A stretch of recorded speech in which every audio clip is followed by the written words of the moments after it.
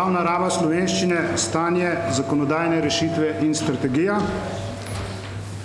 ki je nastal v soorganizaciji Državnega sveta, Ministrstva za kulturo in Slovenske akademije znanosti in umetnosti. Spodobi se, da glede na to, da smo pred kratkim praznovali obletnico Prešernovega rojstva, uvedem ta dogodek s kitico iz njegove elegije svojim rojakom, kjer pravi proti koncu za Slovenca oziroma Kranjca, kar ni tuje, zaničuješ, starih šeg se zgublja sled, pevcev svojih ne spustuješ, za dežele čast si let. In prav lepo pozdravljam gospoda Mitjo Brvarja, magistra, predsednika Državnega sveta, gospoda Toneta Peršaka, ministra za kulturo, in gospoda akademika profesorja doktorja Tadeja Bajda, predsednika Slovenske akademije znanosti in umetnosti. Lepo pozdravljeni. In sicer pozdravljam seveda še vse, ki boste kot uvodničarji s svojimi prispevki sodelovali na posvetu in vse udeležence današnjega posveta. Do tega posveta je prišlo kot nekakšno naravno nadaljevanje prejšnjega posveta, ki smo ga imeli predvsem v zvezi z učnim jezikom našega visokega šolstva in z aktualnim dogajanjem ob sprejemanju novele Zakona o visokem šolstvu. Kot verjetno vsi ali večina veste, smo na neki način dosegli ohranitev sedanjega stanja in ne, vsaj po mojem mnenju, njegovega poslabšanja. Zdaj smo pa predvsem tudi na spodbudo kolegov in kolegic tudi iz srednjih šol, da glede slovenščine v javni rabi stvari niso idealne, in če vprašate starejše kolege, recimo kolegico Ado Vidovič Muha, ki se za boljše stanje zavzema praktično ali se je zavzemala že pred tridesetimi, dvajsetimi leti, se stvari ne spreminjajo na bolje, temveč kvečjemu na slabše, kar lahko opazite samo, če se sprehodite skozi Ljubljano, skozi center Ljubljane ali tudi skozi center Nove Gorice ali kakšnega drugega slovenskega mesta. Pa tudi sicer smo rekli, mogoče bi pa vendarle bilo dobro, da organiziramo neki tak posvet, se pravi, na našem posvetu naj bi predvsem odgovorili na naslednja vprašanja, kako je slovenščino v javni oziroma v vidni rabi, se pravi, imena podjetij, imena lokalov, imena trgovin in tako naprej, kar se vidi pravzaprav na vsakem koraku, kako je slovenščino v medijih, kako je slovenščino v drugih inštitucijah in zato smo tudi nekako v sodelovanju s kolegicami doktorico Simono Bergoč z Ministrstva za kulturo, doktorico Andrejo Žele kot predsednico Slavističnega društva in doktorjem Markom Snojem z Inštituta Frana Ramovša na SAZU-ju pravzaprav sestavili nekako seznam uvodničarjev in se iskreno zahvaljujem vsem tistim, ki so se na našemu povabilu odzvali. No, toliko za uvod in zdaj vabim, da vas pozdravi gospod Mitja Brvar, magister, predsednik Državnega sveta. Prosim, imate besedo.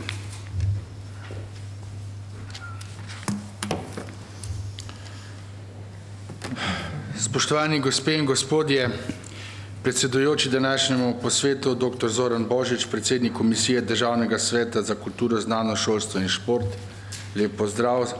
Spoštovani gospod minister za kulturo, gospod Tone Peršak, cenjeni predsednik Slovenske akademije znanosti in umetnosti, akademik doktor Tadej Bajd, spoštovani podpredsednik Državnega sveta, gospod Branko Šumenjak, spoštovani referenti, državni svetniki ter seveda vsi vi, ki smo, ki ste se, ki smo se danes tukaj zbrali, ter vsa zainteresirana javnost.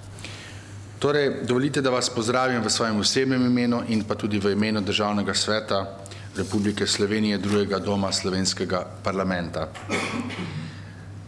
Naj spregovorim nekaj uvodnih misli oziroma nagovor in sigurno moram na začetku povedati naslednje, da je za Slovence imela v zgodovini in ima še danes slovenščina narodno ohranjevalno in narodno povezovalno vlogo, zato jo štejemo za svojo prvo in temeljno narodno identifikacijsko in kulturno prvino. 25. junija 1991 je slovenščina postala državni jezik Republike Slovenije. Njen položaj je formalno opredeljen v 11. členu Ustave Republike Slovenije, ki pravi, da je uradni jezik v Sloveniji slovenščina. Na območjih občin, v katerih živita italijanska in mađarska narodna skupnost, je uradni jezik tudi italijanščina in mađarščina. Zakaj sem to danes tudi želel še izpostaviti? Zaradi tega, ker čez nekaj dni bomo tudi praznovali 25 let Ustave Republike Slovenije. V naši novi državi se je slovenščina zelo hitro uveljavila v vseh institucijah, tudi vojski, carini in državnem protokolu. Prav tako se je njena raba sproti širila na vsa področja, povezana z družbenim, tehničnim in znanstvenim razvojem. Vključitvijo v Evropsko unijo je slovenščina postala eden izmed evropskih jezikov držav članic unije. Lahko pa tudi rečemo, da je zanimanje za učenje slovenskega jezika nenehno narašča tudi med tujci. Nedavni zapleti v zvezi z predlogom novele zakona o visokem šolstvu, ki je del strokovne javnosti očital peljavo večje rabe tujega jezika na slovenskih univerzah, pa je razburila zagovornike različnih pristopov. Ob robu javne razprave o predlogu zakona, ki je junija potekal v državnem svetu, kot smo že danes slišali, je bila strani udeležencev in tudi državnega sveta dana pobuda, da se na temo slovenskega jezika organizira poseben posvet, kjer bi bilo govora o dejanski vlogi slovenščine v javnosti na vseh področjih, ki zadevajo državne organe. To je javno upravo, izobraževalne ustanove, medije, podjetja in predvsem zlasti tista, ki so upletena v mednarodno okolje. Podružnice, tuj, predvsem pa podružnice tujih podjetij, ki delujejo na ozemlju Republike Slovenije, pa, je tudi, pa tudi jezik, ki ga uporabljajo agencije za stike z javnostmi. Z današnjim posvetom seveda izpolnjujemo dolg, ki smo ga spomladi dali na posvetu in danes smo seveda tukaj zbrani, da o tem tematiki, da o tej tematiki razpravljamo. Spoštovani, cilj današnjega posveta torej je soočiti strokovnjake, kritično javnost ter politične odločevalce in pomagati k oblikovanju predlogov ali vsaj smernic, kako postaviti slovenščino kot uporaben jezik na vseh področjih javne rabe. Ob, na koncu bi se seveda želel zahvaliti za sodelovanje na današnjem posvetu Ministrstvu za kulturo kot pomembnemu ali najpomembnejšemu predlagatelju in nadzorniku izvrševanja predpisov in politik na področju jezika. Posebna zahvala gre tudi SAZUJU, ki, je, ki kot na, znanstvena inštitucija preko inštituta Franca Ramovša proučuje slovenščino in njeno javnost in ter uporabo v različnih oblikah na različnih področjih.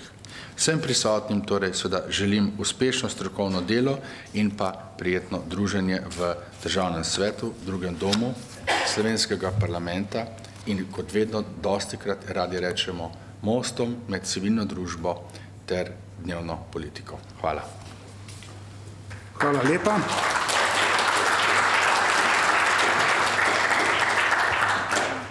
Hvala lepa. K besedi vabim gospoda Antona Pršaka, ministra za kulturo. Prosim.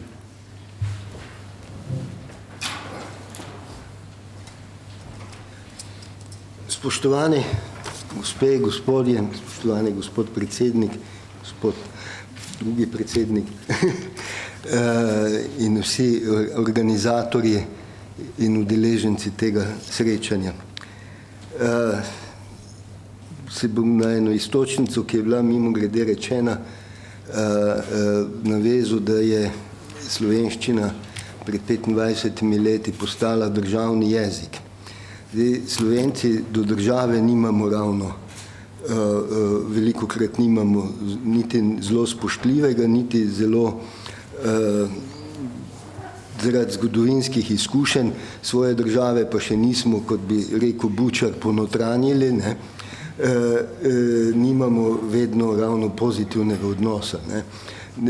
in nespoštljivega. In včasih se zdi, da tudi jezik deli to usodo, ne, kot državni jezik oziroma jezik v javni rabi.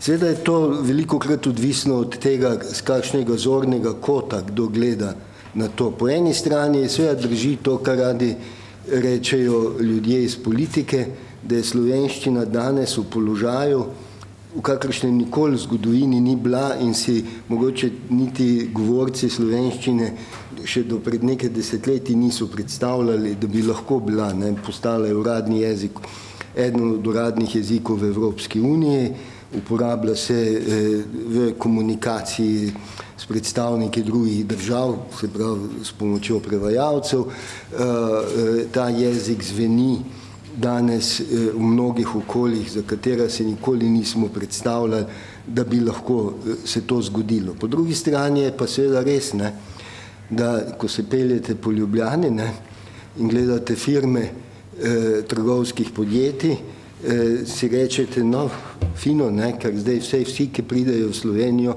pa v Ljubljano vejo, eh, za kakšne prodajalne gre, ne, in da bi bilo najbrž malo čudno, če bi tam, ki piše gor music box, ne, prebrali eh, glasbena škatla ali pa kaj podobnega. Ne. Ne, eh, eh, seveda je pa to najbrž nek simptom, eh, s katerim se srečujemo eh, in s katerim se srečujemo, ali pa vse naša služba za slovenski jezik, ki načeluje gospa Bergočeva, veliko krat ko prihajajo pač ali prijave ali pa vse eh, govorice, da se je že spet nek dogodek odvijal uh, uh, kar v angleščini ne? in da potem, če koga vprašaš, ne, zakaj se je pa to zgodilo, pravzaprav se odzove z velikim začudenjem, ne? ker mu niti na pamet ni padlo, da bi razmišljal o tem, ali je to primerno ali ni primerno, ali bi, bi mogoče bilo treba to na kakršen koli drugačen način eh, organizirati. In tisto ne, eh, pravzaprav, kar je najbolj, najbolj simptomatično in zaskrbljujoče je to, ne, da se pravzaprav eh, vedno več ljudi, ki kaj organizirajo, eh, sploh ne vpraša, sploh eh, nekako ni v zavesti to, ne, da, da, da, da je to vprašanje ne, eh, lahko, v kakšnem jeziku naj bi, vsaj, če že drugega ne na začetku pozdravili mogoče, ne, eh, eh, kaj šele kaj drugega. Ne. In zato se najbrž moramo vprašati, ne, eh, in s tem bi jaz zaključil eh, ta svoj uvodni pozdrav, eh, moramo vprašati, kako se pravzaprav na to odzvati. Restrikcije najbrž niso, niti edina, niti zveličavna pot, ne? ker potem, eh, eh, in to vidimo iz prakse, ne? se pravzaprav srečamo s tem, kako pol tisti, ki je pač to, na to pozabo, kako se bo izvil, ne? kako bo na nek način vendarle se izognil temu, recimo celo mogoče globi neke inšpekcije. Ne? In eh, eh, ne glede na to, da pač zakonodaja na ta način funkcionira, je najbrž se treba vprašati, zdaj zakonodaja pa predpis nekih glob, s katerimi bomo zastrašili ljudi, ne, pra, prava pot. Ne. E, kako, e, kaj je pravzaprav tisto, ne, zakaj se nam to eh, dogaja. Ne. E, e, ta razmislek je pomembnejši kot pa to, ali bomo v zakonu to napisali tako, da bodo ljudje eh, eh, se iz finančnih razlogov, da tako rečem, eh, odločali za to, da bodo pač nek, na nek način tako uredili vse, kot pravim, pozdravne nagovore, da ne bo treba plačati globe. Ne. In jaz sem pripričan, da boste najbrž tudi vi danes razmišljali o tem uh, in se o tem spraševali in iskali uh, pot, ki, in da bo to eden tistih razmislekov, ki bo potem nam pomagal, da bomo kakšno pametno reč zapisali tudi v kakšen predpis. Jaz se, koket se seveda ministri ponavadi morajo, ne, že moram tudi upravičiti, da ne bom mogel poslušati te razprave, ker imam preprosto druge sestanke in tako naprej, ampak glede na to, da vidim, da imamo z ministrstva kar zavidljivo zasedbo tukaj, bodo oni to sporočilo sprijeli, prenesli in ga, kot pravim, koristno uporabili pri našem nadaljnem delu. Želim uspešno posvetovanje. Hvala. Hvala lepa. Hvala lepa gospodu ministru.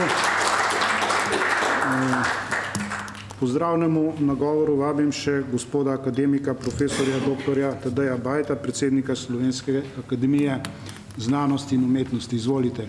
Hvala lepa. Spoštovani predsednik državnega sveta, Mitja Brvar, spoštovani minister Tone Peršak, cenjene gospe in gospodje.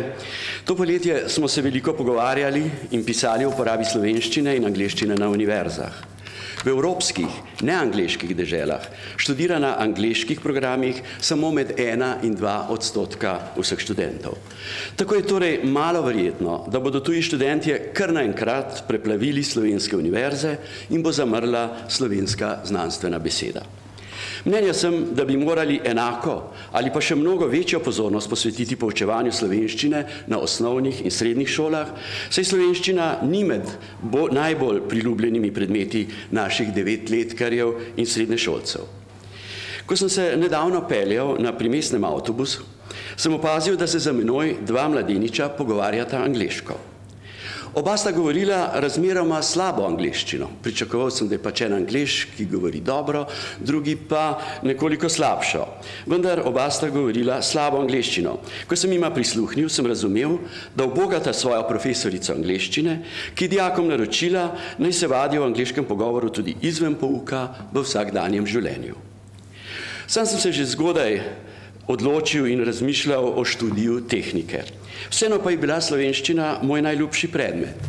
Profesorica Vida Matičetova me je naučila pisati takrat tako imenovane proste spise. Profesor Joža Mahnič me je navdušil nad slovensko književnostjo. Slovensko slovnico sem se naučil kar tako mimo grede od profesorice latinščine Olge Gnezdove. Seveda pa si ne domišljam, da je možen povratek v takšno etas aurea v zlato dobo izpred 50 let. Zavedati se moramo, da imamo danes opravka z milenici, to je najstniki rojenimi v tem tisočletju. Za njih je značilno, da najmanj sedem ur dnevno prebijajo pred ekranom, pa naj bo to ekran telefona, tablice, računalnika ali televizorja. Malo je verjetno, da, jih bomo uspeli, da jim bomo uspeli ucepiti ljubezen do slovenščine skozi te naprave. Možno rešitev vidim v knjigi. Sestavki, ki jih beremo z ekranov, so bolj ali manj površni, na hitro napisani, saj mora bralcem spletnih strani jutrišnji dan prinesti že nove sestavke. Pravo branje je samo branje knjige. Naj bo to roman, knjižica poezij ali poljudno znanstvena knjiga, v vsakem primeru je avtor vanjo vložil precej truda. Potem ni težko razumeti, da je vredno posvetiti takšnemu branju vso našo pozornost, saj nam bo knjiga poleg novih znanj in spoznanj prinesla tudi lepo slovenščino. Z dejavnostmi, kot so rastoča knjiga ali bralna značka, znamo vzbuditi prvo zanimanje za knjigo pri najmlajših. Tudi na letešnem knjižnem sejmu je bilo očitno, da nam knjig za otroke ne manjka. Vprašanje pa je, v kolikšni meri znamo zanimanje za knjigo obdržati pri starejših milenicih. Vprašanje je tudi, ali izdajamo za njih prave knjige, v katerih, s katerimi bi jih vsaj nekoliko odtegnili od ekranov. Na Slovenski akademiji znanosti in umetnosti smo doslej pripravili več posvetov o temi poučevanja naravoslovnih in tehničkih predmetov na osnovnih in srednjih šolah. V prihodnje bomo posebno pozornost posvetili poučevanju slovenščine. Že za pomlad prihodnega leta načrtujemo večji posvet na temo poučevanja književnosti. Mnenja sem, da moramo vsi, ki nam je mar za slovenščino, usmeriti svoje napore predvsem k cilju, da mladi postanejo ponosni na svoj materni jezik, da ga vzljubijo in spoštujejo. Hvala lepa.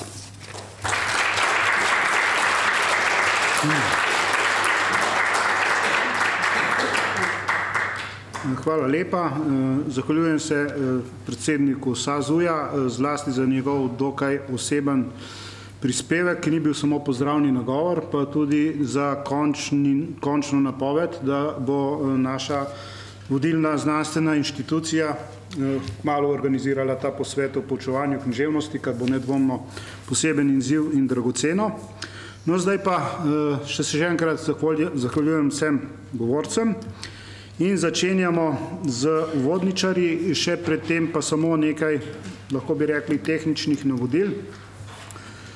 Po desetih uvodnih nastopih bo sledila razprava, rezerviran čas imamo do trinajste ure in vsakdo med vami, ki želi razpravljati, ima na pultu listek, s katerim se lahko prijavi, napiše pač ime in priimek in inštitucijo, či pripada in prinese sem, tako da jaz potem določim tudi zaporedje.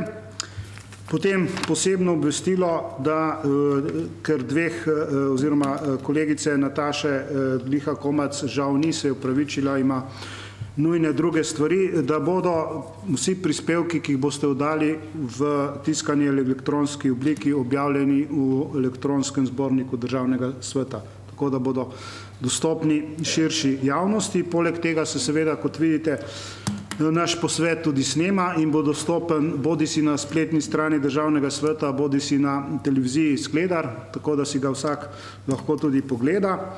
In še zadnje, glede na to, da je kar deset uvodničarjev, smo se odločili, da omejimo razpravo na deset minut in da bo še ostal čas potem za druge, ki bi želeli govoriti. In začenjamo torej z uvodničarji.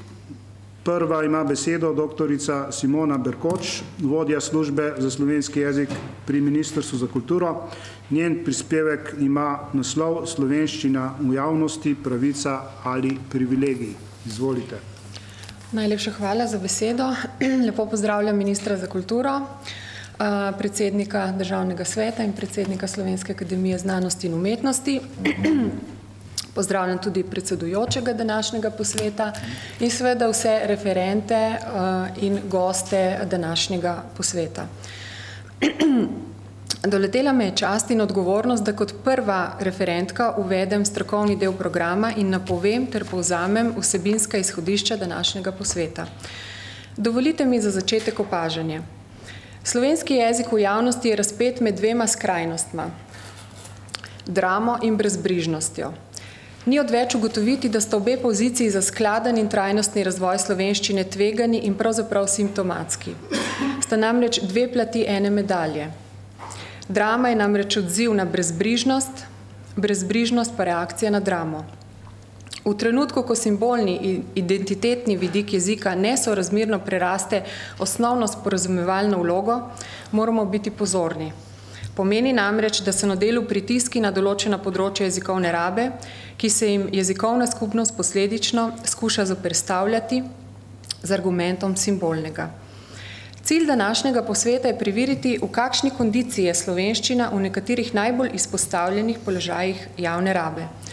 Ker vseh vprašanj v tako kratkem času ne bomo mogli obravnavati, se osredotočamo le na nekatera. In sicer na jezikovno krajino, torej javne napise, slovenščino podjetjih, oglaševanje, javne prireditve. Predvidevam tudi, da bodo uvodničarji posamične probleme javne rabe jezika osvetlili z vidika splošnega statusa slovenščine in stališč govorcev. Naslov posveta je Javna raba slovenščine, stanje zakonodajne rešitve in strategija. Ocenjujem, da strategijo, če začnem zadnjo, nimamo večjih težav. Zgradili smo konsenz glede glavnih ciljev jezikovne politike, to sta jezikovno izobraževanje in jezikovna opremljenost. Glede na vsebino ukrepov nacionalnega programa se očitno vsi strinjamo, da je za razvoj jezika najpomembnejše vzpostaviti pogoje za učinkovito komunikacijo, torej jezik temeljito opisati, sestaviti kakovostne priročnike in druge vire in govorce opremiti z jezikovnim znanjem in veščinami tudi uporabe teh virov. Nacionalni program je sprejel Državni zbor brez glasu proti. Vstopamo v zadnji dve leti njegovega uresničevanja. Zakonodajne rešitve. Zakon o javni rabi slovenščine je sistemski zakon in je členjen, na grobo rečeno, na področja javne rabe, na katerih lahko govorci uresničujejo svoje pravice, torej uporabo slovenščine. Če je potrebno, pa tudi tujega jezika, vendar nikoli na račun slovenščine. Opozorjeno je seveda tudi na enakopravno rabo italijanščine in mađarščine na dvojezičnih območjih. Ocenjujem, da večjih sprememb zakon ne potrebuje, ker je sistemske narave posamezna področja javnega sporazumevanja podrobneje določajo tudi področni zakoni. Situacije, ko je prišlo do ocene, da posamezno področje potrebuje noveliranje, smo na primer pred kratkim doživeli zakonom o visokem šolstvu. Iz poročil Inšpektorata Republike Slovenije za kulturo in medije za leto 2015 je razvidno, da se je v tem letu število prejetih prijav domnevnih kršitev bistveno povečalo. Obenem pa v postopkih zbranih dokazov ugotavljajo, da je tudi samih kršitev vedno več, vendar gre po drugi strani za manjše formalne kršitve, večjih ne beležijo. Na inšpektoratu raje uporabljajo preventivna opozorila, se ugotavlja, da so ravno tako učinkovita, morda celo bolj, kot odločbe v prekršku. V službi za slovenski jezik na Ministrstvu za kulturo smo v zadnjih dveh letih bolj sistematično spremljali in analizirali topiko vprašanj, ki jih na nas naslavljajo stranke. Veliko krat gre za zmotno prepričanje, da smo prekrškovni organ, kar nismo, zato njihove pritožbe posredujemo pristojnim inšpektoratom. Govorce skrbijo najrazličnejši pojavi na področju javne rabe slovenščine. Od vseh sta najbolj istopajoča dva, ki jo bom nekoliko bolj osvetlila. Veliko pritožb dobimo na račun glasov, ki so oblikovani v nestandardni slovenščini. Večkrat celo prevedeni s pomočjo strojnega prevajalnika. V takih primerih zakona o javni rabi slovenščine ne moremo uporabiti, Razen seveda, če gre za popolnoma popačen jezik, ko se postavi vprašanje, ali gre sploh za slovenščino. Torej, zato, ker zakon ne sankcionira kakovosti jezika, temveč status jezika kot tak. Strankam razložimo, da kakovosti jezika zakon ne more regulirati iz več razlogov. Prvič je, jo je, se pravi kakovost jezika, težko popolnoma natančno določiti. Namreč cilj zakonodaje sta med drugim jasnost in določnost. Načelo določnosti zahteva pripravo splošno razumljivih in jasnih predpisov, kar zagotavlja pravno varnost, zaupanje v pravo in enakost pred zakonom, ter onemogoča različno tolmačenje oziroma uporabo predpisov v praksi. Na področju jezika, ko vemo, Kot vemo, kakovost določajo normativni jezikovni priročniki. Sankcije pa predstavljajo različni mehanizmi družbene kontrole, od avtoritet, naprimer jezikoslovcev, urednikov, mnenjskih voditeljev in podobno, do jezikovnega trga v celoti, kot ga definira Pierre Bourdieu. Drugi razlog za nereguliranje kakovosti jezika v zakonskih aktih je dejstvo, da vsi govorci nimajo, še nimajo ali zaradi različnih razlogov ne morejo doseči tako visoke jezikovne zmožnosti, ki bi jo lahko opredelili za standard. Pravno sankcioniranje teh govorcev zagotovo ne bi bilo v skladu s predstavami o vključujoči in raznoliki družbi. Drug zanimiv pojav je veliko bolj zapleten. Naj začnem na konkretnem primeru. Pred časom nam je pisala gospa Angležinja, ki ima v Sloveniji registrirano podjetje. Zakonska določba, ki predpisuje sporazumevanje med njenim podjetjem z drugimi podjetji, registriranimi v Sloveniji, v slovenščini, se ji zdi zelo diskriminatorna. Prepričana je, da je na ta način kršeno načelo prostega pretoka ljudi, blaga in storitev in da zakon o javni rabi slovenščine v tej določbi učikuje tako, da sistematično potiska v slabši položaj tujce, ki bi želeli delati v Sloveniji. Gospa ima z vidika mikrokonteksta Slovenije najbrž prav. Slovenščina je v Sloveniji privilegirana. To je zelo jasno zapisala tudi zakonodajno-pravna služba državnega zbora v konkretnem primeru novelacije zakona o visokem šolstvu. Bistvo pravnega reda če prenesem kritično misel Mateoža Krivica, ki jo sicer zapisal v nekem drugem kontekstu, je varstvo obstoječe družbene ureditve, tudi če je diskriminatorna. Pa vendarle, če upoštevamo globalno sociolingvistično stvarnost, tako v zgodovinski kot sočasni perspektivi, je trditev, da je rojeni govorec angleščine kjerkoli na svetu diskriminiran, najmanj, kar lahko rečemo, drzna trditev. Jezikovne pravice niso konsolidirana kategorija s čvrstimi pojmovnimi temelji v sodobnem pravu, čeprav se glede na kar nekaj mednarodnih dokumentov, ki te pravice določajo, tako morda zdi. V pojmu pravice kot takem je vsebovana ločnica oziroma meja in kot vemo, pravice vselem pričakovano trčijo eno ob drugo, kar pomeni, da njihov obseg ni neomejen in absoluten.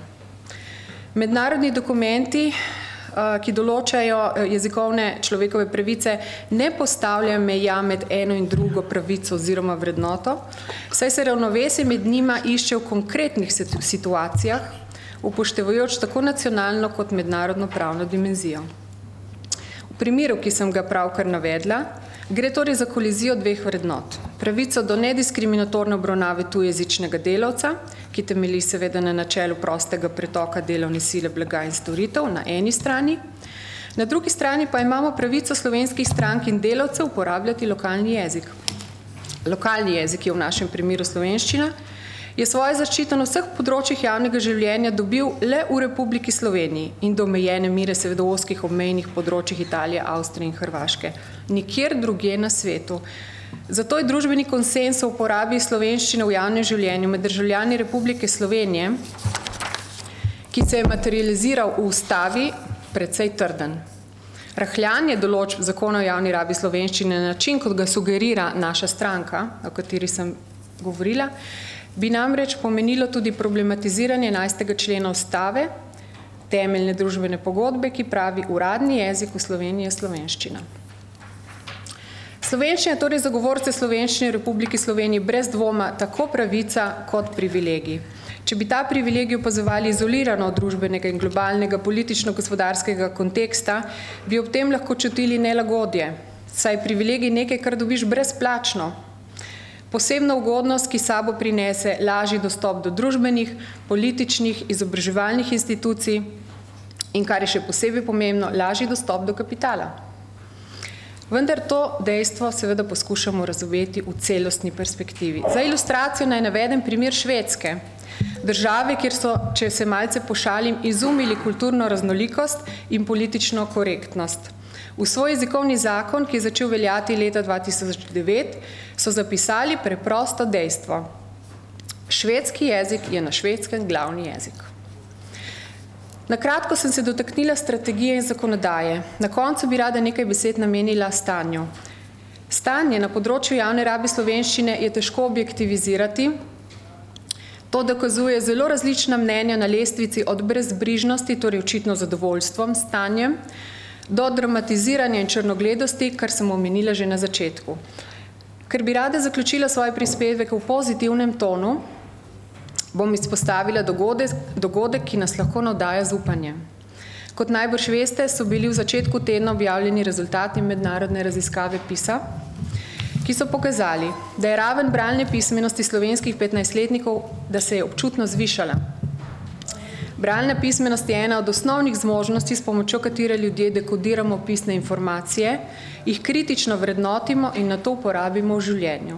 Dobro razvita bralna pismenost pomeni učinkovitejše vključevanje v sodobno digitalno družbo in boljše sooblikovanje okoljsko občutljivo naravnane skupnosti.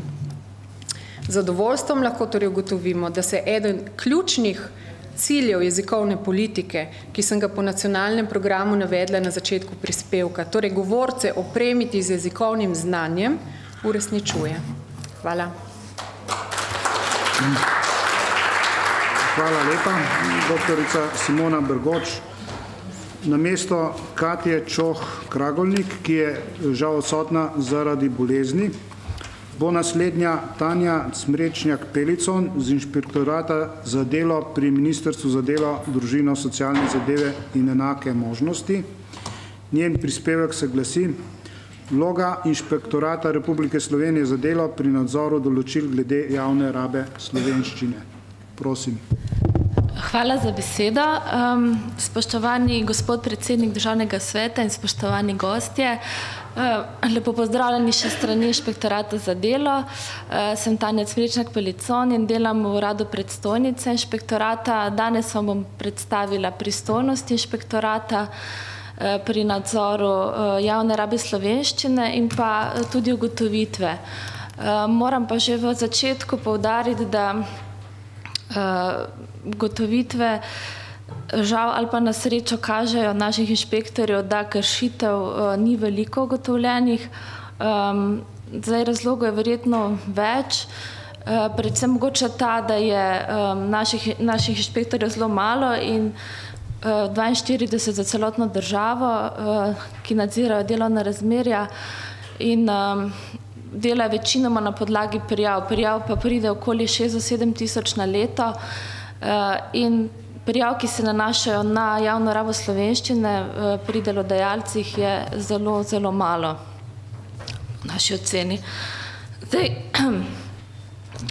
če pogledamo pristojnosti inšpektorata v skladu z Zakonom o javni rabi slovenščine, so vsega skupaj določene v dveh členih v treh odstavkih, in sicer v drugem odstavku štirinajstega člena, ki pravi, da je dolžnost zasebnega delodajalca, da glede na predvidljivo pogostnost in zahtevnost jezikovnih stikov s strankami določi za posamezno delovno mesto potrebno zahtevnostno stopnjo znanja slovenščine in pa da pri objavi prostih delovnih mest, na katerih se predvidevajo jezikovni jeziki stiki s strankami, kot pogoj izrecno navede zahtevnostno stopnjo znanja slovenščine. No, za to kršitev je predviden tudi predvidena globa v kazenskih določbah zakona, in sicer za pravno osebo od tri tisoč do štirideset tisoč evrov in za odgovorno osebo pravne osebe od tisoč dvesto do štiri tisoč evrov. Zdaj lahko vidite, koliko kršitev je bilo v zadnjih treh letih ugotovljenih. Zdaj za leto dva šestnajst še niso še niso uradni in dokončni rezultati, ker so nekateri inšpekcijski postopki še v teku.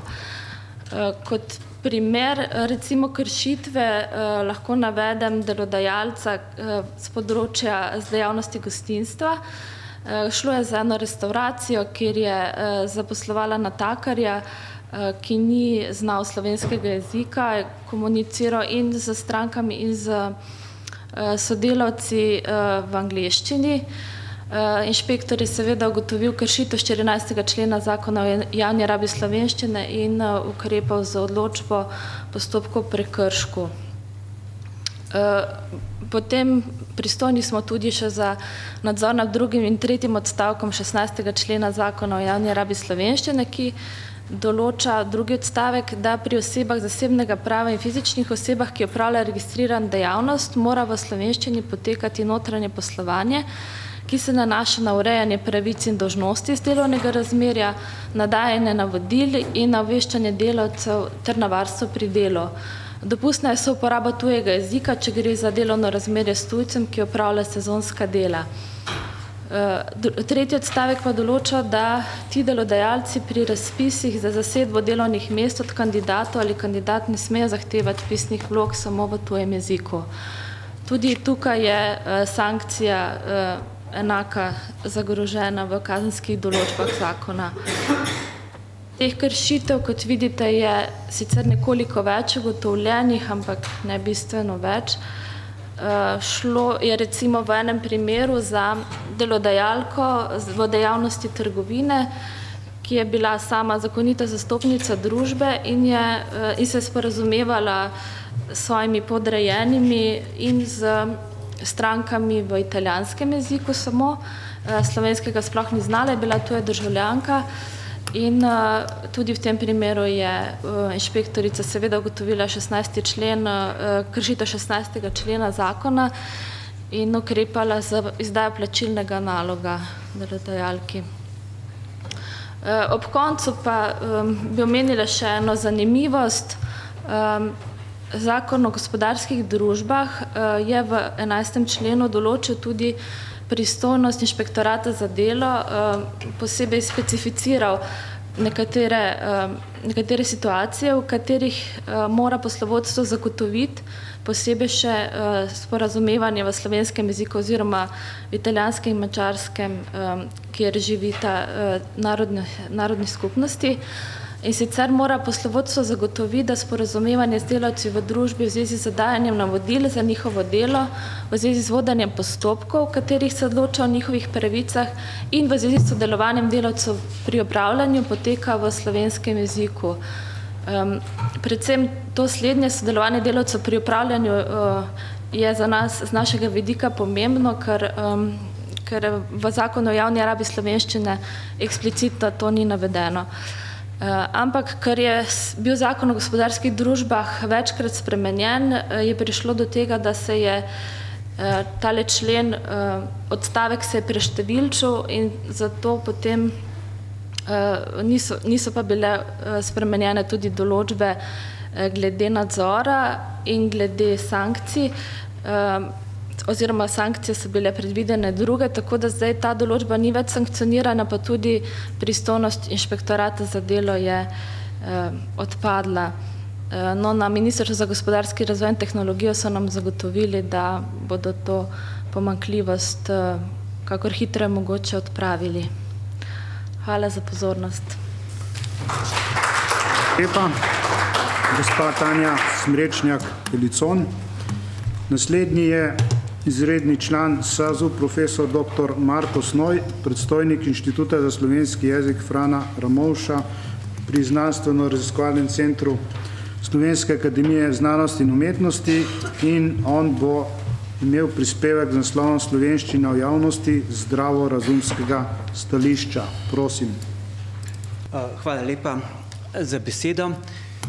Spoštovani gospod predsednik, Slovenske akademije znanosti in umetnosti, spoštovani gostje, um, dragi kolegici in kolegi. 11. člen Ustave Republike Slovenije pravi, uradni jezik v Sloveniji je slovenščina. Na območjih občin, v katerih živita italijanska ali mađarska narodna skupnost, je uradni jezik tudi italijanščina ali mađarščina. Pravni termin uradni jezik je v nastajajočem pravnem terminološkem slovarju razložen kot jezik večinskega naroda, ki je določen kot obvezen na celotnem ozemlju države in v njem poslujejo državni organi, organi, ki upravljajo javno službo, organi lokalne skupnosti in nosilci javnih pooblastil, na določenih območjih države, kjer živi tuja avtohtona narodna skupnost, lahko tudi jezik te skupnosti. 17. člen zakona o javni rabi slovenščine pravi firma oziroma ime pravnih oseb zasebnega prava in fizičnih oseb, ki opravljajo registrirano dejavnost, se upiše v sodni register oziroma drugo uradno evidenco, če je skladno s področnimi zakoni v slovenščini. Četrti člen zakona o javni rabi slovenščine pravi, Republika Slovenija zagotavlja status slovenščine z dejavno jezikovno politiko, ki vključuje skrb za zagotovitev pravnih podlag njegove rabe, za stalno znanstveno-raziskovalno spremljanje jezikovnega življenja in za širjenje jezikovnih zmožnosti ter skrb za razvoj in kulturo jezika. Ta del zakonodaje je pravzaprav v redu. O delih zakonodaje, ki je tej nasprotna, bodo spregovorili drugi. A praksa kaže precej drugačno sliko.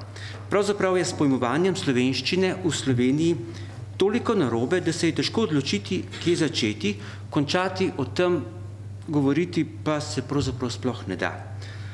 Začnimo vendarle pri dnu, pri navadnem državljanu, ki se vse pogosteje tudi javno izraža. Naprimer, ko nekdo v hiši praznuje okrogli jubilej in mu po slovenski navadi na mlaj obesijo ukraden prometni znak za omejitev hitrosti takšen visi v Šentvidu pri Ljubljani. Ali, ko nekdo izgubi mačko sredi Ljubljane, objavi takle razglas. Uh, opozarjam še na to, da je uh, angleščina očitno slovenska, ker je za moj okus slaba. Uh, ta praksa je pri nas dokaj nova, saj je pred petimi leti še ni bilo zaznati. Tudi praksa, da gostinci sredi Ljubljane vabijo le v tujem jeziku, je nova.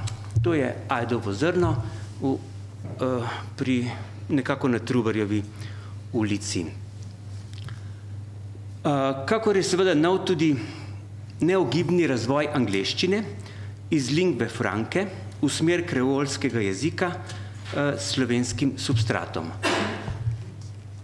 Pristojni v vinoteki, ki nosi ime v jeziku predzadnjega okupatorja Ljubljane, nahaja se namreč ob Šuštarskem mostu, so sklenili, da angleščini manjka uglajenosti, ki jo je trgovec dolžan izkazovati stranki, zato so angleško velevniško obliko, to je takoj uh, za rdečim, tam, ker piše not yet, torej please joins us, a vidite, je uh, velevniška oblika opremljena z množinsko končnico, ki so jo seveda vzeli iz samostalniške uh, paradigme. Uh, ob tem pa ni, tako smo pravzaprav Slovenci obogatili to slovengleško slovnico za neko novo obliko in to je že korak v kreolski jezik. Ob tem seveda ni nezanemarljivo dejstvo, da spodaj, ko ko uh, goste vabijo tudi v italijanščini, francoščini in španščini, ni uporablje, uporabljena ustrezna spoštljiva oblika. Uh, v italijanščini gosta tikajo, v francoščini prav tako, v španščini pa so dobrodošle samo osebe ženskega spola. Um, tukaj gre očitno za neko nevednost, uh, vendar je eh, razvoj v smer kreolskega jezika eh, tudi za nalašč. Tole je primer eh, Slovens, z Nazorjeve ceste v Ljubljani, ki dokazuje, da, da, da trgovec oziroma ponudnik hitre prehrane ne naslavlja angliškega ali tujega, katerega koli tujega tuje stranke, temveč predvsem slovenskega, kajti hud je tukaj, bi rekel po svojem eh, občutku, mišljen, s tem je mišljen slovenski pridevnik hud v eh, slengovskem pomenu dober, eh, ne pa angliški samostalnik hud, ki pomeni kapuca. Dvomem, da bi ta prišel tukaj upoštev. Eh, seveda pa to ni samo problem mestnih eh, središč. Sredi Bele krajine sem videl, pa žal ne poslikal, smerokaz s problemom, z, eh, z napisom River Kolpa. V krajih, kjer je angliščina doma, take napise vidimo samo v obrnenem vrstnem redu, najprej lastno, potem vrstno ime, videl sem recimo Mississippi River. V Sloveniji deluje gradbeno podjetje Krasniči Building, Z angliškega govornega področja se spomnim, da imajo gradbena podjetja v imenih besedo construction, ne pa building. Uveljavljanje um, svetovljanske angleščine na račun barbarske slovenščine je praksa tudi v drugih družbenih plasteh in sicer ne samo uh, pogovorno amerik amerikanofilski džezisti, kot je tukaj primer, uh, celo perfekcionisti zagrešijo z angleščino okužene neumnosti, ki spominjajo na Facebook slovenščino. Eh, poglejte zgoraj prvi, eh, prvo eh, vrstico, jaz ne vem, kateri jezik je to, oziroma kakšna mešanica nekih jezikov. Vsekakor neka slovenščina to ni. In še primer, sicer, s sicer slovenskim imenom firme, a angliškim opisom dejavnosti, kar je v, naspro, v neposrednem nasprotju z 20. členom eh, zakona o gospodarskih, družbe, eh, o, o gospodarskih družbah, ki pravi, sestavina firme, ki nakazuje dejavnost in oznaka družbe, morata biti v slovenskem jeziku. Eh, ime družbe je očitno pivoljub.si, vendar je to prvi slovenski beer shop. Um, Samo po sebi se postavlja vprašanje, kako to, da ob na prvi pogled jasnih zakonskih in podzakonskih določilih slovenščina postaja tujec v lastni deželi. Ali kdo to izredno želi, ali je tako naneslo. Kakorkoli že, nekaj je zatejilo in to je po mojem prepričanju slovenska politika in tej najbližje strukture. Tako kot je slovenska politika omogočila, pa čeprav samo z mižanjem, da so izbranci pokradli premoženje in ljudstvo pahnili v revščino, tako slovenska politika in tej najbližje strukture mižijo pred narodovim samomorom, ki ga izvaja z opuščanjem slovenščine. Ja, bodo rekli, ampak če se ljudstvo po lastni želji odreka slovenščini, je demokratično in prav, da mu to dopustimo. Mislim, da je to sklepanje približno tako pravilno, kot če bi prometne oblasti pritrdile kritični masi voznikov, ki se je odločila, da ne bo več uporabljala smernega kazalca. Celo nacionalni program za jezikovno politiko pravi, da bi bilo treba ob neupravičenem zapostavljanju slovenskega jezika njegovo rabo predpisati. A to pravi v zelo mlačni obliki, namreč takole. Ob tem mora slovenska jezikovna politika z ustreznimi ukrepi poskrbeti, da bo slovenščina pri domačih govorcih ostajala prevladujoča prostovoljna izbira v čim večjem obsegu zasebne in javne rabe, kjer in kolikor izkušnje kažejo, da so nekateri govorci slovenščine pripravljeni svoj materni jezik neupravičeno zapostavljati, pa se ne sme a priorno odpovedovati možnosti zavezujočega pravnega predpisovanja rabe v določenih jezikovnih položajih. V tej mlačnosti vidim enega ključnih problemov. Slovenska politika se po osamosvojitvi nikoli ni več jasno opredelila za slovenski jezik. V času razpadanja Jugoslavije smo postavljali slovenščino v prvo bojno vrsto, bila je temelj naše samobitnosti in pravice do odcepitve. Spomnimo se samo, kaj se je dogajalo na tistih prostorih nekdanje skupne države, kjer jeziki niso bili tako jasno razmejeni.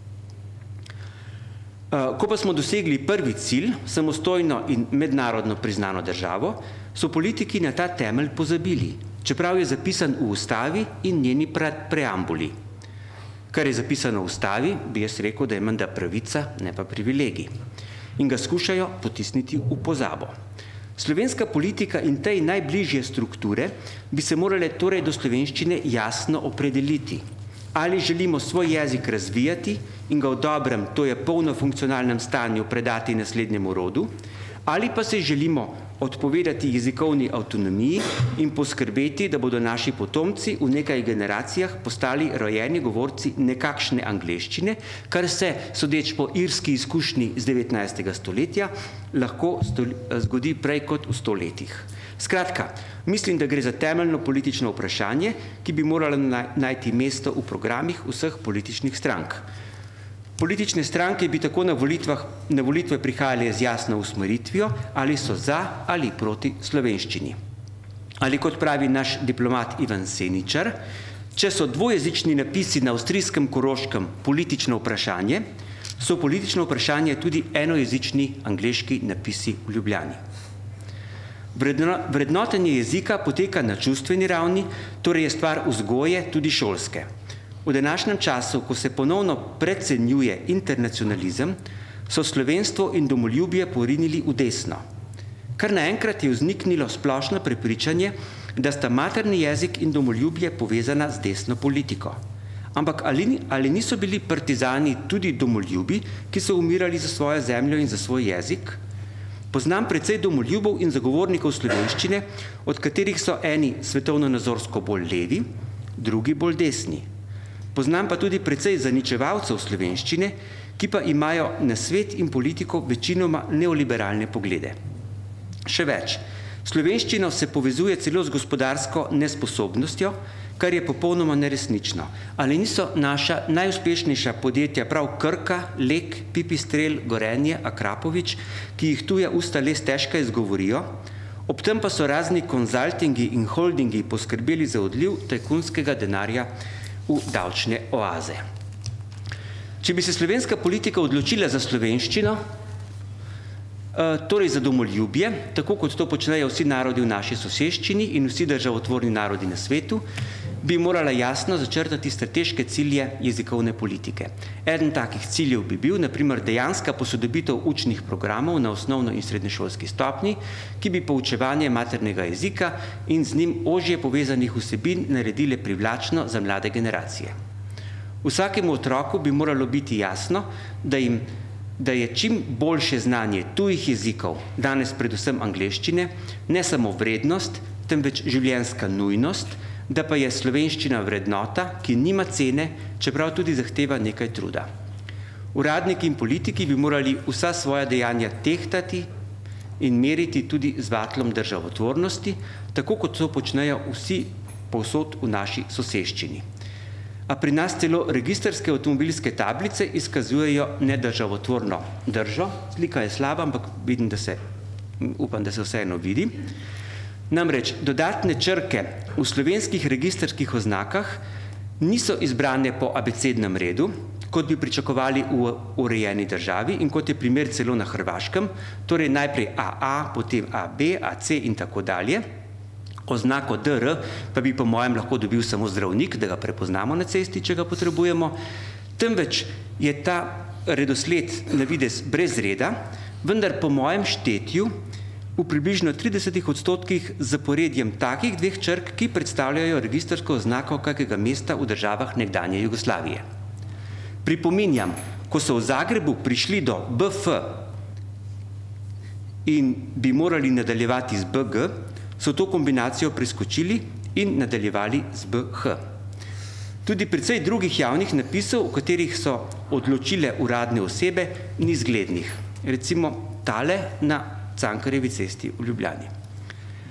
Podobno bi lahko komentiral rabo slovenščine v podjetjih, na javnih prireditvah, v šolstvu, na vseh stopnjah, celo na javni televiziji, a nekje je treba končati.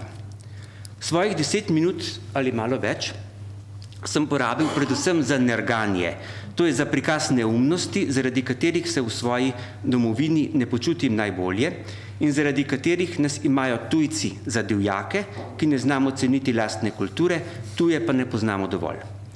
Končal pa bi rad konstruktivno s morda naivnim predlogom, naj se pri slovenščini v javni rabi upoštevajo zakonska določila, ki so skladna z 11. členom Ustave Republike Slovenije. Člene, ki kažejo v drugo smer, naj preveri ustavno sodišče, zakonske nedorečenosti pa naj se dopolnijo tako, da bo jasno, kako je treba komu ravnati in kakšne posledice ima nezakonito delovanje. Na nekaj domnevno neustavnih členov bo danes še opozorjeno, marsikaj je razvidno iz raziskave izbrani vidiki jezikovne situacije v Republiki Sloveniji v vlogi presoje učinkovitosti njene veljavne zakonske ureditve, še več pa bo prinesel ciljni raziskovalni projekt Jezikovna politika Republike Slovenije in njeni uporabniki, ki ga ta čas izvaja 43 strokovnjakov iz 16 različnih ustanov. Najlepša hvala za pozornost.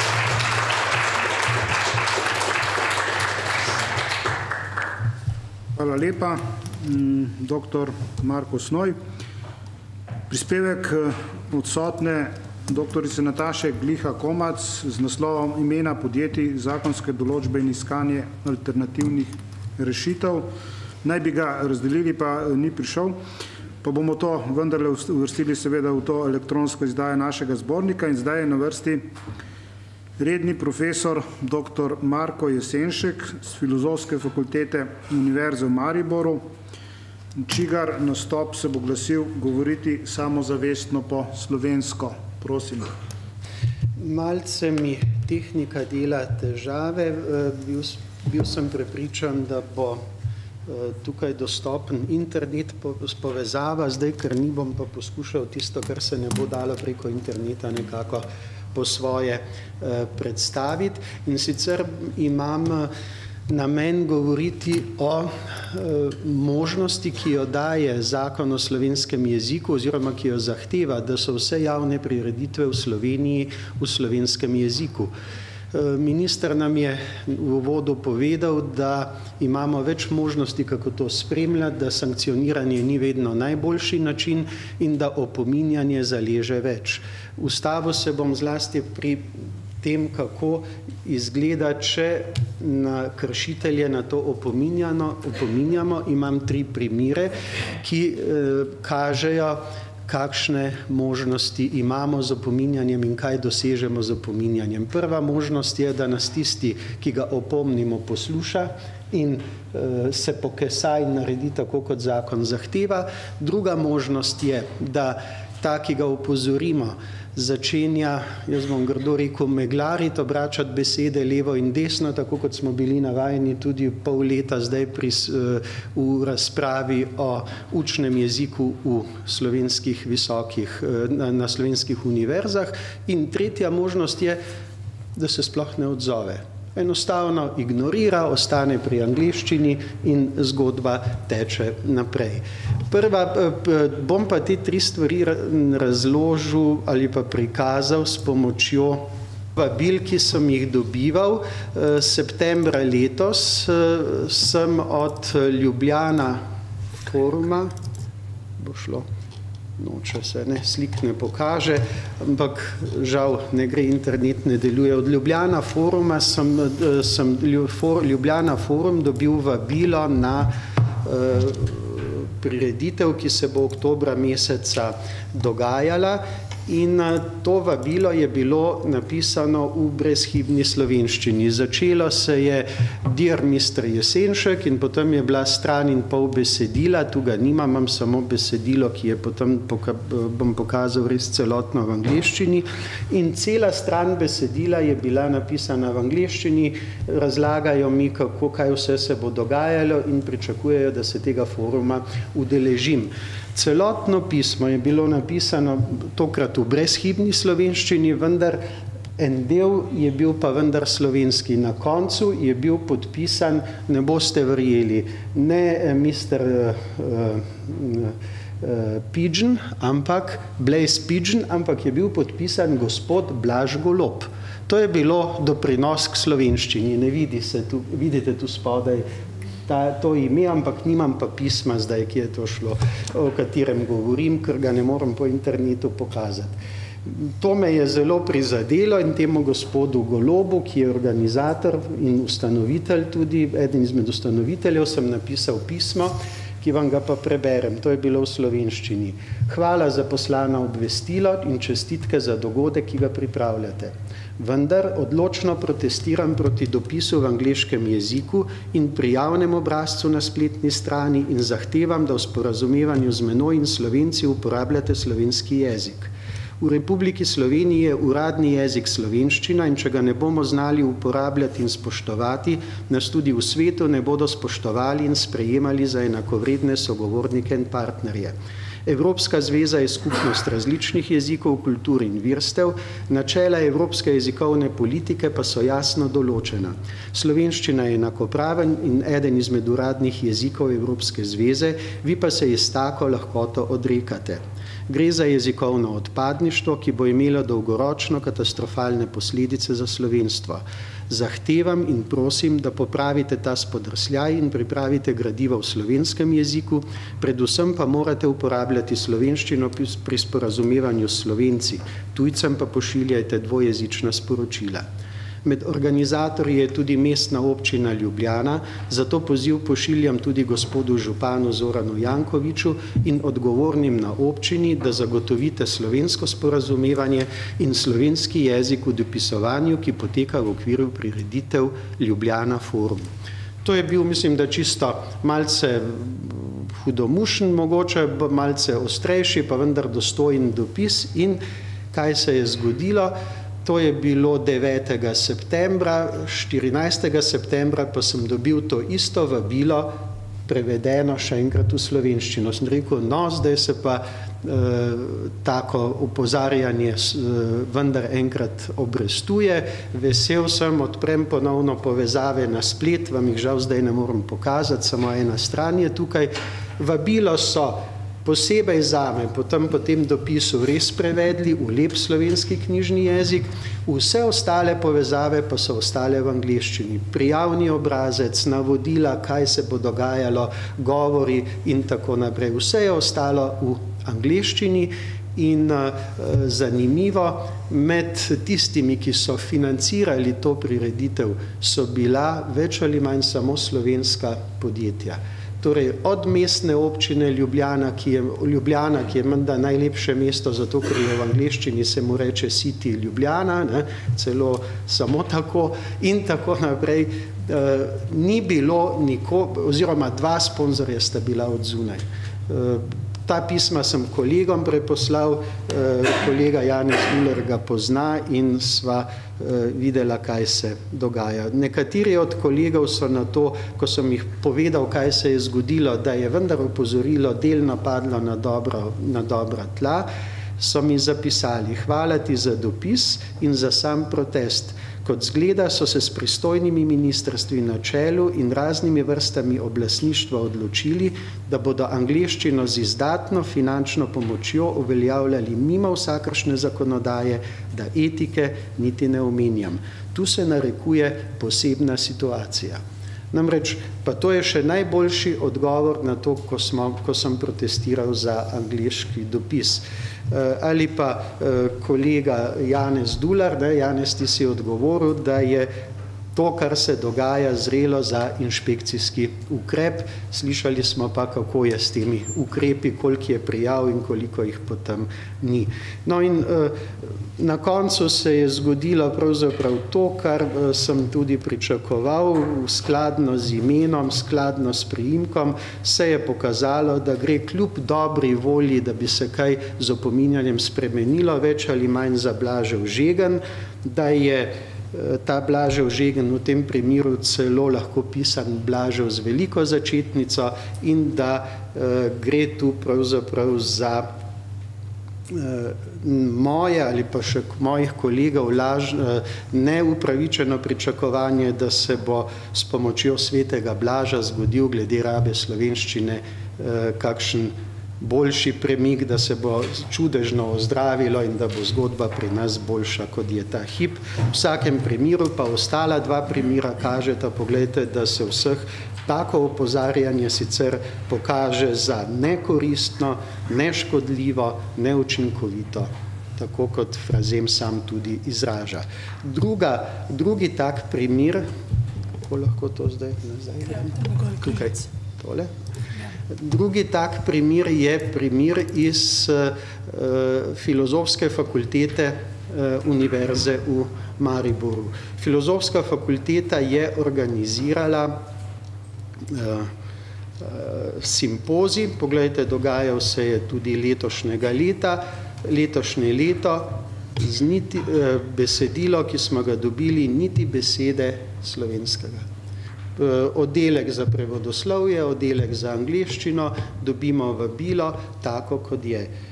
Moj naslednja, da vam povem, kaj, to je tisti drugi primer, ko se organizator, ko ga upozoriš na to, da dela nekaj, kar ni skladno z zakonom, poskuša z meglarjenjem izvid. To smo pol leta spremljali, takole sem zapisal organizatorju. Pozdravljen, čestitam za prireditev in želim kar se da uspešno druženje in veliko novih znanj in spoznanj. To v prvi vrsti. Poleg tega pa bi rad opozoril na zakon o javni rabi slovenščine, ki v 25. členu določa, kako in kaj slovenščino na mednarodnih prireditvah na slovenskih javnih zavodih. Ker enega od teh trenutno sovodiš, bi predlagal razmislek o tem in v prihodnje ustreznejšo prakso v smislu humanističnega poslanstva filozofske fakultete in razumevanja jezika kot kulturne vrednote. Mislim, da sem kar kulturno kolegu poskušal dopovedati, da je dobro kaj slovensko dodati na tej prireditvi. Odgovor je bil pa prodajanje megle. Takole, poglejte, to pa poznamo zdaj. Pozdravljen, hvala in lepe želje, dogodek se je iztekel gladko in udeleženci smo bili zadovoljni. Omenjeni 25. člen zakona seveda spoštujemo in ga bomo tudi v prihodnje. Zdaj, tukaj ga ne vidim, ne, da bi ga tu kdo spoštoval. Če govoriva o tem dogodku, drži, da smo rabo slovenščine razumljivo, poglejte, poudari, smiselno omejili, dobila pa je svoje mesto na otvoritvi, na zaključku, na zboru društva, na vseh spremljevalnih aktivnostih, prisotna je bila tudi na obvestilni ravni. Če bomo izdali zbornik referatov, jo bomo jasno, ustrezno vključili. Ne glede na omenjeno, mislim, da smo vsi, ki smo kdaj organizirali takšne dogodke in jih pri tem smiselno umestili v lokalni in slovenski prostor, za svojo kulturo in njeno promocijo naredili neizmerno veliko. Organizatorji iz filozofske fakultete imamo pri tem še posebno srečo, ker so udeleženci jezikovnih, književnih, prevajalskih konferenc praviloma zelo dovzetni prav za ta segment našega poslanstva. To je natančno tako, kot če bi poslušal kolege, rektorje in ostale, ko so nam dopovedovali, da skrbijo za jezik, učni jezik na slovenskih univerzah, s tem, ko uvajajo angliška predavanja. Torej, prebral kolega je prebral 25. člen in 25. člen jasno določa, kaj je potrebno narediti. Izjeme so sicer možne, vendar samo z dovoljenjem in posebnim dogovorom z ministrom, ministrstvom, česar se, kar se tu seveda ni zgodilo. To je tako zamegljevanje. No, in tretja stvar, poglejte, je pa tale zgodba. To je pa dogodek, ki se je dogaja, ki je bil tudi v tem letu. Center za postsocialistične študije, tudi del, center, ki je del filozofske fakultete.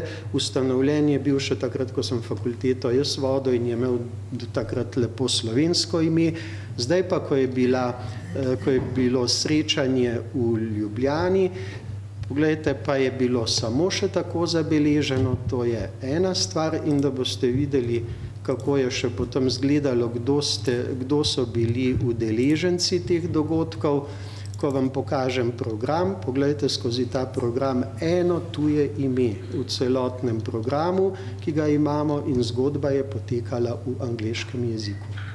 Samo en tujec med, poglejte, tolikimi nastopajočimi tukaj v, v tem programu, vse od A do Ž v angleščini. Tudi tukaj sem napisal dostojno pismo kolegom, ampak seveda to je bil pa že tisti tretji Blažev Žegen, ko se niti zmenili niso več in niti odgovorili niso. In uh, žal mi je, da ne moram imeti pokazati preko internetnih povezav. Uh, ideja moja je bila pa seveda pokazati zdaj uh, ne moč slovenske države v tako imenovanem kvazi demokratičnem obdobju, v katerem smo. Slovenska država ima zakone, tako kot jih imajo vse države Evropske zveze. In država, ki da kaj nase, zakon spoštuje ali ga pa nima.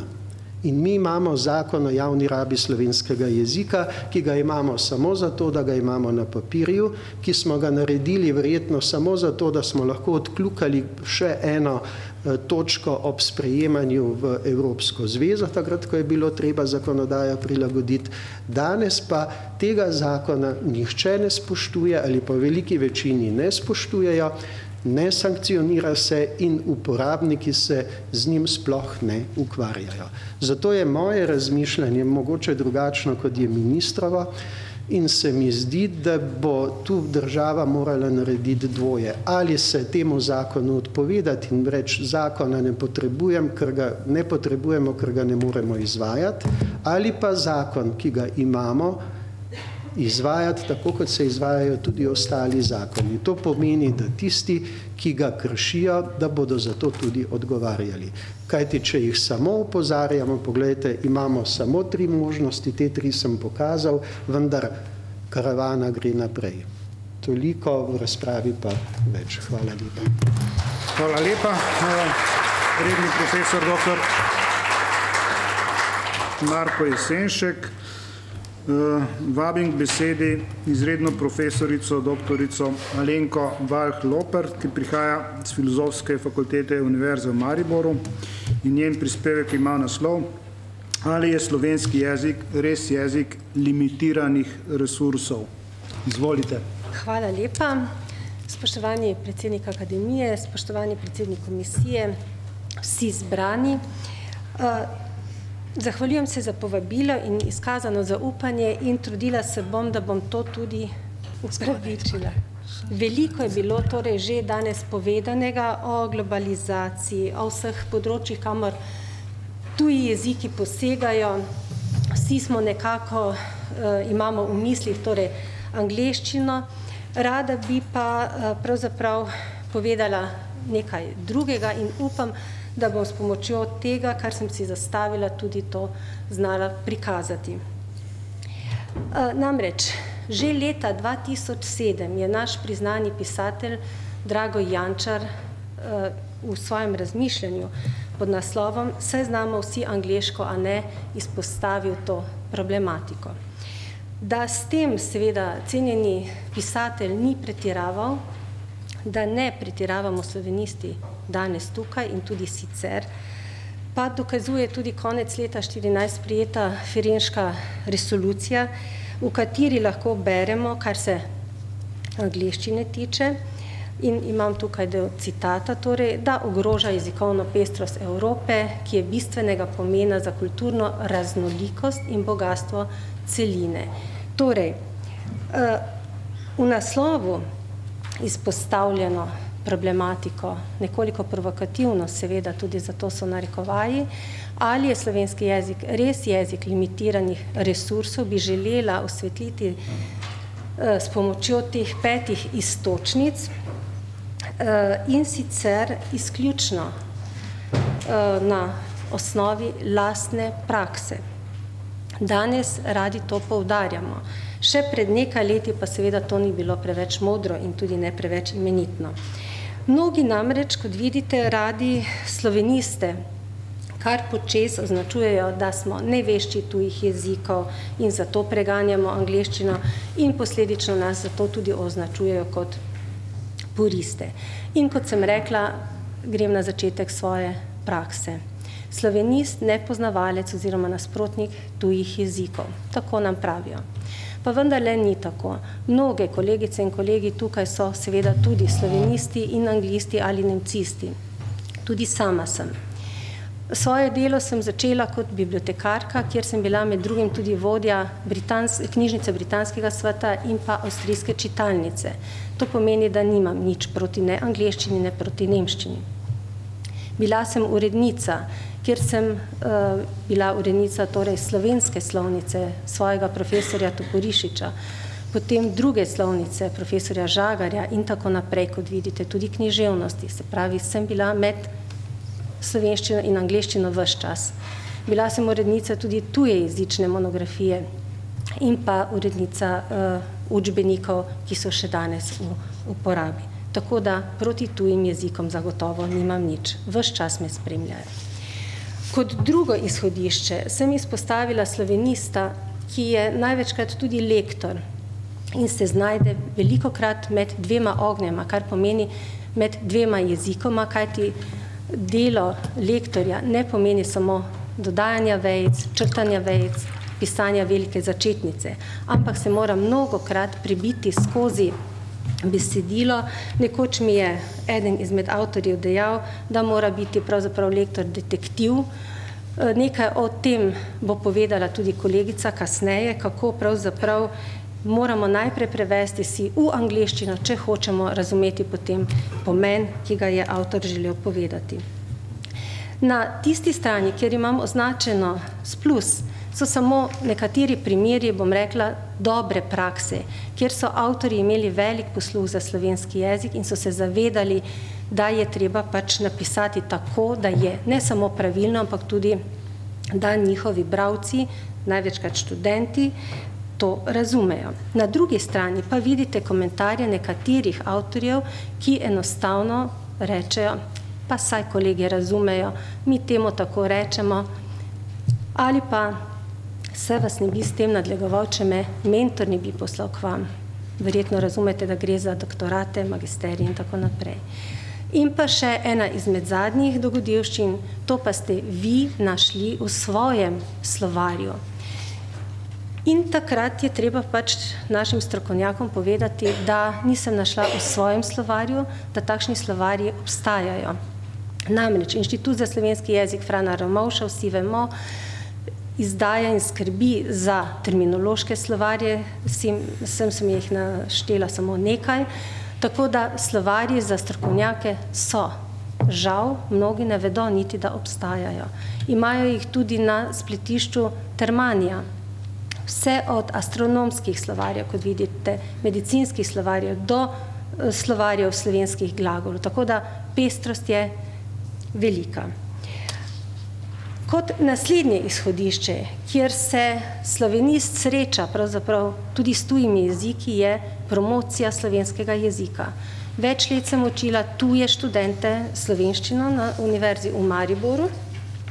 V zadnjem času pa sva s kolegico, ki bo imela še predavanje, doktorico Zemljakovo, pripravili pravzaprav samoiniciativno tudi zloženko, s katero ozaveščava vse tuje študente, ki prihajajo na naše poletne šole, na našem oddelku, skrbimo tudi za to, da jim damo nekaj v roke, ko pridejo zlasti na poletni šoli trans, ki se izvaja tako v tujini kot pri nas doma.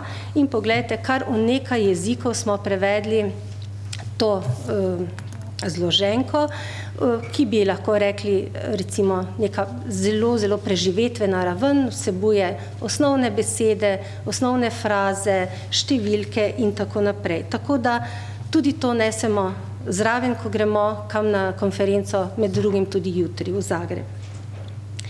Torej, še eno uh, izhodišče je tukaj zapisano, govorimo slovensko, namreč uh, res zelo redki profesori na tehniških, naravoslovnih, drugih fakultetah se zavedajo pomena slovenščine. Ena profesorica pa vendarle se v Mariboru in na jo s kolegico že štiri leta vabi na svojo zimsko šolo, kjer tujim študentom pravzaprav predstavljava slovenščino. In moram povedati, da so zelo navdušeni, sprejemajo to in se čudiva, Eh, vsa štiri leta že, zakaj se tudi druge fakultete ne odločajo za kaj podobnega. In če preidem na to, kar počnem sedaj, sem profesorica slovenščine na oddelku za prevodoslovje filozofske fakultete, eh, kjer smo se študenti odločili, da bomo pravzaprav pregledali obstoječe diplomske naloge v okviru predmeta, ki ga imate zapisanega tudi, in sicer na osnovi lektoriranja, tako da bo to pravzaprav imelo dva namena. Prvi namen je seveda usvajanje slovenščine za naše študente, na drugi strani pa seveda tudi pregled, kritična presoja pravzaprav jezikovne podobe diplom, ki so objavljene prosto na spletnih straneh, tako da nas ne zanimajo ne avtorji, pravzaprav ne kandidati, zanima nas samo jezik. Eh, tako pregledamo nekaj diplomskih nalog z področja humanistike, družboslovja, naravoslovja in tehnike. Seveda ovrednotimo najprej iz pravopisnega vidika, na to tudi oblikoslovja, skladnje in tako naprej, zlasti besedja strokovnega. Tega delamo prav letos. In kaj smo ugotovili? Analize so pokazale eh, prisotnost vseh vrst napak, predvsem pravopisnih, oblikoslovnih, skladenskih. In prav zaradi slabega znanja tujega jezika, kako smo danes že slišali, profesor Sno je tudi že o tem govoril, kako slabo znajo, znamo tuji jezik in preko tega posledično tudi materinščino. Bila je napravljena tudi raziskava, pravzaprav, kako znanje, slabo znanje slovenščine vpliva na slabo znanje torej tudi tujega jezika. In prišli smo do sklepa študenti našega oddelka, da so napake tako osnovne, da bi vendarle morali imeti vsi študenti na vseh študijskih smerih pouk strokovne slovenščine. Najprej najbrž nek splošni predmet slovenščina, zelo splošnega mislim, šele kasneje, ko bi to obvladali, pa pouk strokovne slovenščine. Mnogokrat se vprašamo, kam je šlo vse tisto učenje slovenščine 12 let. Poštevanke ne pozabijo. Namreč, zakaj se to uh, dogaja na oddelku za prevodoslovje? Ker šolamo torej, prevajalce in tolmače v resoluciji, imamo tudi zagotovljeno pomoč tako prevajalcem in tolmačem v inštitucijah Evropske unije in pa hkrati tolmačem in prevajalcem v Sloveniji, kot vidimo. Rada pa bi uh, se naslonila na to, kar je povedal v enem izmed svojih intervjujev lani, danes generalni direktor Generalnega direktorata za prevajanje pri Evropskem parlamentu, slovenec, gospod Walter Maurič, ko se mu študenti predstavijo in povedo, da znajo zelo dobro, zelo dobro tuje jezike, pa vendar jih opomni. Če ni na odlični ravni tudi njihovo znanje slovenščine, niso primerni za prevajanje niti tolmačenje.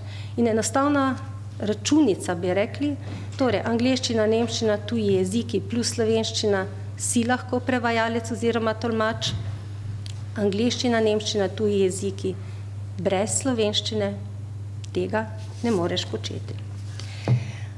In če pridem še na zadnjo točko, slovenist, raziskovalec, torej stanja danes. Sama se ukvarjam z analizo jezika medijev, največ radija in v svojih raziskavah sem ugotovila to, kar piše na začetku. Torej, gre za upad jezikovne kulture v medijih, na eni strani seveda zaradi slabega obvladanja materinščine, na drugi strani pa zaradi trga, ki pač se mu morajo mediji prilagajati. Leta 2008 smo skupaj uh, s kolegicami z oddelka za slovanske jezike, uh, z doktorico Stramničevo, z doktorico Zemljakovo in številnimi drugimi in študenti tudi izdali, uh, smo izdale pravzaprav uh, knjižico Tako je bolje, v kateri smo naredili analizo uh, jezika oglasov. In o tem smo tudi danes že slišali, kakšno je stanje pri oglaševanju.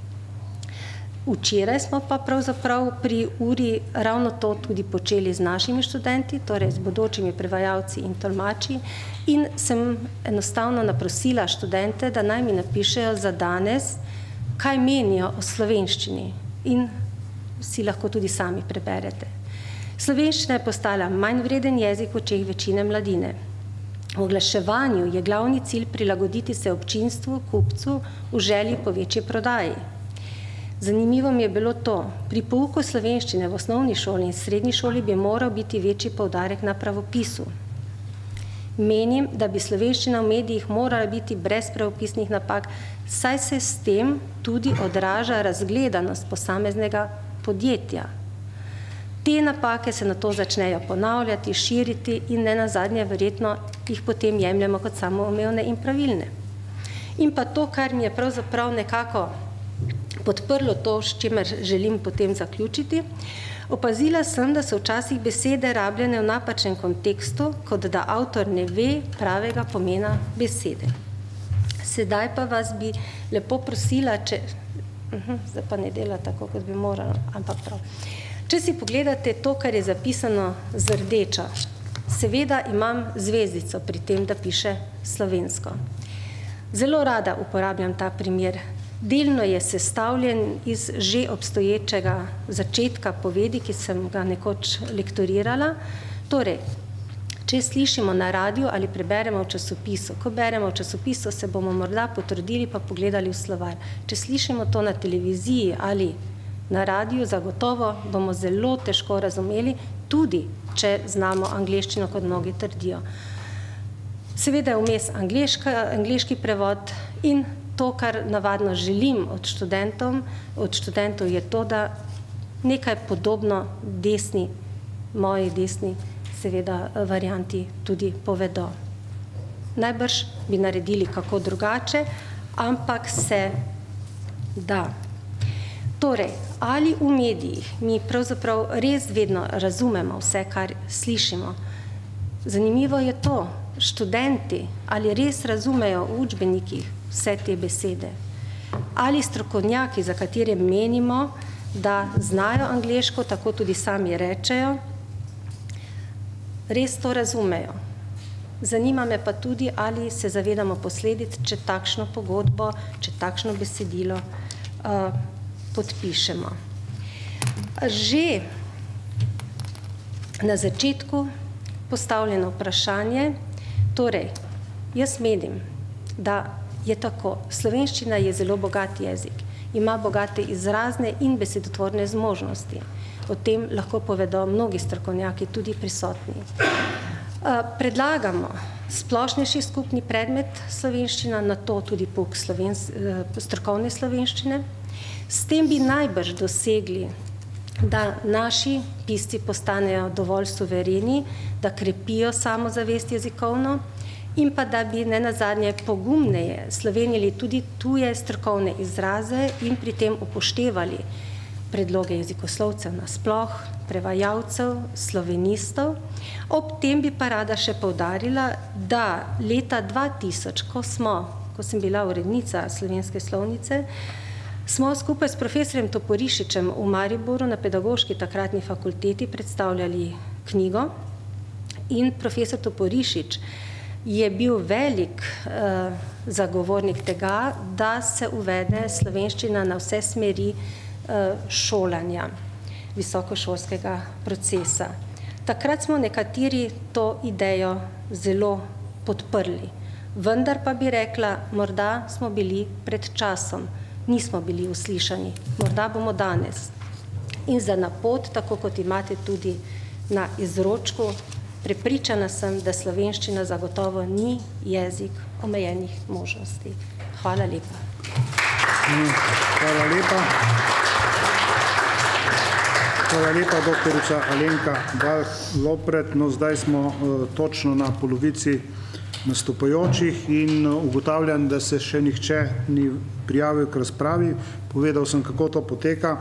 Mislim, da je prvih pet uh, referatov dalo res uh, dobro izhodišče in uh, vas ponovno vabim k razpravi. Torej, Naslednja je izredna profesorica, doktorica Melita Zemljak Jontes, ki prav tako prihaja z Filozofske fakultete Univerze v Mariboru in njen referat se glasi, zakaj se moram učiti slovenščino, saj jo znam. Pa res. Prosim. Hvala. Lepo pozdravljeni. O jeziku, o slovenskem jeziku je bilo že danes in pred današnjim dnem izrečenega in zapisanega marsikaj. Ko sem prijela prijazno povabila k sodelovanju, se mi je najprej zazdelo, da je pa res prav, da ponovno govorimo o slovenskem jeziku v najvišjih državnih organih, potem pa mi je takoj šla skozi misel, skozi uh, razmišljanje misel, uh, o čem pa naj pravzaprav govorim, če je bilo toliko vsega že povedanega. Uh, zakaj nas pravzaprav slovenski jezik, ki je večinoma naš materni jezik, še vedno tako zelo žuli? Uh, zakaj vsak dan, vse povsod, ob vseh dejavnostih, ki jo upravljamo, zakaj nam ne da miru?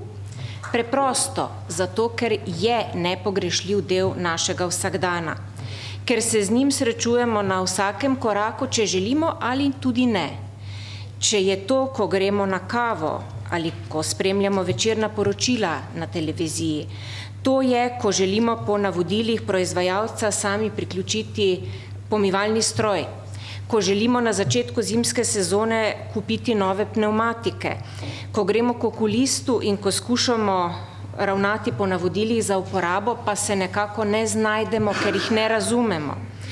Ko uh, v vrtcu recimo skušamo odpreti vhodna vrata in če nismo ravno več redni gost zaradi svojih otrok, najprej spregledamo vsa navodila, kaj vse je treba kot varovalo pritisniti, da sploh lahko primemo zakljuko in odpremo vrata. V samem naslovu izpostavljam misel o učenju slovenščine. Prepričana sem, da se jo vsake toliko sliši iz marsikaterih otroških ali mladostniških ust. Zato bom danes skušala prikazati pomen izobraževanja o slovenskem jeziku, ki poteka seveda v slovenskem jeziku. To bom skušala prikazati z nekaj primeri lastne prakse kot povezava med institucionalnim, torej javnim, državnim in neinstitucionalnim sistemom. Z institucionalnim izobraževanjem pojmujem res torej ta javni šolski sistem, formalni šolski sistem, ki poteka v Sloveniji torej od vrtca do univerze in s tem mislim, da je pomembno, da, se v sistem, da sta v sistemu prisotni tako horizontalna kot tudi vertikalna povezanost. To ni samo uh, preprosta zveza besed, uh, lepo napisana, vendar le pomeni bistvo povezovanja, bodi si na posamezni stopni vzgoje in izobraževanja, bodi si posameznih stopen šolskega sistema. Uh, misel, ki je ne velja spregledati, je, da naj izobraževanje opravljajo resnični strokovnjaki. Jaz bi dodala, ki so seveda vešči tudi slovenskega jezika, knjižnega in drugih zvrsti jezika. Pomembne so seveda medpredmetne povezave, torej znotraj enega, ene stopnje in povezavi različnih stopenj šolskega sistema. To vrstno jezikovno-kulturno zavedanje ni pomembno samo za področje slovenščine, vprašanje pa je, koliko je pravzaprav prisotno v šolski praksi, v zavesti učiteljev in potem posledično tudi učencev, dijakov in študentov. Eh, ne gre torej za, zgolj za jezikovni pouk, ampak za jezikovno-kulturno vzgojo nasploh. Eh, kot profesorica slovenščine na fakulteti zdaj že 20 leto spremljam študente, njihovo obladovanje socialnih, funkcijskih zvrsti jezika, še posebej tudi odnos do vsega tega. V vseh letih spremljam stanje pri študentih slovenistih, v nekaj letih tudi uh, pri študentih razrednega pouka, predšolske vzgoje in nekaj časa tudi prevodoslovje. Uh, najprej je vedno treba ugotoviti zatečeno stanje v prvem letniku, postopoma pa potem pri uh, različnih predmetih s študenti skupaj odkrivamo tista močna področja in pa seveda tudi vrzeli v znanju, z namenom, da jih uspešno dopolnjujemo in seveda oblikujemo jezikovno kompetentnega posameznika, ki potem tudi lahko uh, uspešno deluje v povezavi z drugimi posamezniki, torej tudi v skupnosti. V šolski sistem otroci vstopijo s svojim maternim jezikom, ki običajno ni knjižni jezik, ampak je neka oblika neknjižnega, jaz bi temu rekla, narečnega govora. To je običajno torej jezik družine, kraja, v katerem živijo in s pomočjo katerega izražajo pravzaprav vse, kar se jim v življenju dogaja. In vstop v šolo je potem tudi vstop v svet knjižnega sistema, knjižnega, slovenskega knjižnega jezika. Ampak ne tako, da je treba prvi jezik, torej tisti materni jezik, pustiti pred vhodnimi vrati šole, ampak tako, da poleg prvega spoznavajo še drugega knjižnega, ju primerjajo, ugotavljajo, kdaj in kako uporabljati katerega. Tako kot velja to tudi za tuje jezike, ki jih otroci v šoli osvajajo tudi že v prvem razredu, nekateri celo že v vrtcu. Eh, vsak jezik je lep in to je treba otroku tudi ob stopu v šolo pokazati. Vsak jezik nam lahko predstavlja nov izziv, pa čeprav gre mogoče tu samo v narekovajih, samo za določeno zvrst uh, svojega maternega jezika. Kar nekaj let se s kolegico doktorico Simono Pulko z eh, Filozofske fakultete Univerze v Mariboru ukvarjava z raziskovanjem odnosa mladostnikov do narečja in do narečnega, z odnosom eh, med samimi nareči in tudi kako se obok postavljata eh, narečno in pa knjižne zvrsti jezika.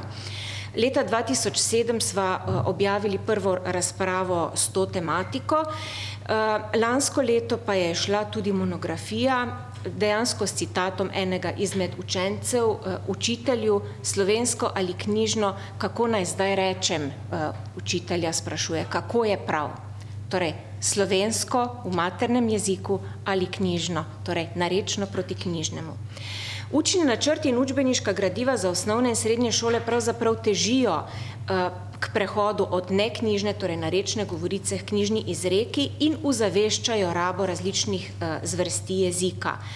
Od učiteljev pa je v veliki meri tudi odvisno, kako to dejansko izpeljajo.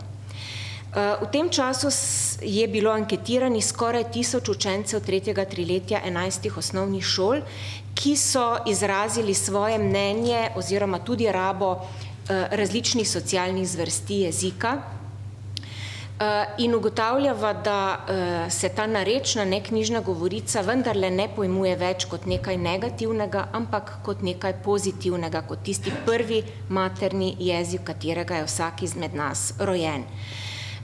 Učenci doma večinoma govorijo narečno ali približek narečnemu.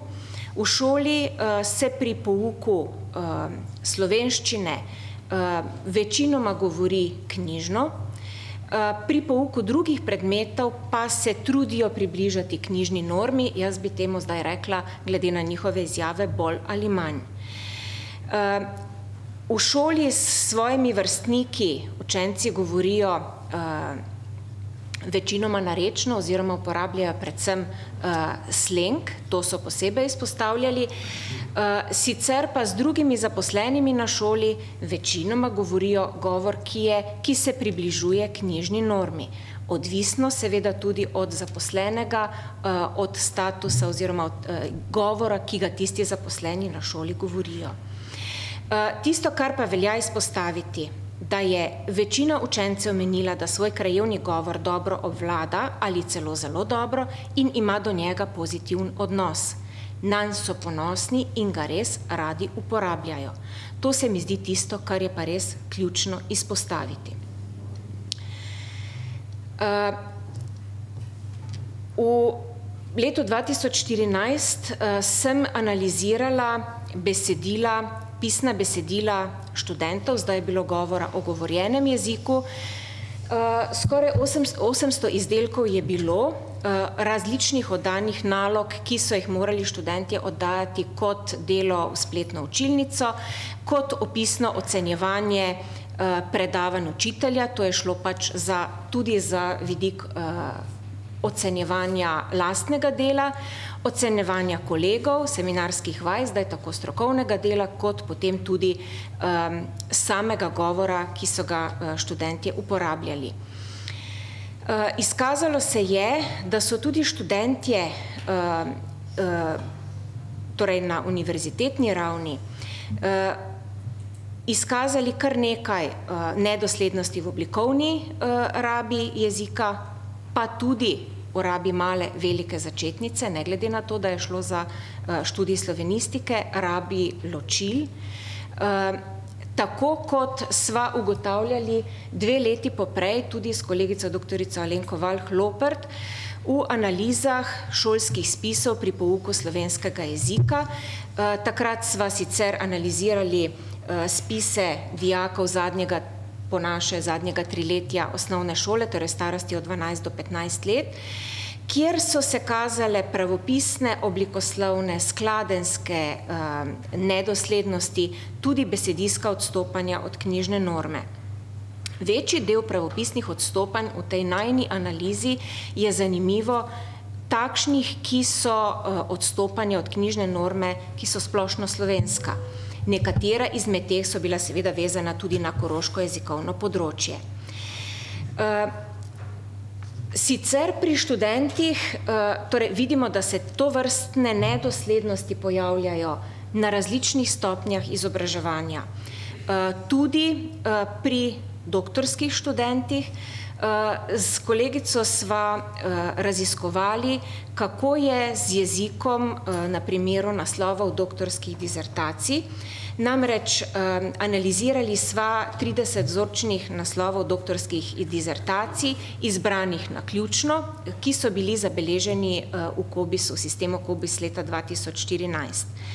Pokazalo se je, da so rabljene številne nepotrebne prevzete besede, torej gre za tiste besede, ki jih lahko, za katere v slovenščini imamo ustreznice eh, in bi sami naslovi doktorskih dizertacij bili dosti bolj eh, razumljivi, če bi bili, bile uporabljene slovenske ustreznice.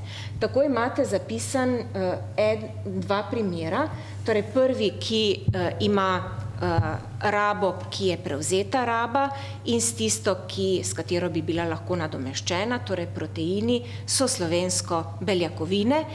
Uh, vendarle pa je treba upozoriti, da so tudi ti naključno izbrani naslovi um, samo nekaj izmed teh, torej z neustrezno rabo, med njimi najdemo tudi takšne, kjer pa je raba ustrezna. Tako da spodnji primer je bil ustrezno zapisan uh, naslov, torej tudi z beljakovino. Uh, Sprehodila sem se skozi temeljne ugotovitve izbranih raziskav govorjenega in zapisanih, uh, zapisanega besedila jezika mladostnikov. Moj namen ni bil, uh, nikakor ni bil kritizirati kogarkoli ali izpostavljati kogarkoli. Moje mnenje je, da, imajo, da se imajo mladi med šolanjem pravico motiti, saj se učijo, vendar se imajo dolžnost učiti in naučiti se. Vprašanje je zgolj, zakaj se še vedno pogosto dogaja, da se znanje, ki bi se moralo prenašati z enega na drugo predmetno področje, vse prepogosto izgubi nekje tam na hodniku med eno in drugo učilnico ali predavalnico. Znanje, ki bi se moralo prenašati z ene stopnje izobraževanja na drugo, recimo srednješolskega na uh, univerzitetno izobraževanje, pa kar nekako izpustil tistih najdaljših počitnicah bodočih študentov. Namen učenja o jeziku v jeziku samem je seveda znanje, uh, ki ga znamo uporabljati različnim okoliščinam primerno. Druga zadeva, ki jo imate izpostavljene tudi na izročkih, pa je, kako je z jezikom izven šole.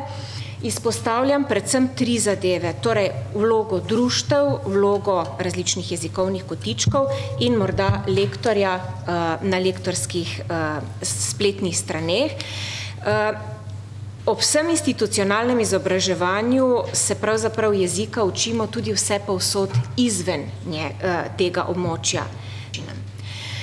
Tako je recimo zelo plodno sodelovanje Eh, dejansko tudi slavističnega društva z raznimi eh, izobraževalnimi institucijami.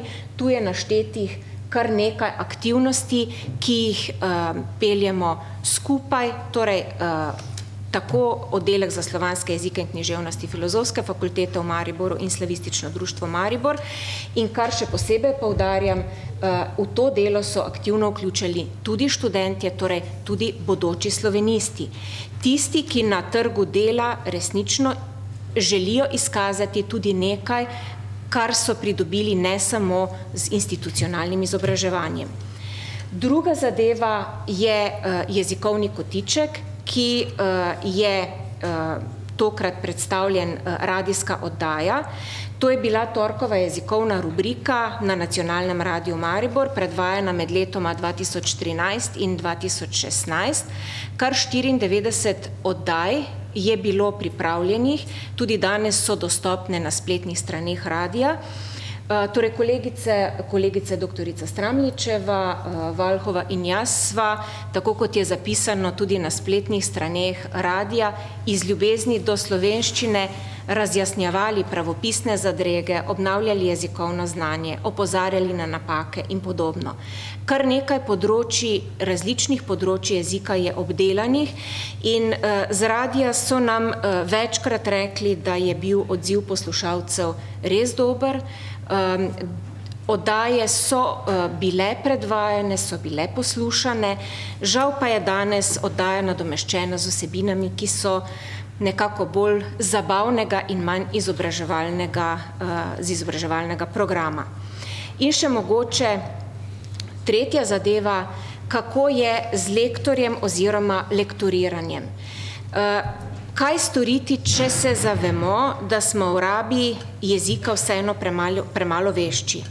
Pohvalno je, da za to najamemo strokovno pomoč. Eh, že danes je bilo večkrat omenjenih kar nekaj eh, medijskih eh, besedil, torej oglaševalskih besedil. S kolegico doktorico Valhovo sva naključno izbrali kar nekaj besedil, torej izbra, naključno izbrali spletne oglase lektoriranja, torej uh, tistih, ki ponujajo ravno to, torej uh, izboljšanje jezika, če se zavedamo, da smo v tem slabi. Izkazalo se je, da, so, da je tudi kar nekaj oglasov to vrstnih, ki vsebujejo jezikovne nedoslednosti, bodi si pravopisne, oblikoslovne, stilne ali katere, uh, katerih drugih vrst. Uh, lektor je seveda dobrodošla pomoč, uh, vendar torej, jezik je pomemben, je pa tisti, ki ga zapišemo ali tudi izrečemo, odraz našega pogleda na svet in našega razmišljanja in ga lektor kot tak ne more predstaviti na mesto nas. Torej smo najprej mi tisti, ki moramo ustrezno razmišljati o jeziku. Če sklenem, Mislim, da je ključno, da učence vseh stopenj izobraževanja opozarjamo na jezik, ki nas obdaja, na to, kar je ustrezno v izbranih okoliščinah. Odlično je, kot imate zapisano tudi na izročkih, da se z jezikom uh, ukvarjajo, z njim zabavajo, se ob njem igrajo že vrčevski otroci, ko naprimer na poti med domom in vrtcem ali med vrtcem in krajovno knjižnico opazujejo table z napisi, uh, berejo napise na cesti skupaj starši napise v trgovini. Zakaj bi bilo kaj drugače na katerikoli drugi stopni izobraževanja? In moj uvodni uh, nagovor, zakaj se moram učiti slovenščino, vse jo znam, Prvič, če odgovarjam, zato ker je jezik večplasten in nadse živ organizem. Ob stopu v šolo torej govorimo v slovenskem jeziku, obvladamo pa zgolj eno izmed njegovih socialnih zvrsti. Širjenje vedena, vedenja o jeziku pa širi tudi naša obzorja in možnosti izražanja v drugih zvrsteh jezika. In drugič zato, ker je v jeziku vse polno različic. Če vas je ob naslovu morda poščegetalo, ali je prav učiti se slovenščino ali morda učiti se slovenščine, je prav, da se zavedamo, da je v takih primerih nujno pogledati v normativne priročnike slovenskega jezika, ki jih imamo. Torej, odgovor iz priročnikov je, da je ustrezno oboje.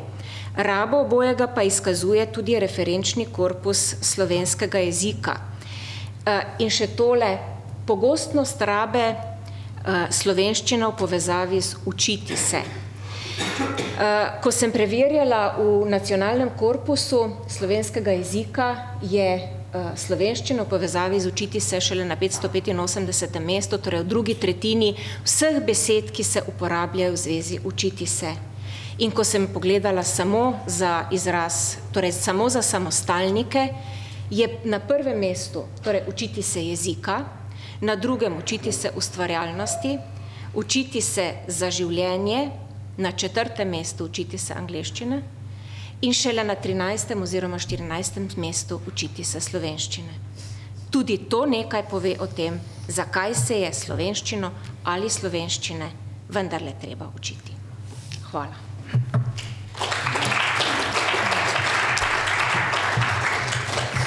Hvala, doktorica Medita Zemljak-Jontes in uh, vabim, da nam spregovori redna profesorica doktorica Silvija Borovnik z iste ustanove, ki bo predstavila besedilo z naslovom Zvestoba slovenščini, je to nacionalizem, ksenofobija, lastna promocija. Izvolite. Dobar dan.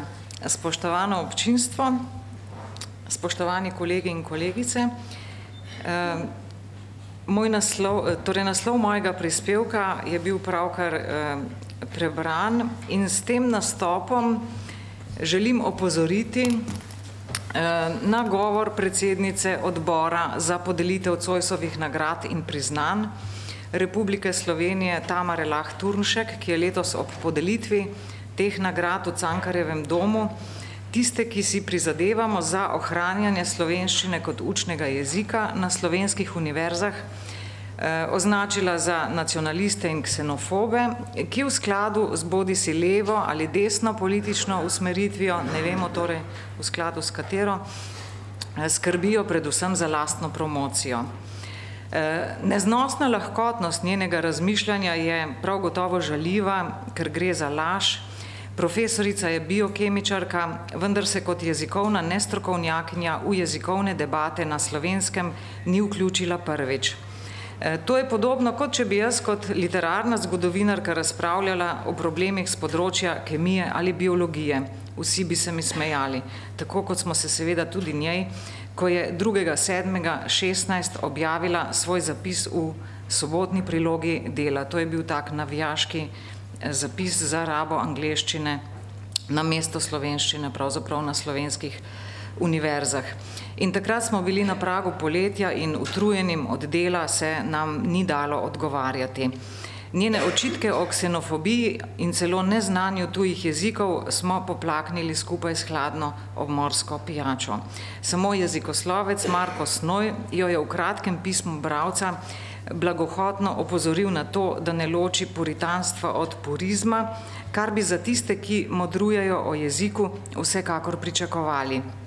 Na to, da je pa v svoji ihti Ivana Cankarja zamenjala z Izidorjem, pa je ni opozoril, ampak takih kiksov je bilo v besedilu vse polno.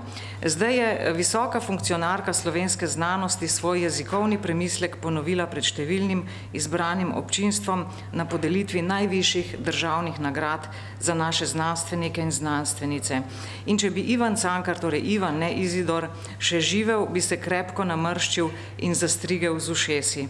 Spomnil bi se na modele svojih narodnih dam, zagovornic nekdaj nemškega, danes pa angliškega jezikovnega odpadništva, ki jih je znal tako živo upodabljati v svoji prozi in dramatiki.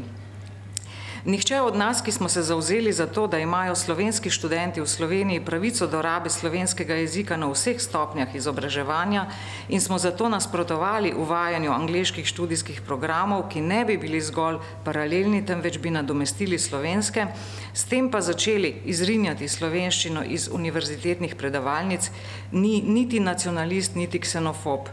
Še manj pa smo skrbeli za lastno promocijo, saj nam to ni potrebno.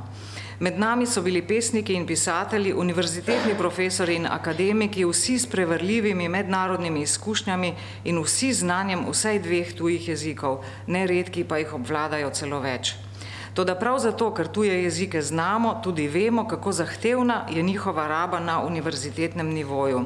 Zauzeli smo se tudi za to, da morajo imeti univerzitetni profesori, ki niso lingvisti, za to, da predavajo v tujih jezikih ustrezna spričevala, ne pa zgolj lastnega prepričanja, da znajo angliško. Potrdijo naj svoje znanje jezika najmanj na nivoju C1, kakršnega morajo izkazati študenti, če želijo začeti študirati na tujih univerzah. Za znanje, naprimer angleščine, lahko predložijo univerzitetno diplomo ali pa mednarodno veljavni certifikat, ki ga je mogoče opraviti tudi pri British Councilu v Ljubljani, ne pa zgolj potrdil z nekakšnih usposabljanj. V nasprotnem primeru pomeni njihovo znanje angleščine grobo podcenjevanje tega jezika in nasilje nad angleščino samo. Predavan v tako pomankljivem jeziku pa nobena univerza, ki da nekaj nase, ne bi smela dovoliti.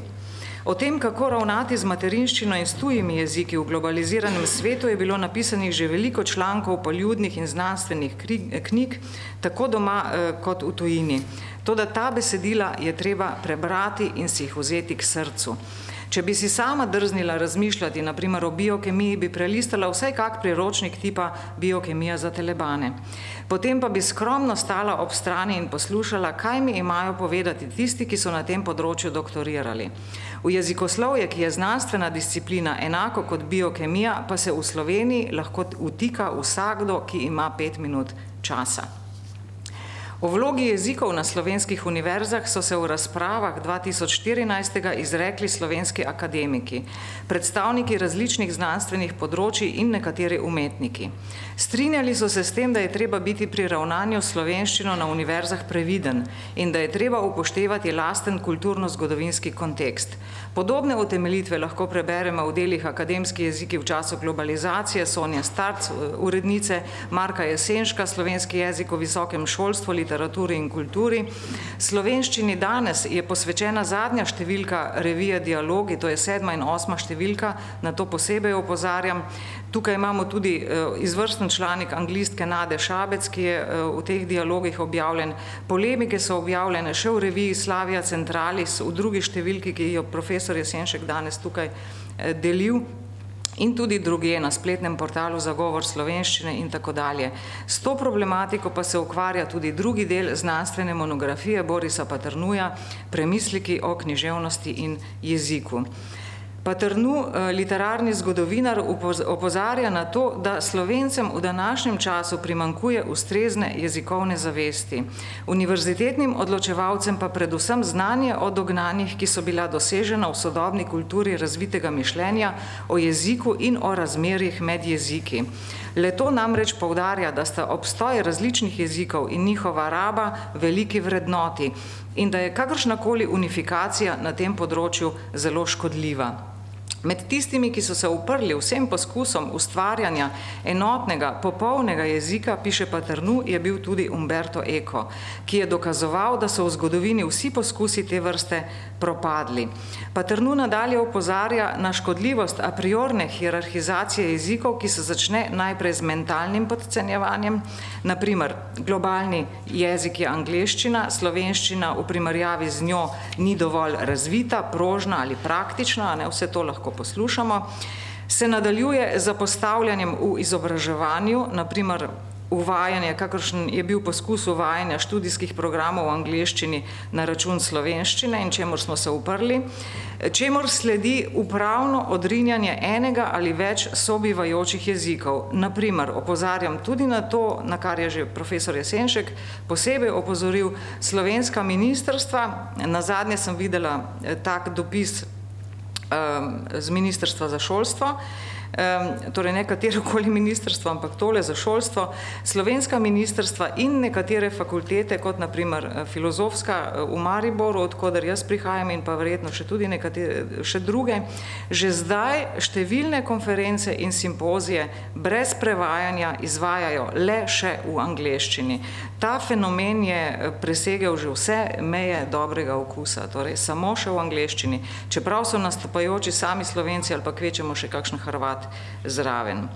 In različni slovenski intelektualci eh, so spričo takih pojavov, ki smo jim priča, že večkrat zapisali, da smo slovenščino takrat, ko je bila ogrožena od zunaj, znali skrbno varovati, da pa zdaj, ko je postala uradni jezik v naši državi, na lepem ni več varna.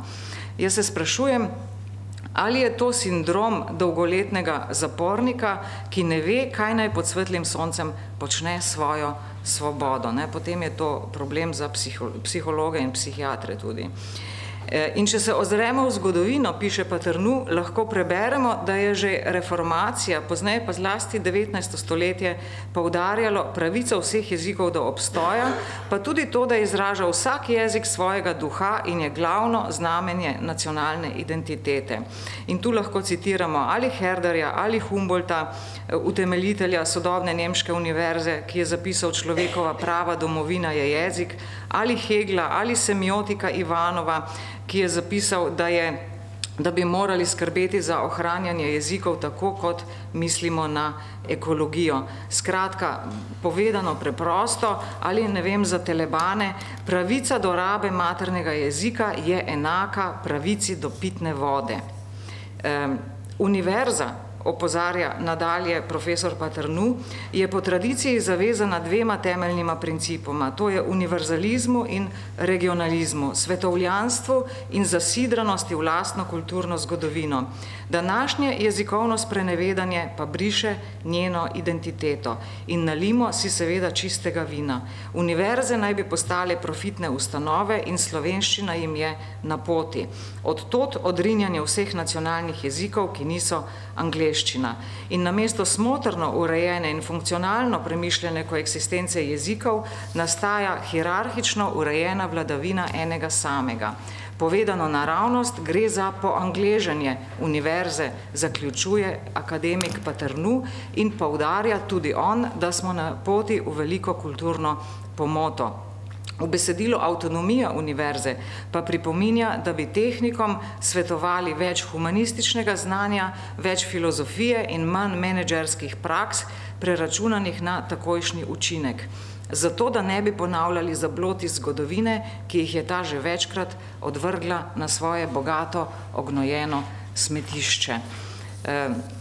Toliko za danes. In sama se ob tej priložnosti pravzaprav sprašujem, koliko eh, pametnih knjig, koliko monografij, znanstvenih razprav, poljudnih člankov, eh, vsega mogočega, polemik bo potrebno še eh, napisati, da, bo to, da bodo to slišali in razumeli slovenski rektori, ki so bili eh, glavni podporniki eh, tega problema, s kakršnim smo se letos ukvarjali ne, in tudi glavni podporniki novele zakona o visokem šolstvu,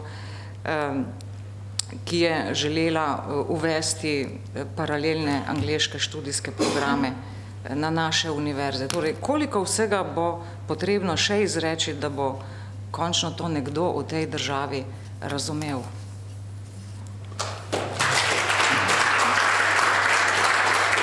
Hvala lepa. Hvala lepa, doktorica Silvija Borovnik. Na vrsti je izredni profesor dr. Mateja Četo, ki prihaja z pravne fakultete Univerze v Ljubljani in njegov prispevek se glasi o pravnem urejanju rabe jezika med nego in zadrego. Izvolite. Hvala lepa, predsedujoči, spoštovani predsednik, spoštovani kolegi. Jaz sem se že pred zadnjim referatom počutil nekako kot usiljivc v prostoru, um, ker ne prihajam iz sveta jezikoslovja ali sorodnih področji. Po zadnjem referatu sem še toliko bolj v zadregi, jaz si sploh lahko drznem zelo bolj tehnih nekaj besed poskusati ponuditi tudi jaz kot pravnik v jeziku, ampak nekako imam v uteho dejstvo, da tudi pravniki moramo delati s, pravo, z jezikom. Ne? Jezik je v bistvu naše edino urodje, s katerim izvajamo svoje poslanstvo, pisana in govorjena beseda. Včasih urodje, ki ga ne maramo, ne, ki se nam zdi malo narodno za naše poslanstvo, pravo temelji na načelu pravne države, ki zahteva jasen, predvidljiv okvir, ki bo enako obravnaval vse enake situacije. Jezik je pa že po svoji naravi nedoločen, bogat, raznovrsten, včasih nedoločljiv, nepredvidljiv. Um, ne, na vse zadnje, tudi ta zadnja um, zgodba nesrečna s to novelo zakona o visokem šolstvu se je delno kalila na nedoločni besedi primerljiv ne, v tisti določbi, da se lahko v tujem jeziku izvajajo programi, ki se že, izva, ki, ko se že izvajajo primerljivi programi v slovenščini, pa noben ni vedel, kaj točno to lahko pomeni ali bo pomenilo potem v praksi. Zdaj, jezik je, mislim, teh primerov je veliko, tudi, mislim, da je profesor Lopratova, če sem si prav zapomnil, ne, je imela primer, kjer si znam predstavljati, zakaj se v javnem splošnem um, jeziku včasih sekata besedi relativno in sorazmerno, ampak v pravu imata recimo zelo različna pomena ne? in v pravu ne bi smeli nadomestiti ene z drugo. Um, je pa res, da um, zato, ker pravo se ukvarja z jezikom, se ukvarja tudi na ta način in danes na nek način vse čas govorimo o tem, kadar želimo oblastno posegati v delovanje, uporabo jezika, moramo tudi to početi prek prava. Ne? Tako da na nek način pravnikov razmišljanje po tej plati je pa to samo razmišljanje enega pravnika, morda malo na ta posvet sodi.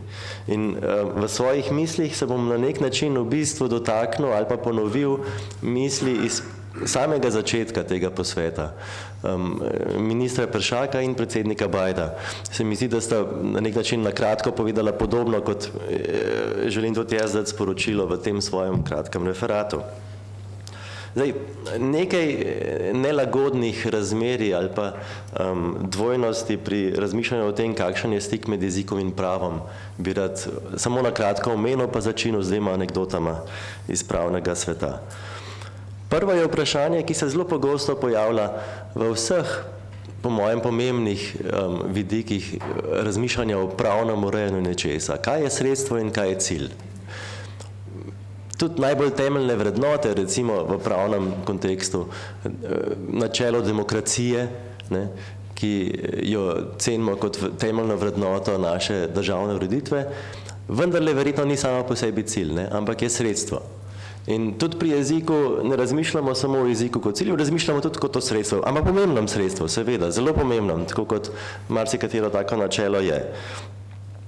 Za pravo je to pomemben smotr ne samo zato, ker je okno v notranji svet narodove vesti ali pa eh, nasplošno okno v, v spoznavnost kulturne identitete in bogatstva nekega naroda, No, tudi zato, ker je že pravo samo tradicionalno, zelo nacionalno pogojeno in je samobitnost pravnega sistema zelo povezana z jezikom. Od nekdaj bila, ne, ne samo v zadnjih 25 let, že od bližinskih spomenikov naprej, pa še morda prej, um, najdemo zapise in pričevanja o lokalni terminologiji in konceptih prava, ki še danes veljajo. Ne. Danes, omenil sem prej načelo pravne države, načelo pravne države v Sloveniji pomeni nekaj drugega kot nemški Rechtsstaat. Čeprav se zdi samo prevod ne, dveh eh, pač, besed za isti koncept. In še toliko manj pomeni nekaj istega, kot bi pomenilo v angleščini the rule of law, vladavina prava kot nek soroden koncept. Um, včasih tudi kaj sami iznajdemo tudi na ta način, takega, kar recimo niti ne najdemo v drugih pravnih sistemih. Jaz se spomnim, ko sem se učil, pa nisem vedel, da je to, če sem se prav zapomnil oziroma razumel kasneje, v bistvu besedo pojem skoval eden mojih starejših kolegov nekaj let prej. Dolžnostno upravičenje kot neka nenačljiva celota pravice in obveznosti, ki se recimo zelo lepo udejanja v ideji roditeljske ali starševske pravice, ko imajo starši pravico in dolžnost skrbeti za svoje otroke. Um, zdaj, na nek način ne, um, je vprašanje problem pravnega urejanja zelo lepo se mi je zdaj izpostavil že ministar, ko je rekel, kaj bo, kaj bo delovalo, kaj bo delovalo, kaj, kaj je rešitev za problem. Kršitelji niso tisti, ki danes tukaj nastopajo, zakona o javni rabi ali pa spodobnosti javne rabe slovenščine. Um, nagovarjate treba točno tiste, ki jih ni, pa točno tiste, ki jim tudi kakšni od mojih predhodnikov zamerijo njihovo držo, da se kot nestrokovnjaki spuščajo na to področje, ker so po mojem ravno ti tisti, ki jih je treba nagovoriti ne? in s katerimi je treba imeti razprave in to verjetno ne v obliki znanstvenih razprav, ampak ravno takih posvetov, kot je današnji. Um, jezik moraš imeti preprosto rad. To je, mislim, da rekel že marsikdo, jaz sem si to najbolj zapomnil, ko je enkrat Marko Stebej nekaj podobnega rekel. In imeti rad jezik, mislim, da je predsednik Bajt je pa rekel, mladi morajo ljubiti jezik. Ne? Zdaj, ljubezen, naklonjenost jeziku je težko oblastno odrediti. Ne? In um, če razmišljamo o tem, kako priti do ustrezne, spodobne, lepe rabe slovenščine, potem je verjetno težko razmišljati samo o pravnih um, rešitvah tega problema. In kadar razmišljamo, pa nismo edini, ne, se razmišljajo res, že marsikdo malo to omenil, druge države, skoraj vsaka država manjša, ko je verjetno malo bolj o tem razmišlja ne? ali pa bolj, ko se počuti ogroženo.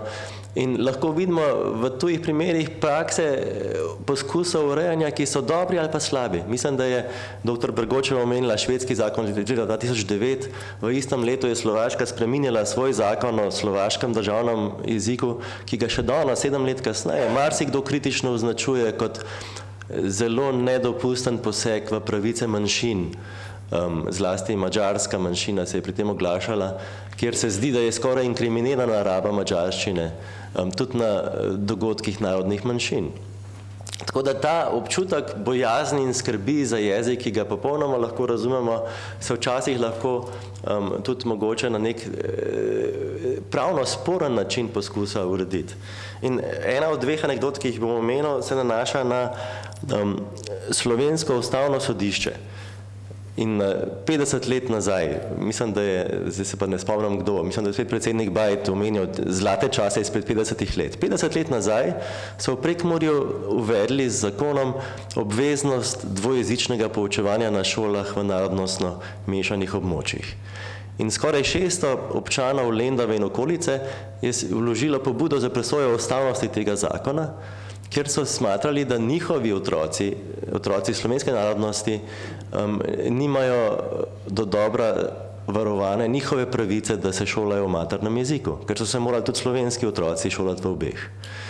In ustavno sodišče je imelo takrat ne samo zelo burno razpravo, ki se je končala z odločitvijo petih glasov proti štirim, Četverica v manjšini je celo napisala ločeno mnenje in ga objavila v uradnem listu, kar se ni zgodilo ne prej, ne kasneje, vse do leta 1991. To je bila neka taka zelo močna, burna razprava, v kateri je skupščina in večina smatrala, da je šel zakon na pravilen način v smeru dejanjanja ustavnega načela um, pravice do enakopravnosti jezika narodnosti, Manjšina je pa smatrala, pa bom kar citiral ta del, da za ta cilj ne, um, spodbujanja enakopravnosti jezikov mačarske narodnosti ne bi smeli žrtvovati pravice do poučevanja v maternem jeziku, ki je ne le ustavna pravica, marveč tudi eno izmed povsod v svetu priznanih pedagoških načel osnovnošolskega pouka.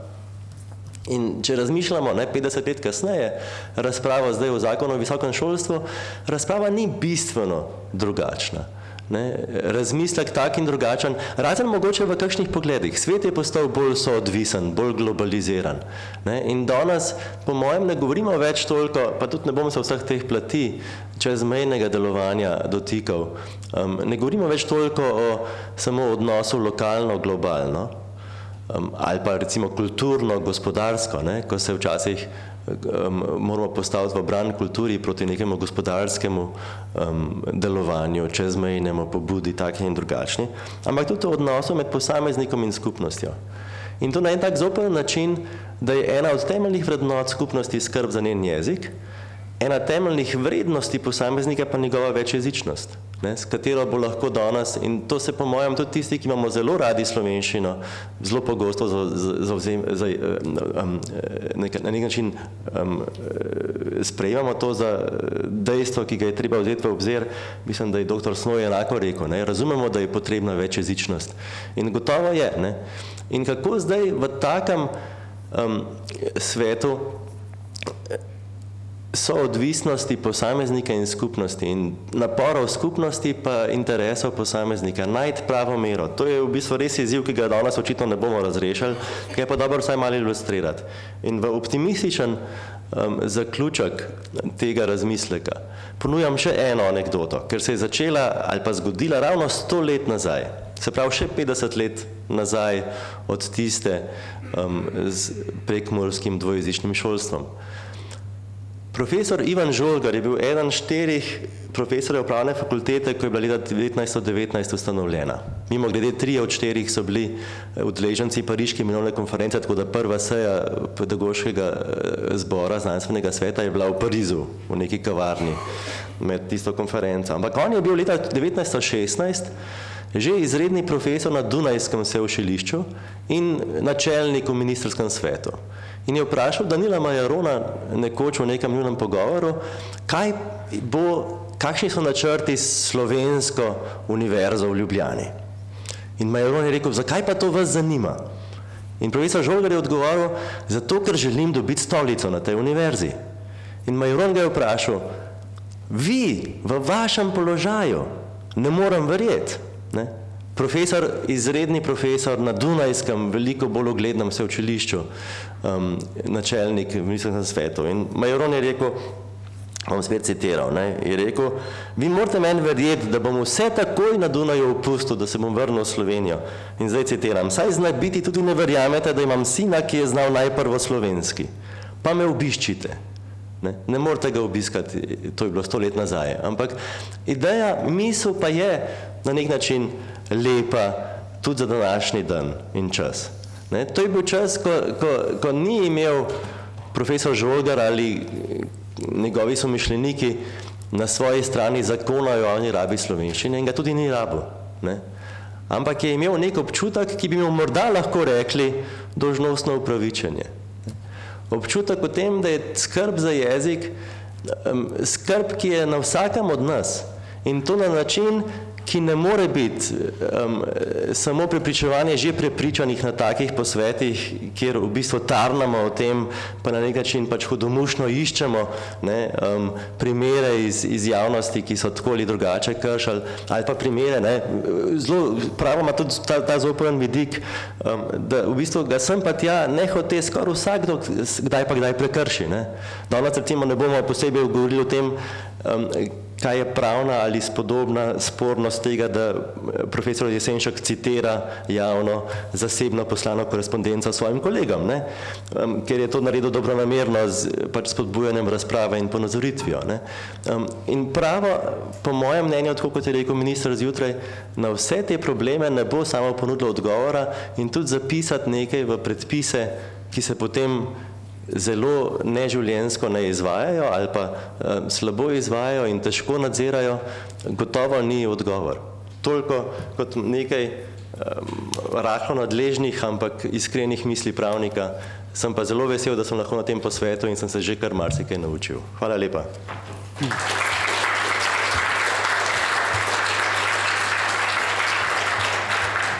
Hvala lepa, dr. Matej Četo.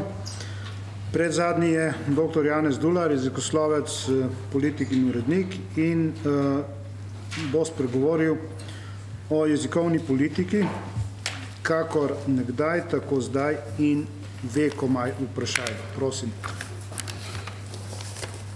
Hvala za besedo. Lepo pozdravljeni. Definiciji pojma jezikovna politika je seveda več. Jaz izhajam tu iz tiste, ki pravi, da je jezikovna politika od nosilcev oblasti organizirana skrb za tako ureditev učenja, rabe, razvoja in znanstveno-raziskovalnega spremljanja jezika ali jezikov v danih družbeno-zgodovinskih okoliščinah, ki bo omogočala izpolnjevanje sporazumevalnih potreb pri dviganju gmotne in duhovne blaginje posameznika in jezikovne skupnosti. Prvi nacionalni program za jezikovno politiko je bil po široki javni obravnavi in po usklajevanju med ministrstvi, sicer s polletno zamudo, potrjen na vladi in statusom resolucije predložen državnemu zboru, ta pa ga je 15. julija 2007 sprejel in potem objavil v uradnem listu. Vendar danes ne mislim govoriti le o tej in oni drugi zdaj veljavni resoluciji, temveč upoštevam tudi spremno študijo, ki ni bila objavljena, ker formalno ni bila del prve resolucije, bila pa je strokovna podlaga za nastanek te resolucije. Študija ima naslov Analiza jezikovnega položaja in podnaslov Stanje, torej stanje v javni rabi slovenščine ali pa stanje v jezikovni politiki, kakor napoveduje naslov tudi današnjega posveta.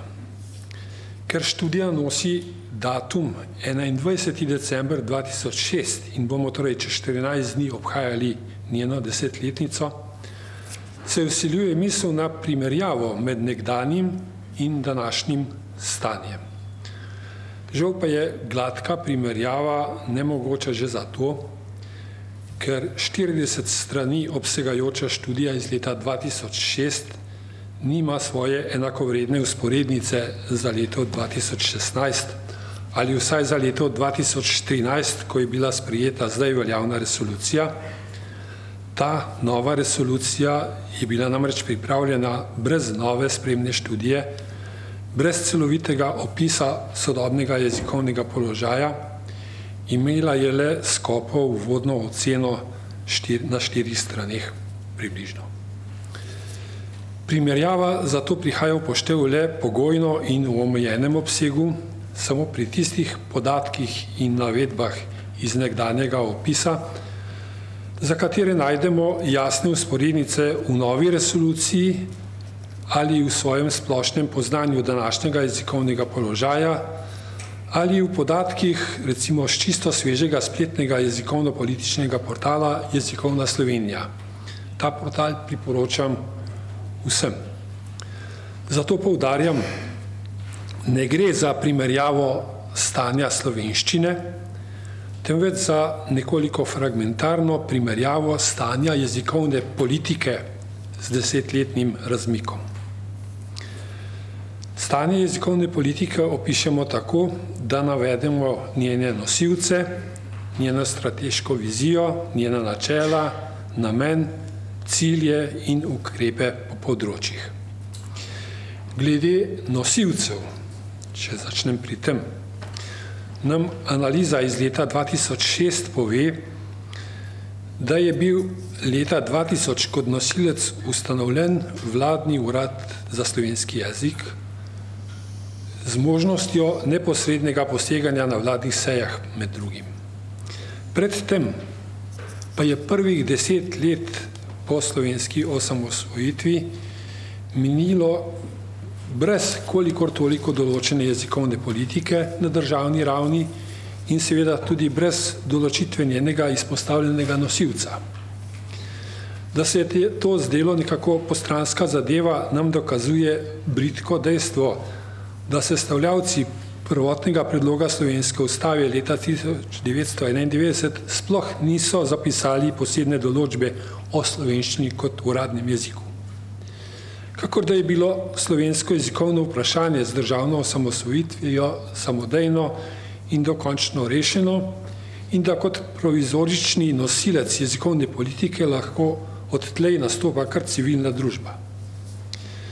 Da je bila odločitev za ugledno postavitev jezikovne politike in vladnega urada za slovenski jezik bolj sad osebne zauzetosti takratnega kulturnega ministra Šeliga, kakor pa sad trajne kulturne ozaveščenosti slovenske politične smetane, se vidi iz poznejšega slepomišljenja na tem področju. Ko je bil sprejet prvi nacionalni program za kulturo s slovitim poudarkom, da mora, citiram, skrb za slovenski jezik ostati prva naloga kulturne politike, konec citata, in ko je bil sprejet zakon o javni rabi slovenščine, je bil skoraj hkrati odpravljen urad za slovenski jezik kot vladni organ, njegovi uslužbenci pa predstavljeni na ravn sektorja v okviru Ministrstva za kulturo. Kot namen reorganizacije je bila navedena racionalizacija z manjšanjem števila vladnih služb, vendar je bil v okviru iste reorganizacije hkrati ustanovljen nov vladni organ z imenom Urad za enake možnosti. Ta obstaja še danes, kolikor vem. Po reorganizaciji se je, nas, se je nosilstvo jezikovne politike preneslo torej na Ministrstvo za kulturo. Njegovemu sektorju za slovenski jezik so deklarativno ostale iste naloge in odgovornost, dejansko pa je bil ujet v kulturniškem rezervatu brez relevantnih informacij in brez vpliva na pomembne jezikovno-politične odločitve naprimer glede takrat aktualnega vprašanja zapisovanja skupne evropske valute v slovenskih uradnih besedilih. Edina uspešna poteza iz tega obdobja je bila učlanitev Slovenije v Evropsko zvezo državnih jezikovno-političnih ustanov, takvani FNIL. V naslednjih desetih letih pa je šla degradacija še za eno stopno na vzdolj. Ministrstvo za kulturo nima več sektorja za slovenski jezik, temveč, kot veste, službo za slovenski jezik. V novi resoluciji sicer piše, da je ta služba v sedanji strukturi izvršilne oblasti Republike Slovenije ključno telo za koordinacijo slovenske jezikovne politike. Kdor pa pozna razmere, organizacijo državne uprave in njeno terminologijo, ve, da to ne more držati. Služba za slovenski jezik je statusno, prostorsko, kadrovsko in glede vpliva odrinjena na mesto koordinacije medresorske delovne skupine za spremljanje izvajanja jezikovne politike, ne pa za vpliv na njeno snovanje. Da se odločevalci pri pripravi vladnih jezikovno-političnih ukrepov na stališča te službe ne ozirajo kaj dosti, smo opazili v več fazah obravnavanja novele zakona o visokem šolstvu. Služba za slovenski jezik je spornemu členu o rabi tujega jezika res odločno ugovarjala, vendar ta člen ni bil umaknjen zaradi njenega ugovarjanja. Tako uprit prvi, tako v prvi kot v drugi resoluciji je zapisano, da je treba položaj in sestavo službe za slovenski jezik okrepiti, da bo kos svojim nalogam, vendar nič ne kaže na izpolnitev te potrebe. E, to takole govorim ne zoper kolegico, ki je pred menoj, ampak tudi v svojem imenu, kar iz lastne izkušnje sicer nekaj let prej, pa z nekoliko više stopne na nižjo stopno, ampak smer je ista. Degradacija te službe seveda na simbolni ravni pomeni degradacijo tudi jezikovne politike in vsega v zvezi s tem. Glede upoštevanja nosilca jezikovne politike, torej velja tisto iz naslova mojega referata, kakor nekdaj, tako tudi zdaj. Kaj pa nam pove primerjava nekdanje in sedanje jezikovno-politične vizije? Vizija iz resolucije 2006 in tiste spremne študije pravi, Republika Slovenija sprejema slovenščino kot podedovano kulturno dobrino ter ji kot bogato razvitemu maternemu jeziku velike večine svojega prebivalstva priznava domicilni položaj in položaj državnega jezika. Kot svojo strateško odgovornost vidi nadaljni razvoj in rabo slovenščine na, na vseh področjih javnega življenja znotraj svojih meja, pa tudi v mednarodnih stikih. V zvezi s tem podpira tudi učenje tujih jezikov. Zavezuje se, da bo podpirala rabo slovenščine tudi med slovenci zunaj svojih državnih meja in da bo v slovenščini izražene vsebine širila tudi v dejanskem in virtualnem mednarodnem prostoru ter tako uveljavljala svojo jezikovno izvirnost kot nepogrešljivo sestavino evropske kulturne raznolikosti.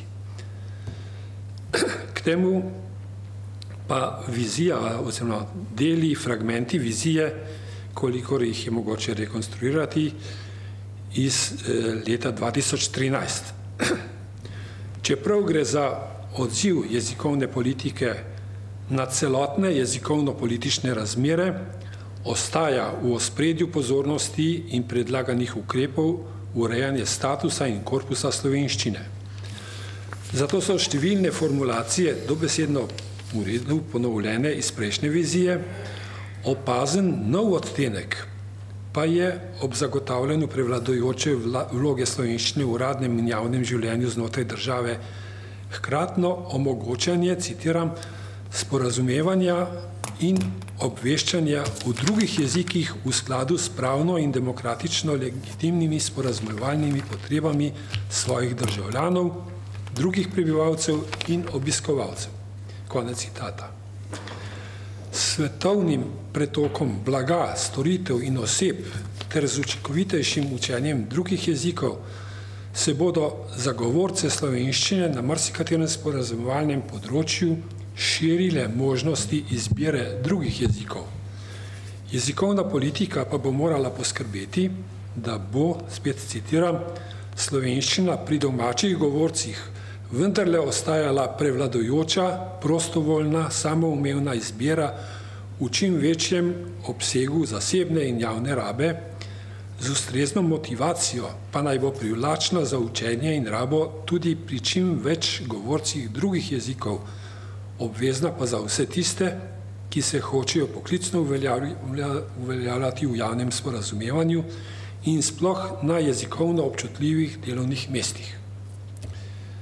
Nova strateška vizija torej upošteva tako izročilo kot spremenjene družbeno-zgodovinske okoliščine in predvideva nove naloge za prilagajanje novim potrebam. Zato se tisto reklo, kakor nekdaj, tako tudi zdaj, v tej primerjavi potrjuje samo deloma. In je treba priznati, da je tu smiselni korak naprej.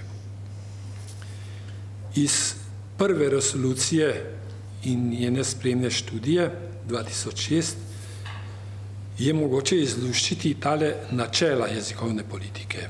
Tu bo šlo malo za naštevanje šest takih načel. Jih je še več, ampak šest je takih izpostavljenih. Mogoče. Prvič, prizadevanje za celovitost.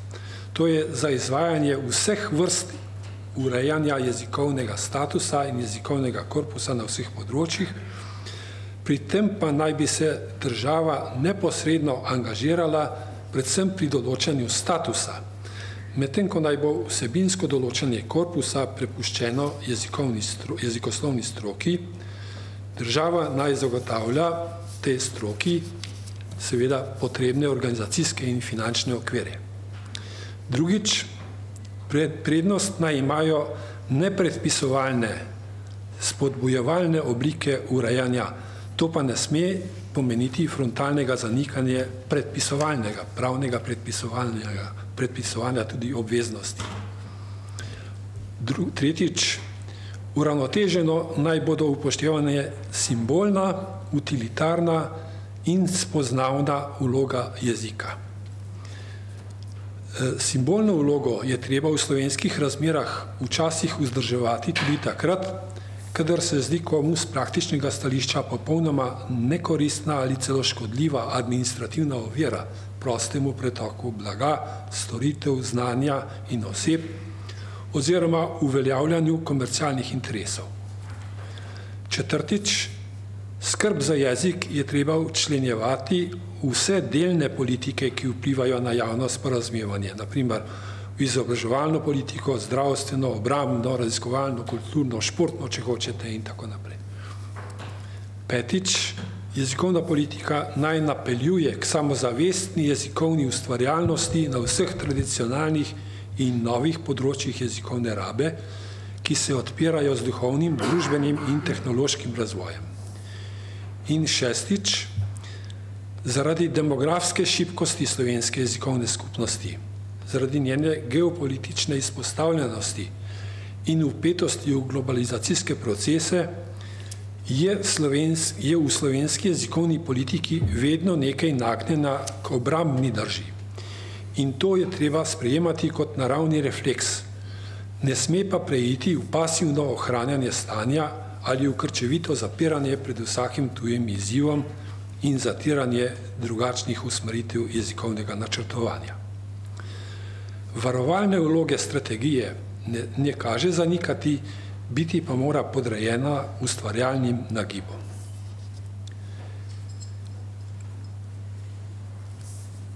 Resolucija 2013 nasproti temu, oziroma ne nasproti pač ob tem, odstopa od načela celovitosti in pozornost jezikovne politike osredinja na področji jezikovnega izobraževanja in jezikovne opremljenosti.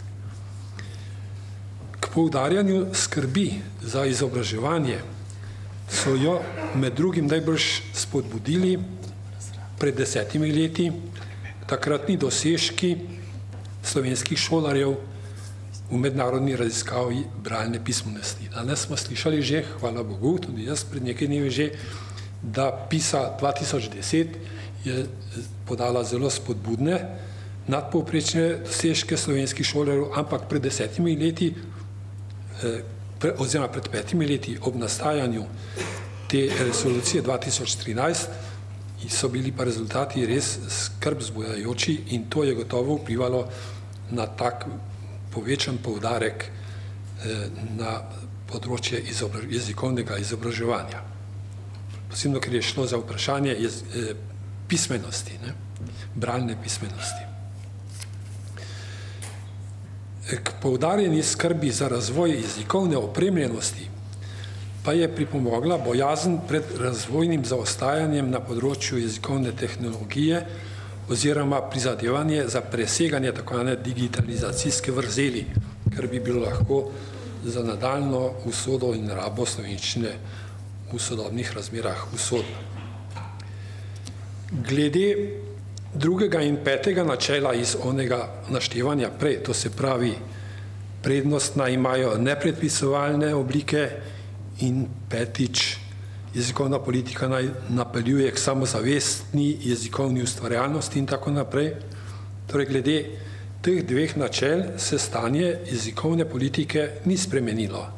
Tu sledi enako, kakor v prvi resoluciji.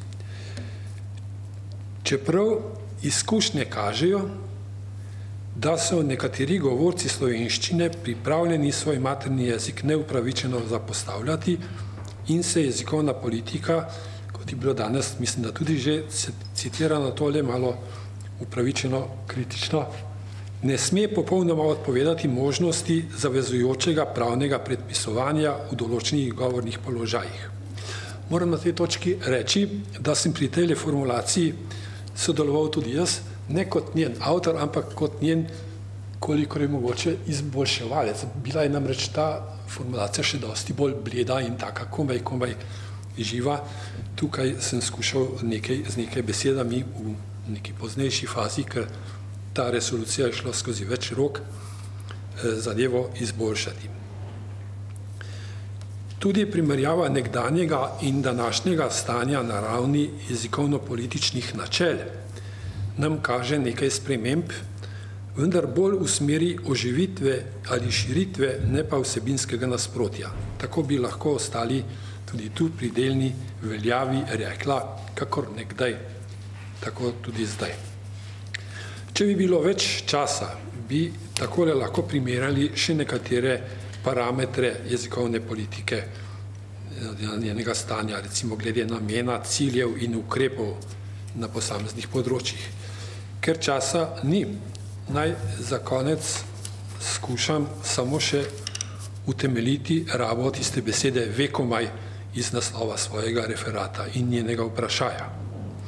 Vprašujem se, kakšna prihodnost se obeta, če gre za vekomaj. Kakšna prihodnost se obeta ne slovenščini, temveč slovenski jezikovni politiki. Kako bodo njeni nosilci opravili z nekaterimi boliči, bolečimi izzivi, naprimer s kronično slovensko jezikovno nesamozavestjo, ki deklarativno priznava in celo čustveno podarja ključnost slovenščine za slovensko kulturno identiteto ter izreka ljubezen do klene slovenske besede in tako naprej, malo sladkobno. Ko pa bi bilo treba to potrditi z dejanji, se pokažejo neodgovornost, ne samozavest, izgovori, dvom o potrebnosti njene rabe in hitra pripravljenost zamenjati svojo ljubljeno materinščino z internacionalščino. Eden bivših predsednikov Slovenske akademije znanosti in umetnosti je naprimer izjavil, da ni mogoče pisati vrhunskih znanstvenih člankov v slovenščini, kar tako kategorično. Radijski urednik pa pravi, da slovenska skladba za eurovizijsko tekmovanje v angleščini enostavno zveni bolje, kakor v slovenščini. Zakaj se nam to dogaja, takele izjave oziroma eh, taki človeški profili, ki take izjave dajejo? Kako Tako je. Tako je, kako iz takih ljudi vzgojiti, citiram, suverene, samozavestne in motivirane uporabnike slovenskega jezika, konec citata, kako je predlagano v veljavni resoluciji o nacionalnem programu za jezikovno politiko. Na vprašanje o vekomaj naj odgovorim z naslednjim citatom iz objave v reviji Sodobnost pred desetimi leti sodobnost pred desetimi leti. Ključno vprašanje ob vsem tem je, katera doktrina globalizacije bo naposled prevladala. Ali tista, ki naj bi izhajala iz idej, na podlagi katerih so zrasle organizacija Združenih narodov in še posebej ustanove v okviru OZN, kot so UNESCO in UNICEF in Svetovna znanstvena organizacija, ali pa usmeritev za katero se zauzemajo mednarodni, mednarodni monetarni fond, svetovna trgovinska organizacija in več ali manj povsod po svetu politične stranke z neoliberalističnim političnim programom, ki se najbolj prilega idejam globalizacije in interesom mednarodnega in nadnacionalnega kapitala. Če prva usmeritev izhaja iz prepričanja, da ima sleherna, tudi še tako majhna jezikovna in kulturna skupnost pravico zahtevati ohranitev svoje posebnosti in tako tudi lastnih vrednot in običajev, si druga usmeritev prizadeva te razlike odpraviti ali odpraviti vsaj njihov vpliv na materialne in vse druge potrebe, kar naposle zahteva tudi spremembe vrednot, običajev oziroma navad in celo povsem vsakdanih potreb. Zato drugo usmeritev predstavljata eno ključnih ovir zlasti jezikovna in kulturna raznolikost, ker otežujeta in celo onemogočata neposredno komunikacijo na področju, ki je za globalizacijo in koncept sveta kot enotnega tržišča temeljnega pomena. Torej na področju marketinga, reklame in ekonomske propagande. Avtor tega citata je nas danes tukaj pozdravil z tega mesta in je tukaj sedel, to je naš ministr za kulturo. Najbrž ne bo nikoli imel priložnosti za odločilno besedo v spopadu med predstavljenima globalizacijskima doktrinama na svetovni ravni. Za vekomaj pa bi si lahko pridobil zaslugo za prevlado prave doktrine, ko se bo ponavljal, nedvomno se bo ponavljal, jezikovno-politični spopad o internacionalizaciji v našem visokem šolstvu. Vsi si mislimo, da ustrezni lobiji delujejo, da bi čim prej prišlo spet v tej hiši do takega spopada in takrat bo imel minister tudi priložnost, da se zauzame za pravo stvar. Hvala lepa.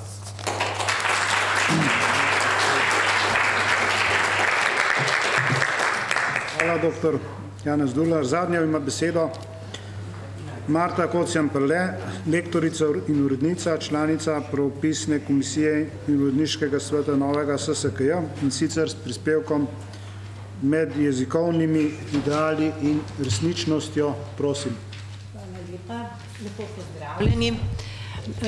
Zdaj bom odprla te svoje diapozitive, kjer vidite tudi naslov. Zakaj sem se pravzaprav odločila, da nastopim na to temo, ki ni poklicno pravzaprav ali pa tudi ne interesno moj poglavit, moje poglavitno, bi rekla, moja poglavitna zadolžitev.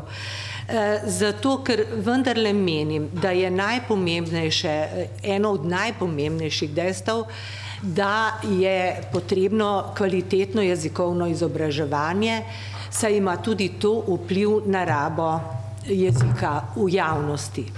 To dobro jezikovno izobraževanje pa podpirajo temeljni jezikovni priročniki, to so recimo slovar, pravopis in pa slovnica. Sama sem poklicno delovala ravno na teh področjih ves čas. Bila sem fonetičarka na radiu, delala sem kot lektorica v založbah, bila sem urednica v treh založbah leksikografskih izdaj, sama sem pisala leksikografske članke, v bistvu sem bila soavtorica učbenikov za slovenščino na osnovni šoli, kjer sem pisala predvsem vse tiste teme, ki zadevajo slovnico in pravopis. Tudi v prostem času se temu posvečam, predavam in predajam svoje znanje tistim, ki jih še kaj takega zanima. Zato bom rekla, da če drugega ne, vem, kaj pomeni delo, koliko časa kako od teh del zahteva in pa seveda nekaj malega vem tudi o financiranju. Zato sem se v tem svojem predavanju, sodelovala sem med drugim, moram še omeniti, en majhen del časa tudi pri načrtovanju resolucije o tem nacionalnem programu za jezikovno politiko. Tako da sem se seznanila tudi s to platjo. Na hitro nameravam preleteti, kaj se v teh letih dogajalo od leta dva tisoč trinajst. Dobili smo resolucijo o nacionalnem programu, izvedeli smo, da je bila soglasno potrjena. Glede, če si boste ogledali število sodelavcev, ki so to resolucijo sestavljali, boste videli, da so bili z različnih, bom rekla, političnih koncev in da je bila sprejeta potem v bistvu z desnega in levega političnega pola, kakršnakoli že je. V tej resoluciji sta seveda omenjena tudi zahtevnejši pravopis in slovar in tudi oba ta dva priročnika za šolsko rabo in delala naj bi se tudi šolska slovnica. Leta dva tisoč štirinajst dobimo posvet na ministrstvu, ki je poskušal, vi vse to poznate, vem, vse te neke spore med recimo stališči, ki so prihajali iz akademije in zavodom Trojino, zato je ministrstvo organiziralo tudi posvet, kjer so poskušali med točkami in sklepi omeniti tudi to, da bi se morali strokovnjaki med sabo povezati in sodelovati. Omenja se ta moč združevanja strokovnjakov za zgodovino jezika in ti sklepi so omenjeni potem tudi v akcijskem načrtu.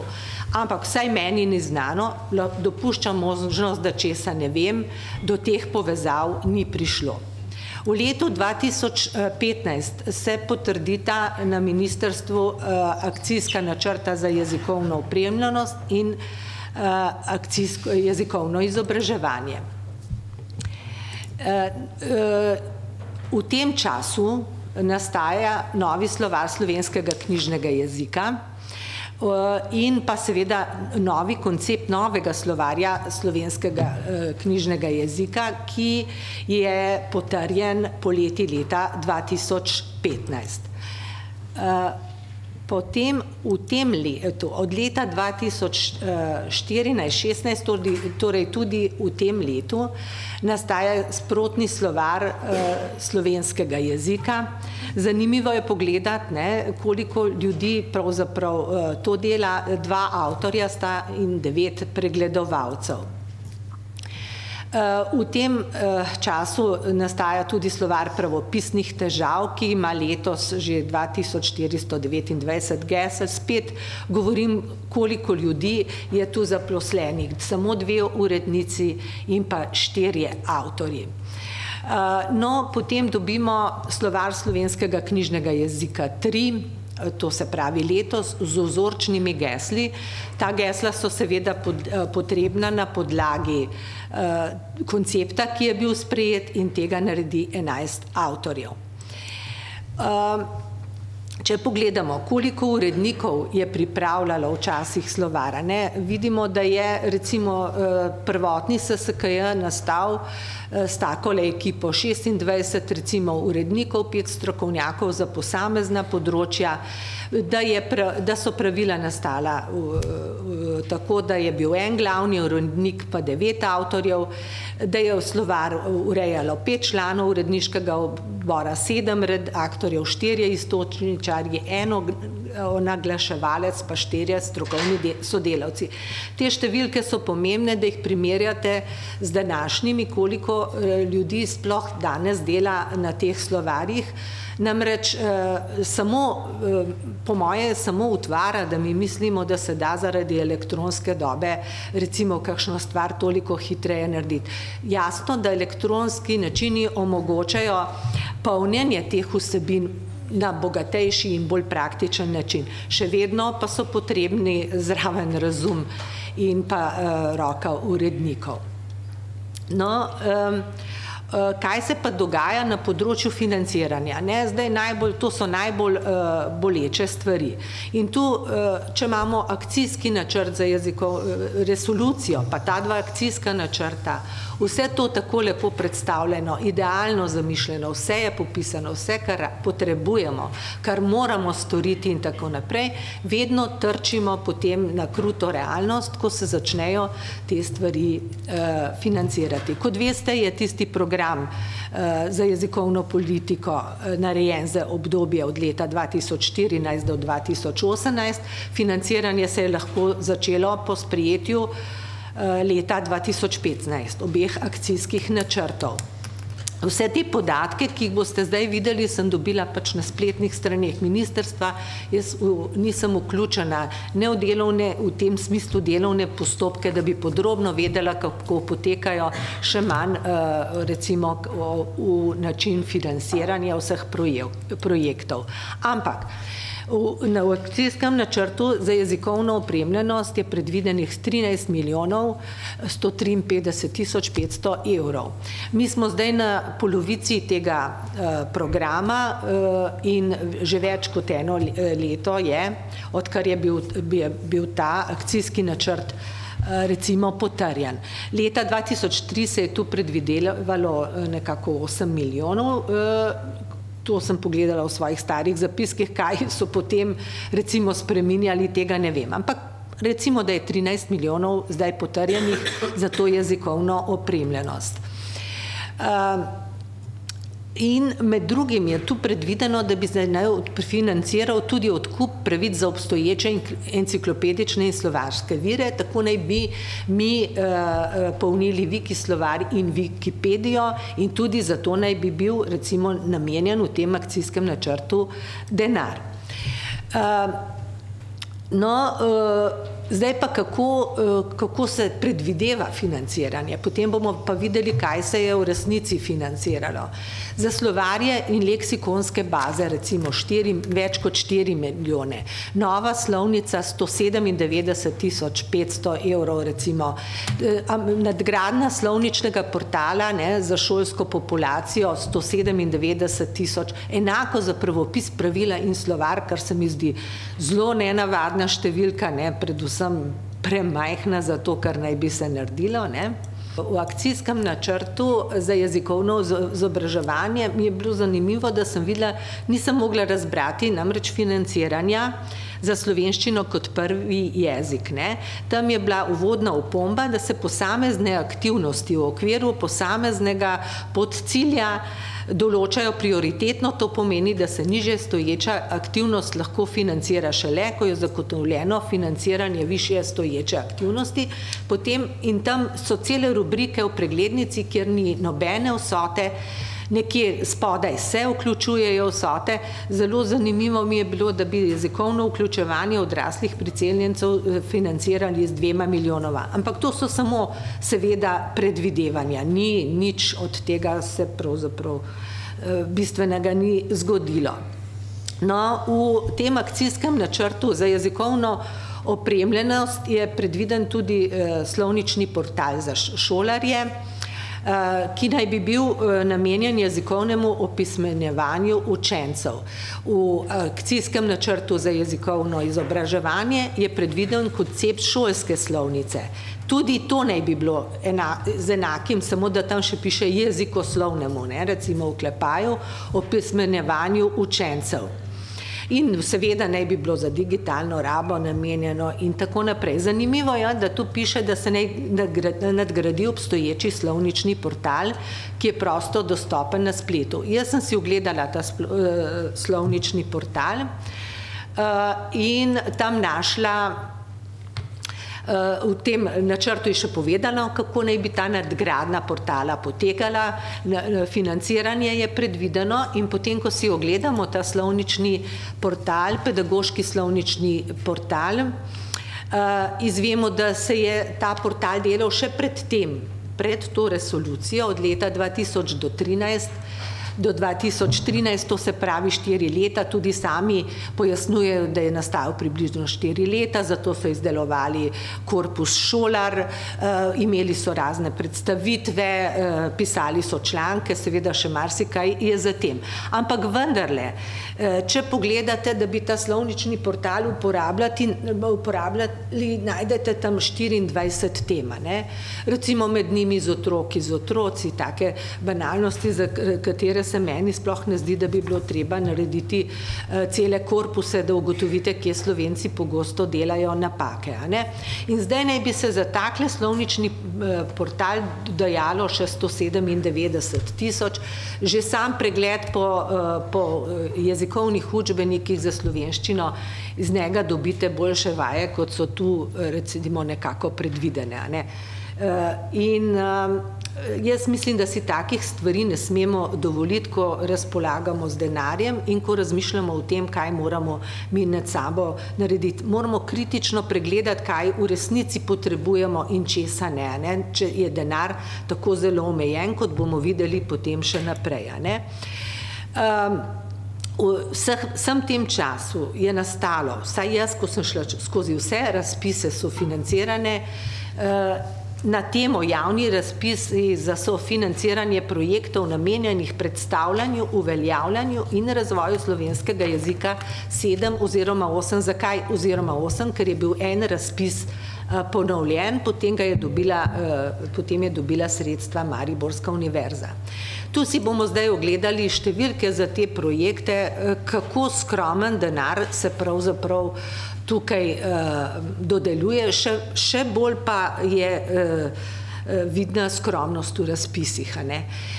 Če rečemo, da smo zdaj že konec leta dva tisoč šestnajst in da naj bi se te reči, vsaj jaz jih tako razumem, uresničile do leta dva tisoč osemnajst, če jih danes razpišete, ljudje potrebujejo čas, da jih ne.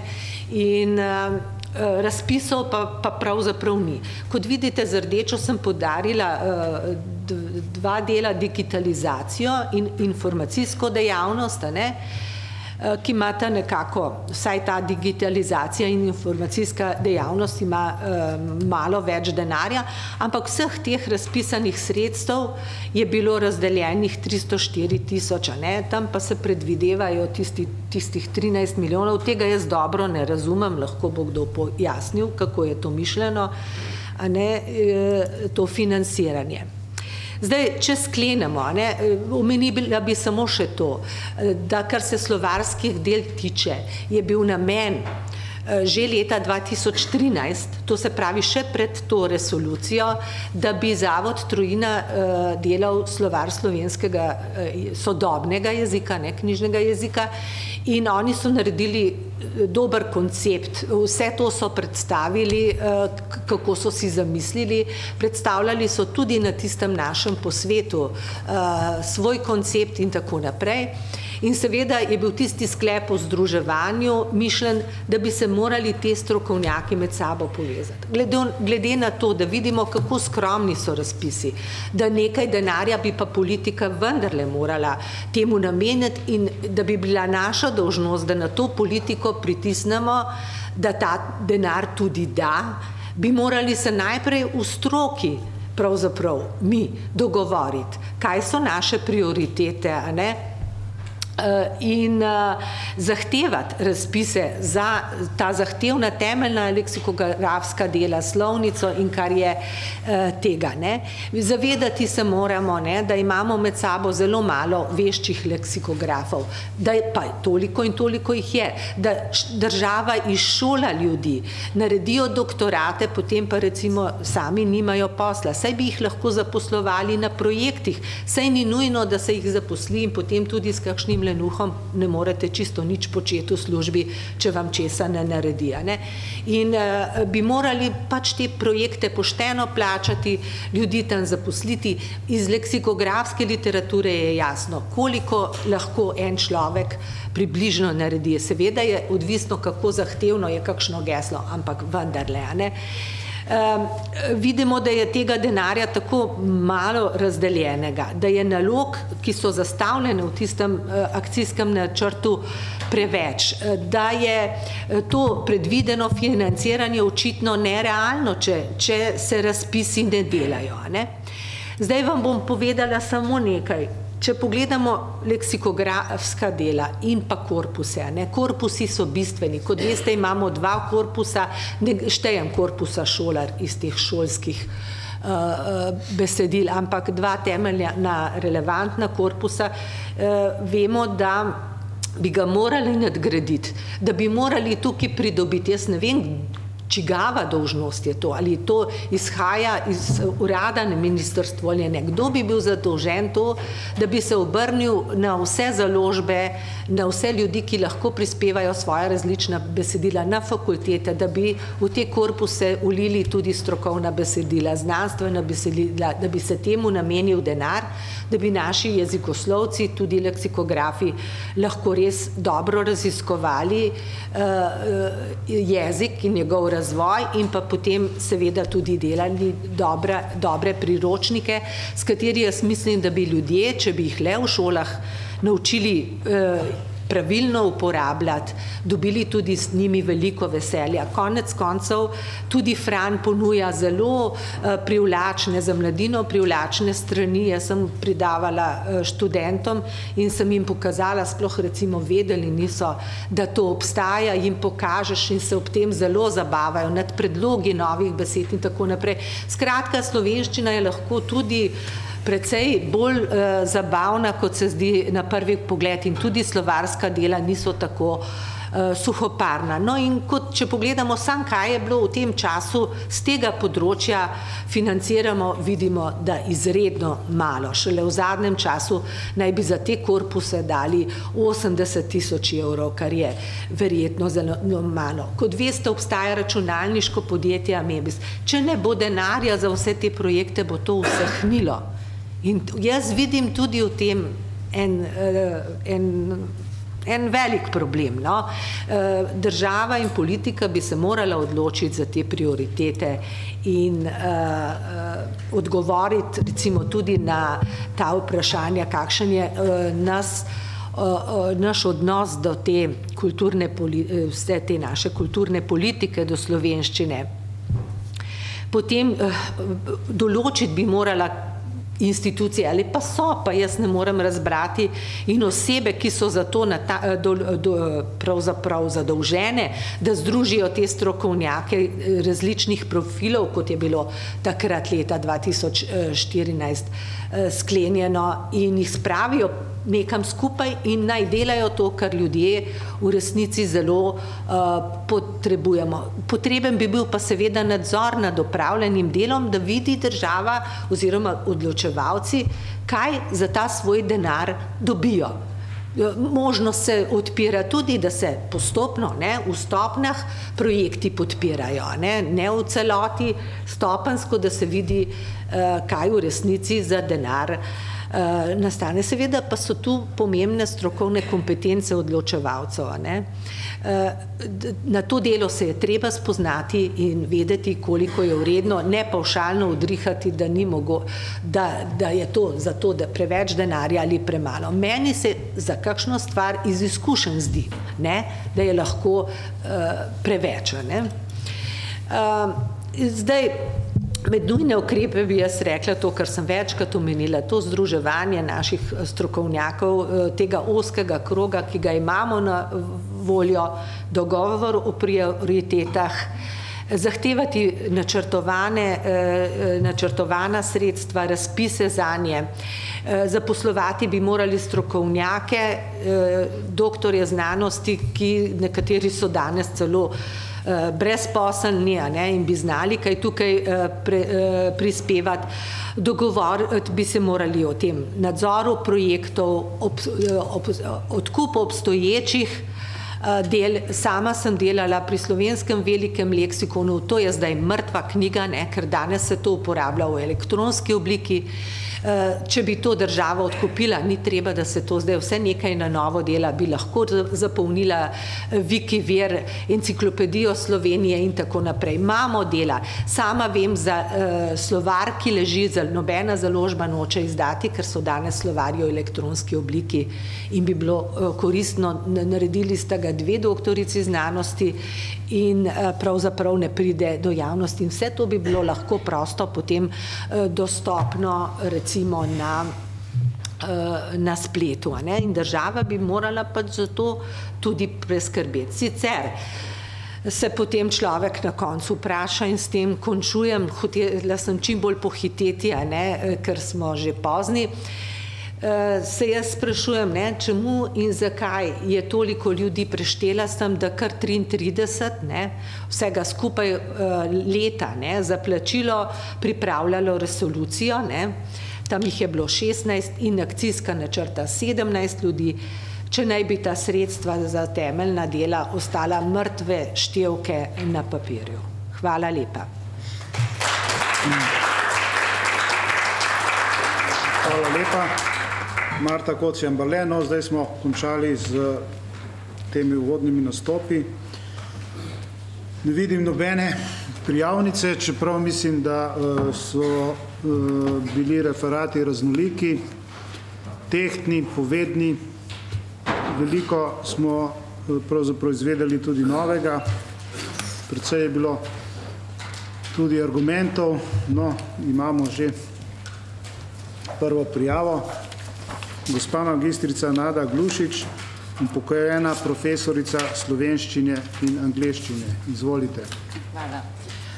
Um, se Tako le moram reči, da jaz ne bom nič kaj eh, velikih stvari govorila, danes sem jih pa slišala, tako sem navdušena pravzaprav, da se toliko dela na slovenskem jeziku. Uh, jaz sama profesionalno nisem veliko delala kot profesorca, ampak sem uh, od mladih let ostala ljubiteljica slovenščine.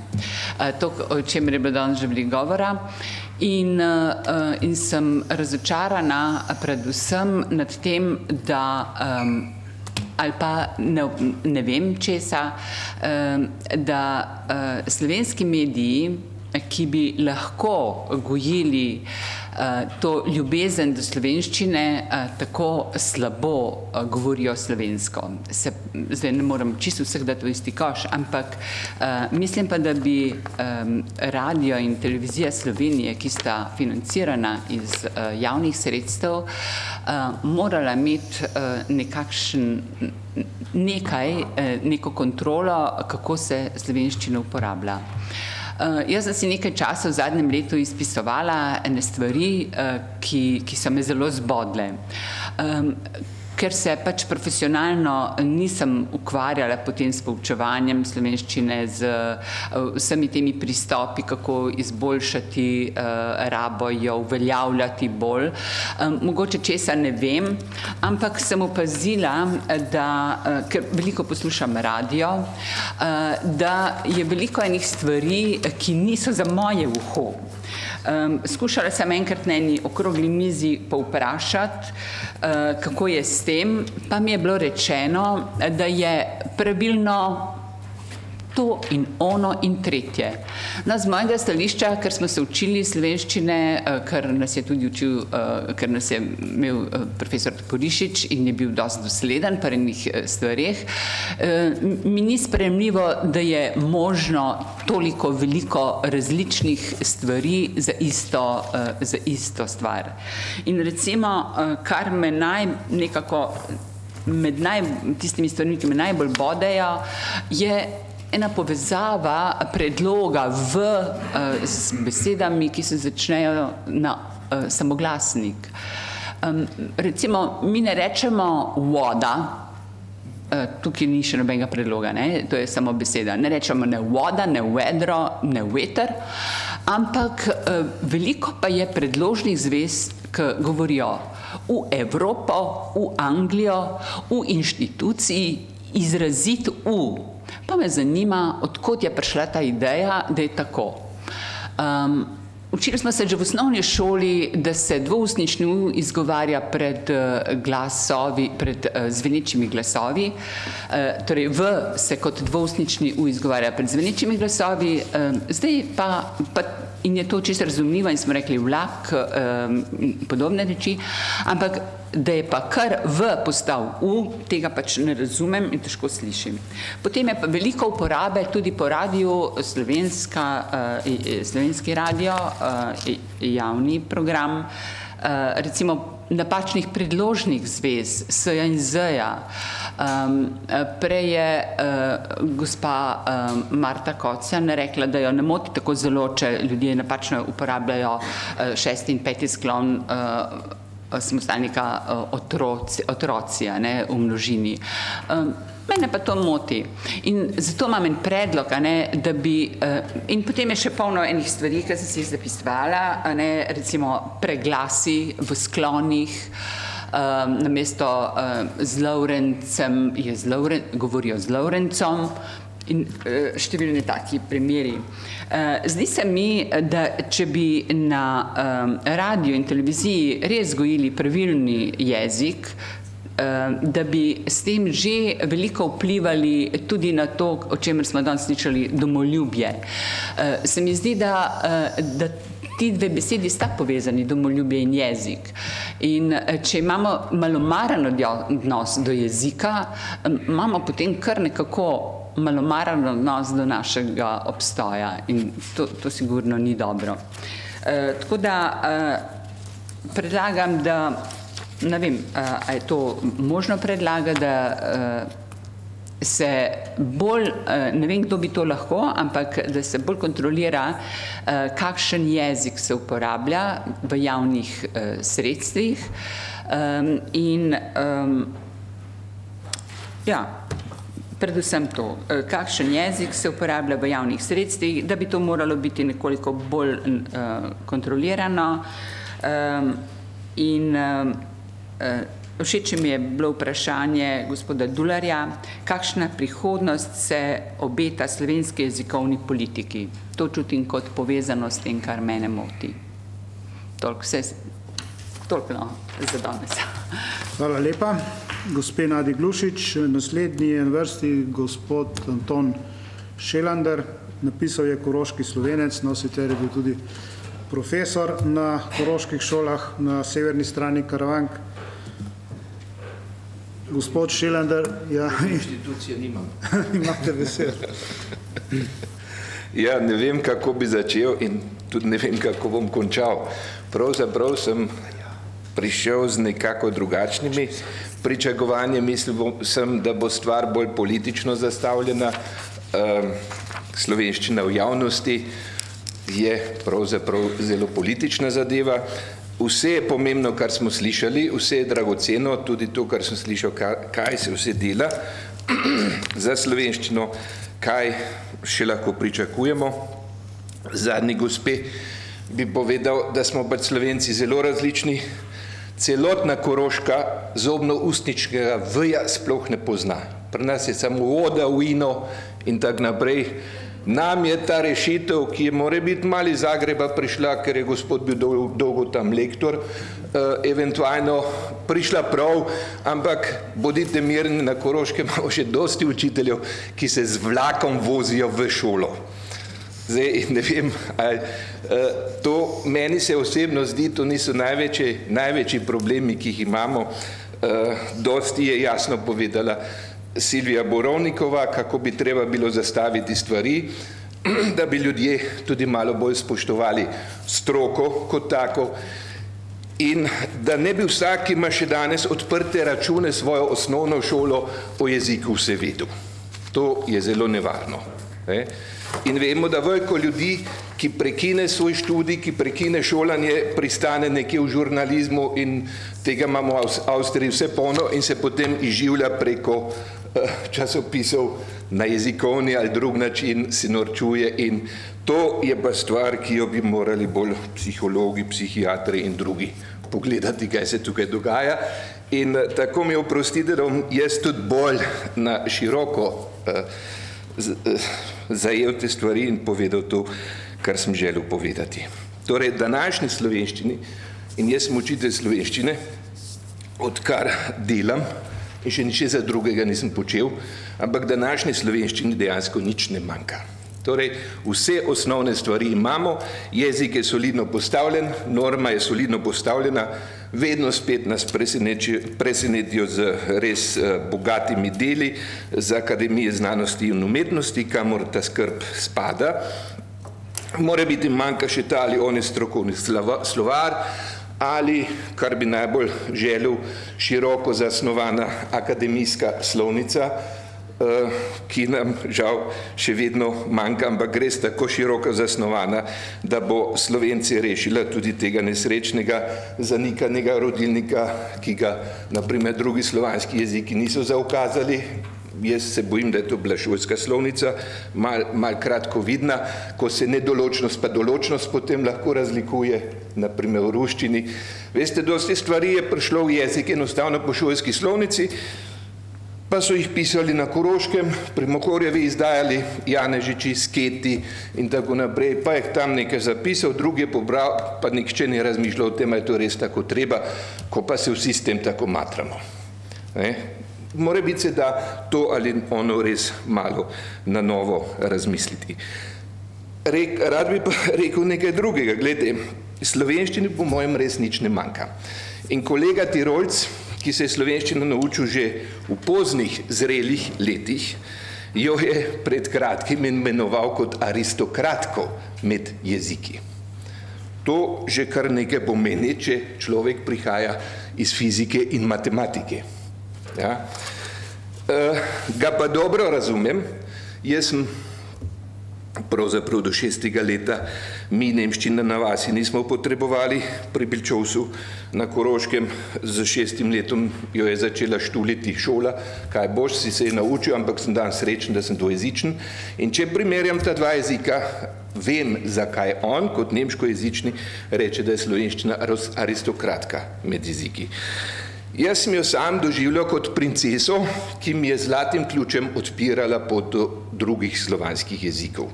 In sem še danes, ko jih poznam kar nekaj, eh, prepričan, da je najlep, najbolj svetleči zlati ključ do dostopa do drugih jezikov. Zanemarja se, da je slovenščina izredno komunikativna Ja, od Šmohorja do Vladivostoka se lahko slovenščino sporazumevaš, kdo to hoče preizkusiti, jaz sem, pa naj preizkusi. V osnovnem je komunikativna, komunikativna vrednost slovenščine, nista dva milijona. Ja? To niso tudi samo izseljenci, to so vsi slovanski jeziki, s katerimi se lahko sporazumevamo in se še marsikaj več. Da ne govorim o intelektualni vrednosti slovenščine. Slovenščina je strašno intelektualiziran jezik, kot je nemščina, francoščina. Mislim, da če bi angleščina bila tako intelektualizirana, se ji ne bi tako lahko godilo. Ja? In eh, tu bo še treba marsikaj doreči tudi na drugi ravni, ko je danes prepovedano v tem smislu razmišljati. Poglejte, če se jaz kot otrok rodim v slovenščino, mi slovenščina tako dragoceno strukturira svet, mi daje orodje, da moram ob govorjenju toliko odločitev najti, razmišljati, sva bila dva ali več, a je bila, če sem ženska, moram še pomisliti, a je bila ženska z menoj ali moški, da se ne lažem in tako naprej. Ne? Torej te intelektualizira, računalniško bi rekli, formatira in ti daje nevarjeten format, znotraj katerega se svobodno giblješ. To je intelektualna vrednost, poleg komunikacijske. In tega se pri nas na Koroškem vedno bolj zavedajo. Uh, dobro, toliko mora biti, o tem je za koncem rekel, tisti, ki slabo govori o slovenščini, da je slovenščina nesposobna ali da slovenščini kaj manjka, pravzaprav več povedo o sebi kot o slovenščini. E, po drugem bi rekel, kot jaz pač to doživljam, da je jezik, bi lahko rekli, naša duhovna kri ali kri našega duha, ki kot telesna kri dovaža, prevaža, izvaža vse potrebno kar potrebujemo za biti in obstati. In veste, nisem še slišal, da bi kdo rekel ali razmišljal o tem, ali pa mi je rekel, da ljubi svojo kri, ja? da ima svojo kri rad. Tega še nisem slišal. Ker nihče ne razmišlja v telesnem smislu o tem in jaz se sprašujem, odkot nam tale nekako včasih jokava, včasih nadušenska, romantična zasnova, da moramo nekaj tako samoumevnega kot jezik, ki je naše osnovno orodje, sporazumevam se ga, radi imeti, ljubiti, to se pravi, da mora biti na drugi strani mogoče neko sovraštvo. Če ne, o tem sploh ne bi govorili. In potem sem razmišljal naprej, sem rekel, ja, kaj bi bilo, kdaj bi kdo rekel, da ima svojo kri rad, telesno, in da jo ljubi. Če bi mu jo zamenjali, če bi mu jo vzeli, pa rekli, ah, prejšnja je pa bila ljubša. Veste, moja kri pa le boljša. In po drugi strani tako, ko komu dejansko medicinsko zamenjajo kri, je prekleto že bolan. To se pravi, da tisti, ki želijo drugačno kri ali nekaj drugega, da to kaže tudi na neko bolno stanje duha. In uh, marsikaj, kar tukaj z te strani sončne, na senčno stran gor slišimo v zvezi z jezikom, pač kaže na neke čudne pojave, ki jih pri nas, hvala Bogu, ni v tej obliki, so pa drugačne. Ampak dovolite mi še eno primerjavo, če ste tako prijazni. Naš sedajni koroški glavar, Peter Kajsar, pri vsake ustrezni priložnosti spregovori nekaj besed v slovenščini. Pač se potrudi. S tem si boljno hoče podariti, da je slovenščina na koroškem deželni jezik in da se deželnemu glavarju spodobi, da to vsaj simbolno pokaže. On pa tudi vem, osebno želi, da bi bila na Koroškem enakopravna slovenščina kot taka. Svojega sina je dal šolati v naših dvojezičnih strukturah, mature je opravil na slovenski gimnaziji. To se pravi, za svojega sina že poskrbel. Njemu je že omogočil, da mu je slovenščina enakopravna.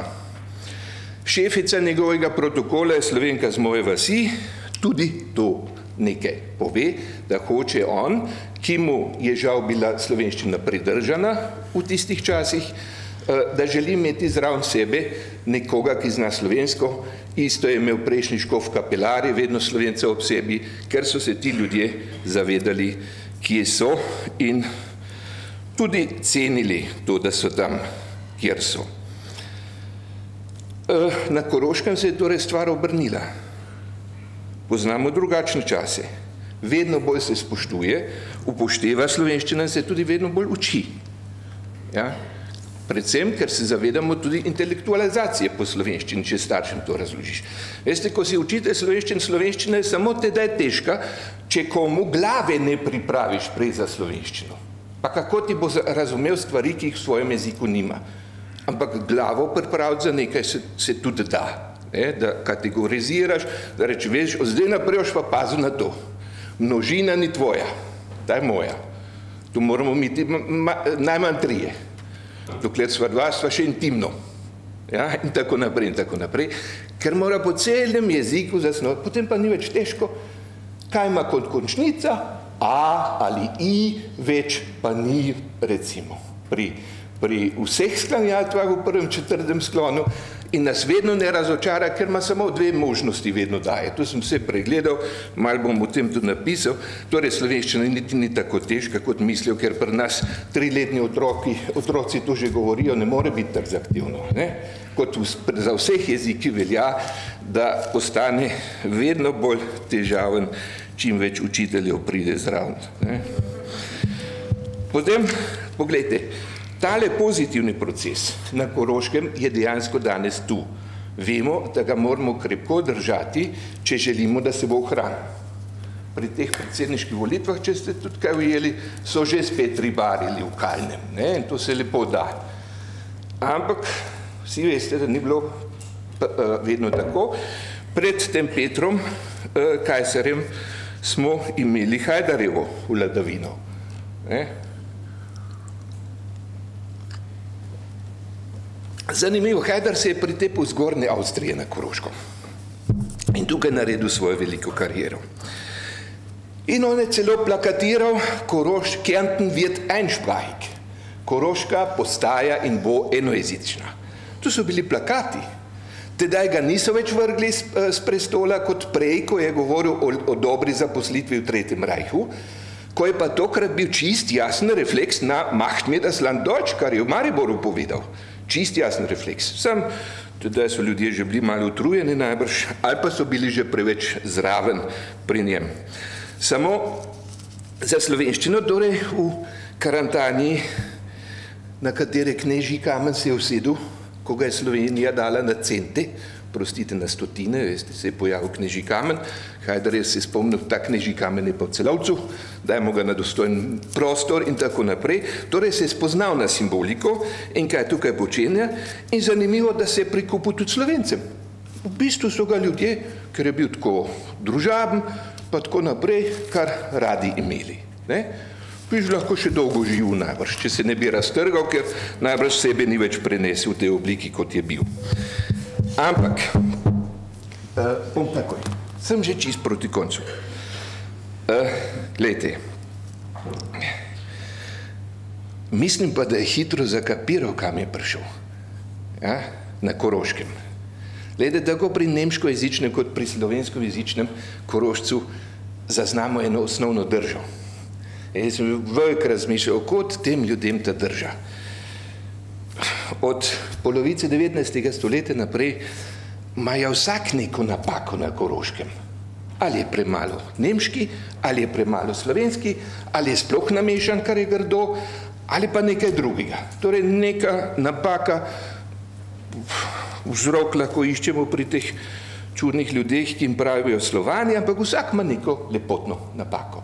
Veste, ljudje, ki jim to dolgo, dolgo, dolgo pripoveduješ, se začnejo obračati proti sebi, ker nazven ne more biti agresivni sovražnik, torej postane svoj lastni sovražnik. In Hajdar je zakapiral, kaj je osnovno vodilo tega korošca, jaz proti sebi. In vsak, ki mi pomaga, je moj prijatelj. In jim je zelo, zelo dobro pomagal in preko svoje hišne banke šel pomagati še južnim sosedom in tako naprej in danes kar težko plačujemo za to. Zato bom jaz končal, ker sem še slišal, mora biti, če vam povem to čisto v tem smislu, sem noter. Ok. Glede, jaz organiziram za svoje učitelje na Koroškem, ki se učijo slovenščine, seminar, da gremo v Siemensovo iskro, Iskra je to bila, ne v Kranju, Siemensova iskra. Je že bila Siemensova iskra. In ta šef iz Nemčije, niti nismo govorili o tem čist nič. Pravi, ja, da ima čudno tukaj v Sloveniji, on je prišel v deželo z drugim jezikom, otroci zdaj hodijo tukaj v šolo, on bi se radi nekreiral in je svojim ta glavnim v firmi pravil, da zdaj se, se bo pa za, začel učiti slovensko. Pa reče drug za drugim, so rekli, pa ne bodi tako neumen. Pa kaj se boš učil slovensko, kam boš pa prišel slovenščino? Je rekel, tega pa še ni doživel nikjer po svetu, da bi lastni ljudje mu odsvetovali, da spozna njih jezik, njihovo kulturo. Je rekel, veste kaj, zdaj se bom pa še za večje vnemo učil slovenščine, da tudi spoznam, kaj tiči tukaj v zadju, da oni nočejo, da znam slovensko. Eh? Dobro. Jaz vas samo nekaj prosim kot koroški slovenci in druge institucije nimam, hvala Bogu, da jo imam. Uh, glejte, Slovenci in Slovenijo. Prosim, ne osvobajajte se od samega sebe in ne osvobajajte se od slovenščine, ker potem nas ni več. Hvala.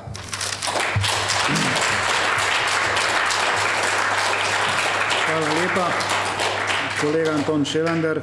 Naslednja je Eva Longika Marušič, eh, ki je predstavnica napovedovalske skupine z Radija Slovenija. Prosim. Lep pozdrav. Gospod, tole sporočilo je fantastično.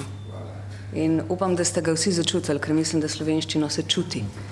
Um, sem pa vesela tudi pripomb gospe Glušič, namreč prihajam iz napovedovalske skupine Radija Slovenija, um, kjer obstaja Centr za, za kulturo govora že vrsto let in moje sporočilo je sicer nekje druge. Moram pa to pojasniti v zvezi s vašimi pripombami in lepo, da ste to odprli, zato ker verjamem, da so te vaše uh, pripombe tudi upravičene in da pri, na, do napak pri govorjenem jeziku zlasti v medijih prihaja, ho, hote ali ne hote. Verjamem pa, da ne zaradi um, površnega izobraževanja. Namreč ta center uh, vendarle skuša vsakega človeka na Radiju Slovenija Eh, pripraviti na mikrofon do te mere, da se je pač sposoben s to govorno eh, kulturo in govornim izražanjem soočiti na do, dovolj visokem nivoju. Bi bilo zelo dobrodošlo, če bi svoje pripombe recimo lahko naslovili prav naravnost na Centr za kulturo govora, da bi se ta um, polemika ali pa te, te morebitne napake, ki jih, ki jih ne hote lahko zagrešimo tisti, ki smo govorci in tisti, ki smo mentorji ali pa so mentorji, jaz sama namreč med mentorje ne spadam, da se jih mogoče zavemo in jih spremenimo. Ampak zakaj pa mislim, da prihaja lahko do, take, uh, do takega upada govorjenega jezika v slovenskih medijih? Eno je pomen javne izreke, drugo so pa sredstva. Vprašanje, kaj je prej. Ampak dejstvo je, da za našo napovedovalsko skupino pač skrbi oziroma pač imamo neko določeno uh, omejeno število delovnih mest, ki so zaposlitve. Um, tudi za izobraževanje je namenjeno določeno število sredstev, plačuje se mentorje znotraj naše skupine in tudi dodatno. In um, verjemite, da ta sredstva usihajo. Se pravi, znotraj našega nacionalnega radija, ki ima še ogromno posluha za to govorno kulturo, so sredstva vedno bolj omejena in pozornost upada. Če pogledam čez cesto na televizijo, je situacija še slabša. Zakaj? Zato, ker je pomen napovedovalcev oziroma napovedovalcev voditeljem um, popolnoma degradiran, smo v napoto, nepotrebni, Um, nekoristni okosteneli. Naša izreka naj bi ne sovpadala z nekim razvojem jezika in skratka um, imamo problem zato, ker obstajamo. Tisto, kar sem jaz želela danes povedati in kar je šlo najbrž mimo vseh teh inštitucij in uh, strokovnih uh, združenj, Um, mogoče ne mimo vseh, zato ker smo v končni fazi zbrali nekr, kar nekaj odzivov, ki smo jih potem tudi poslali na Ministrstvo za kulturo. Gre namreč za predlog uredbe uh, o spremembah in dopolnitvah uh, uredbe o samozaposlenih v kulturi. Um, Ta uredba je bila javni, mislim, je bila pač javno uh, objavljena 14. novembra in odzivi so morali biti podani do 28. novembra, se pravi, vse skupaj je trajalo 14 dni. Mi smo, jaz namreč tukaj tudi v imenu Društva napovedovalcev Slovenije, um, kjer vidimo te stvari mogoče še malo širše, ne samo pač z nacionalne radijske hiše, kjer smo poklicni napovedovalci. Namreč tukaj gre za uredbo o samozaposlenih, ampak če vam povem, da je v tej uredbi črno na belem, da so poklici, ki se črtajo iz razvida samozaposlenih v kulturi, napovedovalec radijski televizijski, to je en poklic, drugi moderator, voditelj in če smo že pri gospe Barle, tudi leksikograf, uh, z razlogom, da nobena komisija ne prepoznava tega poklica na svojem področju. Skratka, naši poklici ne sodijo v kulturne dejavnosti, to je edini uh, sklep, ki ga lahko iz take razlage dobiš. Nekako sem poskušala razumeti to um, odločitev ministrstva stališča razumevanja, kaj je kulturna dejavnost in kaj je medijska dejavnost ker smo pa tudi na današnjem posvetu zaradi zakonodajnih rešitev um, se en, ena dejavnost, za, za, za eno dejavnost je pristojen oziroma se ukvarja zakon o medijih, uh, zakon o prepoznavanju kulturne dejavnosti, ne znam čisto dobro citirati, se pa ukvarja s, s področji kulture. Um, kolikor vem, je na, na Ministrstvu za kulturo osem delovnih področji, med kateri, med kateri sodijo tudi mediji, sodita tudi mediji in slovenski jezik. In moje razumevanje uh, ene govorne kulture, uh, ki jo pač skušamo ljudje, ki se s tem profesionalno ukvarjati, ne razume, da teh poklicov kulturno ministrstvo ne prepozna znotraj kulturnih dejavnosti. Gre sicer za uredbo o samozaposlenih. Ne? Namreč Radio Slovenija kot tak je uredil to svojo službo, smo pa mi kot napovedovalska služba odvisni od nekaterih honorarnih sodelavcev. Je pač služba, ki potrebuje, če kdo zboli in tako naprej, ne moreš poklicati nekoga, ki je že pol dneva prej opravil svojo službo. Ne gre. Ni, ni, in, in moramo imeti honorarne sodelavce in prav tem ki smo jih izobraževali na radiju, so dali eh, eno, letno, eno leto in pol šolanje za to, da so usposobljeni za napovedovalsko skupino, bo oduzeta, naj bi bila oduzeta možnost samo zaposlitve v kulturi. Um, ne vem, jaz lahko samo to rečem, da tega preprosto ne razumem. To je to. Hvala.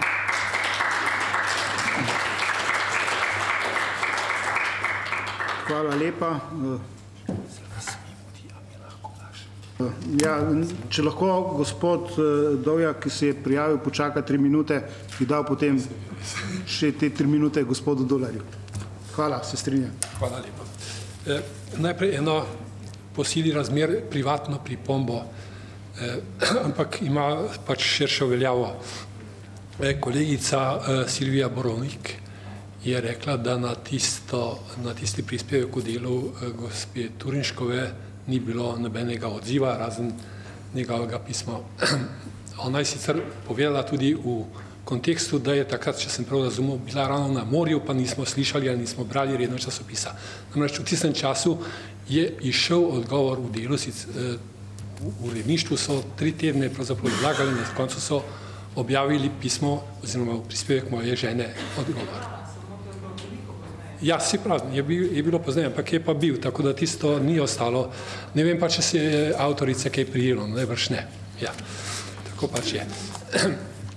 Druga stvar, glede pač priložnost, ni ta prava za, za kakšno razpravo jezikoslovno o takih in drugačnih finesah, ampak tole o glasu v pa u in tako naprej, ni tako preprosta zadeva, kako se zdi, da je to kar napaka ali kakorkoli že pri normalnem, sproščenem, neafektiranem slovenskem govoru je ena izmed izgovornih variant fonema v ali pa tudi u.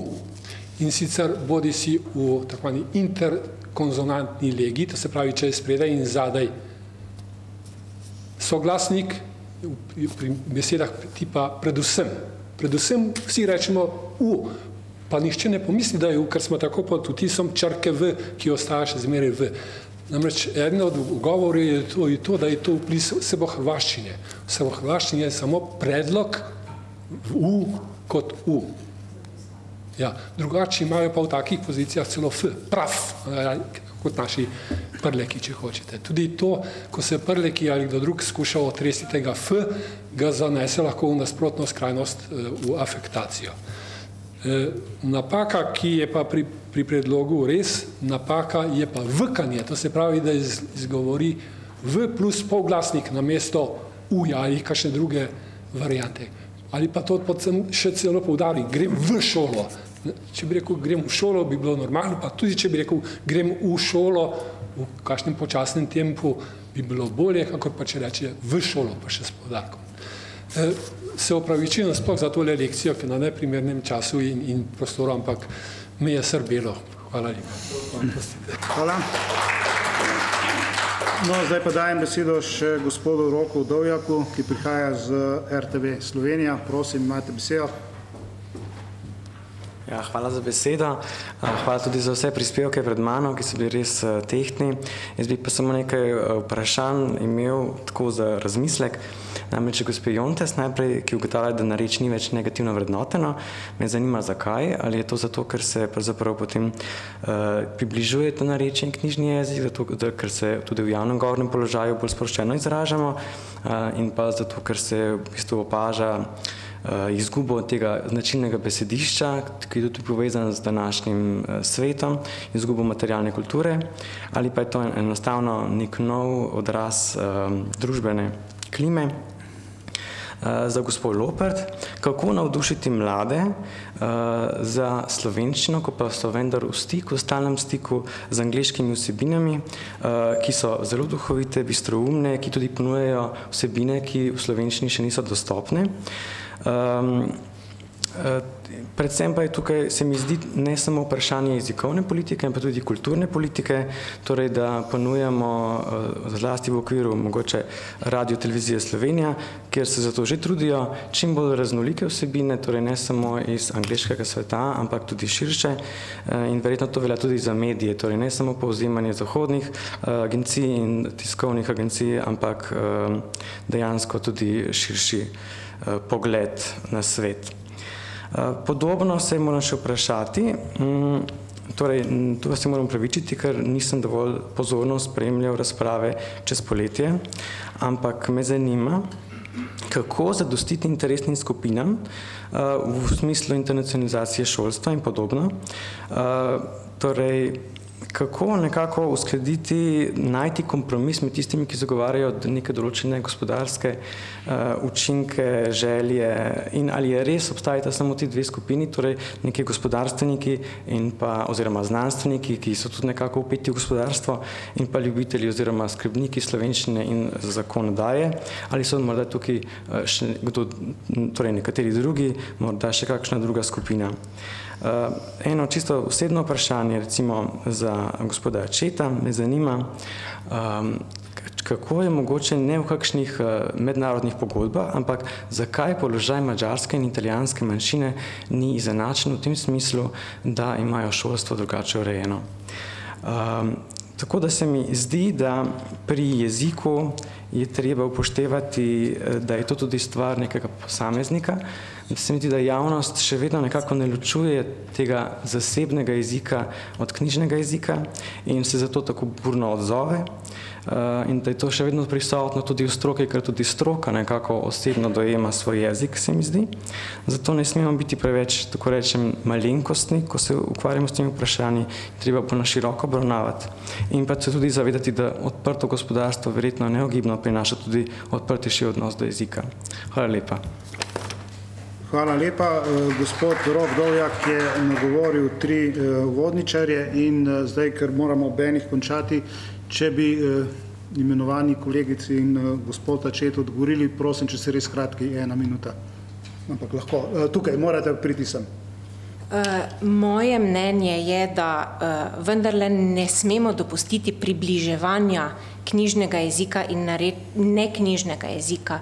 Eno je rabljeno v enih situacijah, drugo je rabljeno v drugih situacijah. Uh, je pa res, da je mogoče tudi ta čas uh, globalizacije, ki dopušča enakovrednost različnih jezikov, potem tudi enakovrednost različnih zvrsti jezika, uh, v bistvu dala nek, neko možnost, dopustila možnost, da se tudi ta res materni jezik, ki je naš običajno res neknjižni jezik, da se dopusti, da je vreden jezik, da je vreden del jezika, socialna zvrst in da se jo sme uporabljati in da je to nekaj lepega, nekaj našega. Ker če rečemo, če, tako se je včasih vendarle dogajalo v šolah, uh, ko so otroci prišli v šolo, je zdaj pa treba govoriti lepo. Pa je bilo rečeno, mišljeno knjižno. Aha, to pomeni, da tisto, kar sem jaz zdaj govoril, včasih prvih sedem let, zdaj prvih šest let, je pa grdo. Ni. Samo za to gre, ločevati je treba rabo enega in drugega, spodbujati rabo enega in drugega.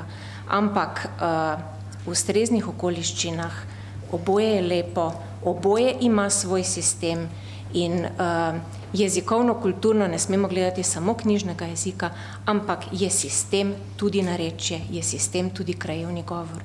Samo da pač nima napisane običajne uh, pravopisa, bi pa lahko zapisali slovnico z jezikovnimi opisi, to počnemo, besedišče pa tako in tako. Jaz upam, da sem s tem odgovorila. Ne? Zanima me, zakaj je odnos. Ne? Ja? Dejansko je to zelo pozornjeni grup ali je uh, dejansko jezik se nekako tako spremenil, da ne opazimo več tolikšne razlike. Razlike med rečem in nekim govorom, bolj knjižnim, javnim. Razlike še vseeno so, je pa sproščenost družbe tista, ki skuša, po mojem mnenju, uh, upeljevati to sproščenost tudi v javne položaje, kamor pa po mojem mnenju ne sodi javni položaj je tisti, ki zahteva uh, jezik, ki ga tudi zato imamo, torej zvrst jezika v tem smislu. Hvala lepa. Uh, gospa, če izklopite mikrofon, prosim. Gospa Alenka Valk-Lopert, prosim.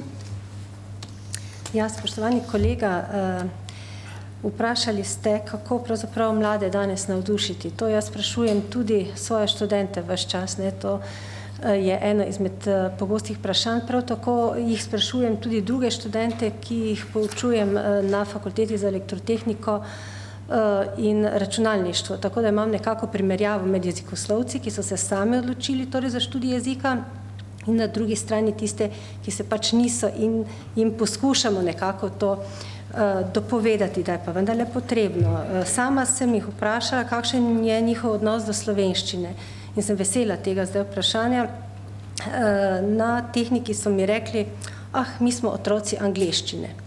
In seveda se mi je zdelo, da je treba to nekako podkrepiti zdaj tudi, če so res. In sem jim dala 30 prevzetih besed. Ne? Od tistih, ki sem jih prej prikazala, ki so malo tako provokativne, bolj kot pa strokovne, to bom še dodala, Pa ali vi verjamete, da so znali razložiti pomen? Rekla sem, naj razložijo tudi v angleščini, da toliko pa razumem kot anglistka. Pa je nastala tišina. Bojim se, da nekako precenjujemo to mišljenje, da mladi vendarle znajo angliško. Znajo. Ampak do določene mere, ko pridejo do tiste situacije, ko morajo to pojasniti, zagotovo vzamejo v roke uh, nek slovar, priročnik, karkoli. Ampak tako pavšalno rečemo, vse znajo. Ja, ampak vprašanje je, če razumejo, kaj se za to besedo skriva. Ne? Kako bi to povedali? Zato je bil tisti izzivalni primer. To ni realna situacija. Ne? Jaz bi pa rekla tudi, glede na to, da uh, sodelujem že več let tudi pri nastanku učbenikov za osnovno šolo za angliščino, da morda bi bilo dobro spremeniti tudi kakšen pristop pri naših učbenikih. Ne, so zelo pestri, če jih pogledate tako za srednjo šolo, ne, so ilustrirani, ponujajo eno in drugo, ampak jaz mislim, da prej je bilo rečeno, da vendarle moramo imeti nek sistem. Vprašam jih tudi navadno mlade, eh, če bi bili vsi tako otroci tujega jezika, če bi jutri uvedli francoščino. Pa me grdo gledajo, moram priznati, ker najbrž uh, vemo, kako je pač z različnimi tujimi jeziki.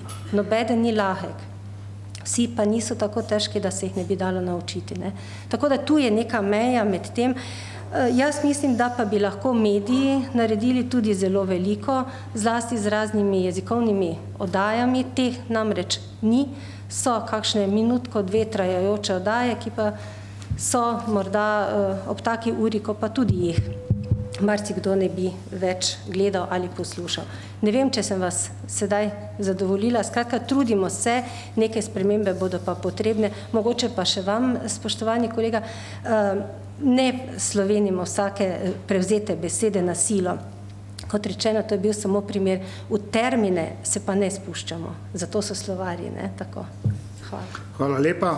Uh, mogoče še gospod Četo, izvolite.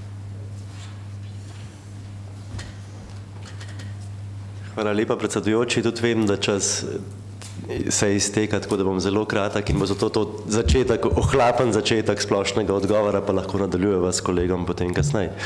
Um, če začnem pri tisti zadevi iz leta 69 oziroma sodbi Ustavnega sodišča iz leta 70, Tam je šlo za tehtanje več interesov in tudi ustavnih načel. In ustavno načelo, ki ga je imela večina pred očmi, pa skupščina, ko je sprejemala zakon o obveznem šolanju v obeh jezikih za otroke obeh narodnosti, želja, ki so jo zasledovali, je bila integracija manjšine. Ne? Čim boljša, enakopravnejša integracija v državo, v kateri so morali bivati in delovati, čeprav so govorili materni jezik neke druge skupnosti. Um, in na nek način v bistvu tudi danes pa če govorimo o italijanski ali pa mačarski manjšini v Sloveniji ali pa nasplošno o teh um, tovrstnih razmerih, obstaja vrsta pravnih uh, dokumentov, um, takšnih in drugačnih, eh, bodi si mednarodnih sporazumov, bodi si nacionalnih ureditev, ki poskušajo iskati ravnovesje na eni strani med interesi teh skupnosti in na drugi strani med celo vrsto palet v bistvu pravic, ki jih je treba priznavati pripadnikom ene ali druge skupnosti. Ne? Tako da um, žal je najbrž tako, kot so se že naučili pri pravu in to dosti, kad vsi skupaj zamerimo pravo, ker ni nikoli zelo jasnih, enostavnih odgovorov naprej, ne? da bo od situacije do situacije odvisno, tudi morda od skupnosti do skupnosti. V istem času, ko je v prekmorju potekala ta zadeva, so v Quebecu sprejeli nek zakon, ki je omejeval možnost šolanja v angleščini za otroke francoskih družin. Pa so takrat imeli pripadniki francoskih družin nasproten interes kot morda ti uh, pripadniki lendavskih otrok, um, starši lendavskih otrok. Želeli so si šolati v angleščini, ker so želeli svojim otrokom omogočati ravno to integracijo ne, v, v okolje, ki večinoma tudi v Kanadi, pa potem še toliko bolj v okolju um, funkcionira v angleščini slovenščini. Tako da, kot rečeno, paleta pravnih dokumentov, takšnih in drugačnih obstaja, če kaj jih je kvečemo preveč, marsikdaj danes, ne, um, polna je pa nedoločenih pojmov in uh, nedorečenih vprašanj, kdaj, na kakšen način je treba tehtati med včasih nasprotujočimi si interesi. Narodne manjšine, pa večinskega prebivalstva ali pa pripadnikov manjšine in ureditve nasploh se tukaj ustavim. Hvala lepa. Hvala lepa. Zahvaljujem še, se še gospodu Očetu. No, izčrpali smo vprašanja in ker sem bil danes izjemno demokratičen in nikogar nisem ustavljal, čeprav ste šli nekateri uvodničari, dva, ste dvakrat dvoj, z dvojno dozo prekoračili deset minut, je meni zmanjkalo časa za zaključek in povem samo to, da verjetno bo treba poseči tudi na sistemsko oziroma zakonsko raven in državni svet ima to možnost in mislim, da eh, bi ti, ki smo v bistvu bili soorganizatorji tega posveta, predlagam, da se v krajšem času ponovno sestanemo pa poskušamo videti, kaj bi se dalo spremeniti na zakonski ravni. E, samo toliko, ker ni časa, bi pa vendarle odgovoril gospe napovedovalki Evi Longika Marušič, ker sem razumel njen nastop kot ne prošnjo za pomoč, ampak poziv civilne družbe oziroma eh, javnosti k mm, možnosti posredovanja, ki jo državni svet ima in lahko rečem samo to, ker gre za uredbo. To seveda ne pride v državni zbor in ne pride v državni svet, ker mi zakonske predloge seveda prej obravnavamo. E, imate pa možnost, če vi kot ta napovedovalska skupina pa tudi z drugimi. Ne. Seveda date pobudo na mojo komisijo, se pravi na Komisijo za kulturo, znanost, šolstvo in sport državnega sveta, bomo mi seveda v kratkem času to komisijo sklicali, povabili predlagatelja, se pravi predstavnike ministrstva, da se pogovorimo, to smo že daj že večkrat naredili. Sam spremljam to uredbo eh, kar eh, dosledno v javnosti in tudi nastope gospoda ministra, zaenkrat lahko rečem samo to, da seveda, če jaz slišim dobrega napovedovalca in govori seveda slovensko, sem dejansko blažen, če je res dober, ne, in je veliko vas zelo dobrih in dejansko je ta uredba kontradiktorna najmanj v tem, ker gospod Pršak pravi eh, za samo zaposleni v kulturi. Eh, mi smo pa že to temo imeli na prvem posvetu pred tremi leti, ko je gospa Jedar Tješ Furlan, ki jo verjetno vsi dobro poznate, govorila o tem položaju, ne, se pravi, ti samo zaposleni v kulturi delajo lahko isto kot tisti, ki so v redni službi, se pravi za isto delo dobijo manjše plačilo. Zdaj pa gospod, kaj to pomeni? Država plačuje minimalni prispevek za pokojninsko in minimalni prispevek za socialno zavarovanje, za zdravstveno zavarovanje, kar pomeni, da po 30 dneh, če se ti na bolniški, potem seveda že plačuješ sam. Tako je pač stanje. Se pravi, samo da nekdo, ki je pač kulturnik ali karkoli pač v tej kategoriji, sploh lahko dela. Sploh lahko dela in ta uredba eh, Gospod minister je rekel, ja, s to uredbo hočemo, da samo tisti dobijo, ki imajo nek presežek. Ne? In so napovedovalce uvrstili kategorijo ljudje, ki ne morejo imeti presežka. Ampak hkrati pravi, recimo pa poznam seveda eh, področje režiserjev, zahteva eh, dva, eh, dva celovečerca v petih letih ali pa neke kombinacije. Film, ki je za mene zelo dober film, film gledal sem ga pred dvema dnema, Houston, so delali, ne, Houston imamo problem, so delali sedem let. Skratka, uredba je kontradiktorna, ker seveda, če pa hočeš doseči kvaliteto, rabiš čas. Vam je jasno? Ne, to je popolnoma jasno in seveda to uredbo je tudi z mojega sornega kota treba ali ustaviti ali jo pač bistveno spremeniti, ker dejansko, če hoče država imeti tudi take samozaposlene v kulturi, da delajo, za minimalni denar, ker vse drugo pa seveda morajo dobiti na trgu, mora postaviti pogoje, ki so zmož, zmožni uh, uresničitve in ki izdržijo. No in zato, še enkrat ponavljam, uh, če nas boste povabili, mi se bomo odzvali, se bomo pogovorili in lahko ta posvet organiziramo. Toliko. Ja, sejo komisije. Sejo eh, komisije. Hvala lepa. Sem odgovoril, v redu. No, vsem se je zelo lepo zahvaljujem za sodelovanje, za potrpežljivost in vam lepo pozdravim in želim srečno naslednje. Mhm.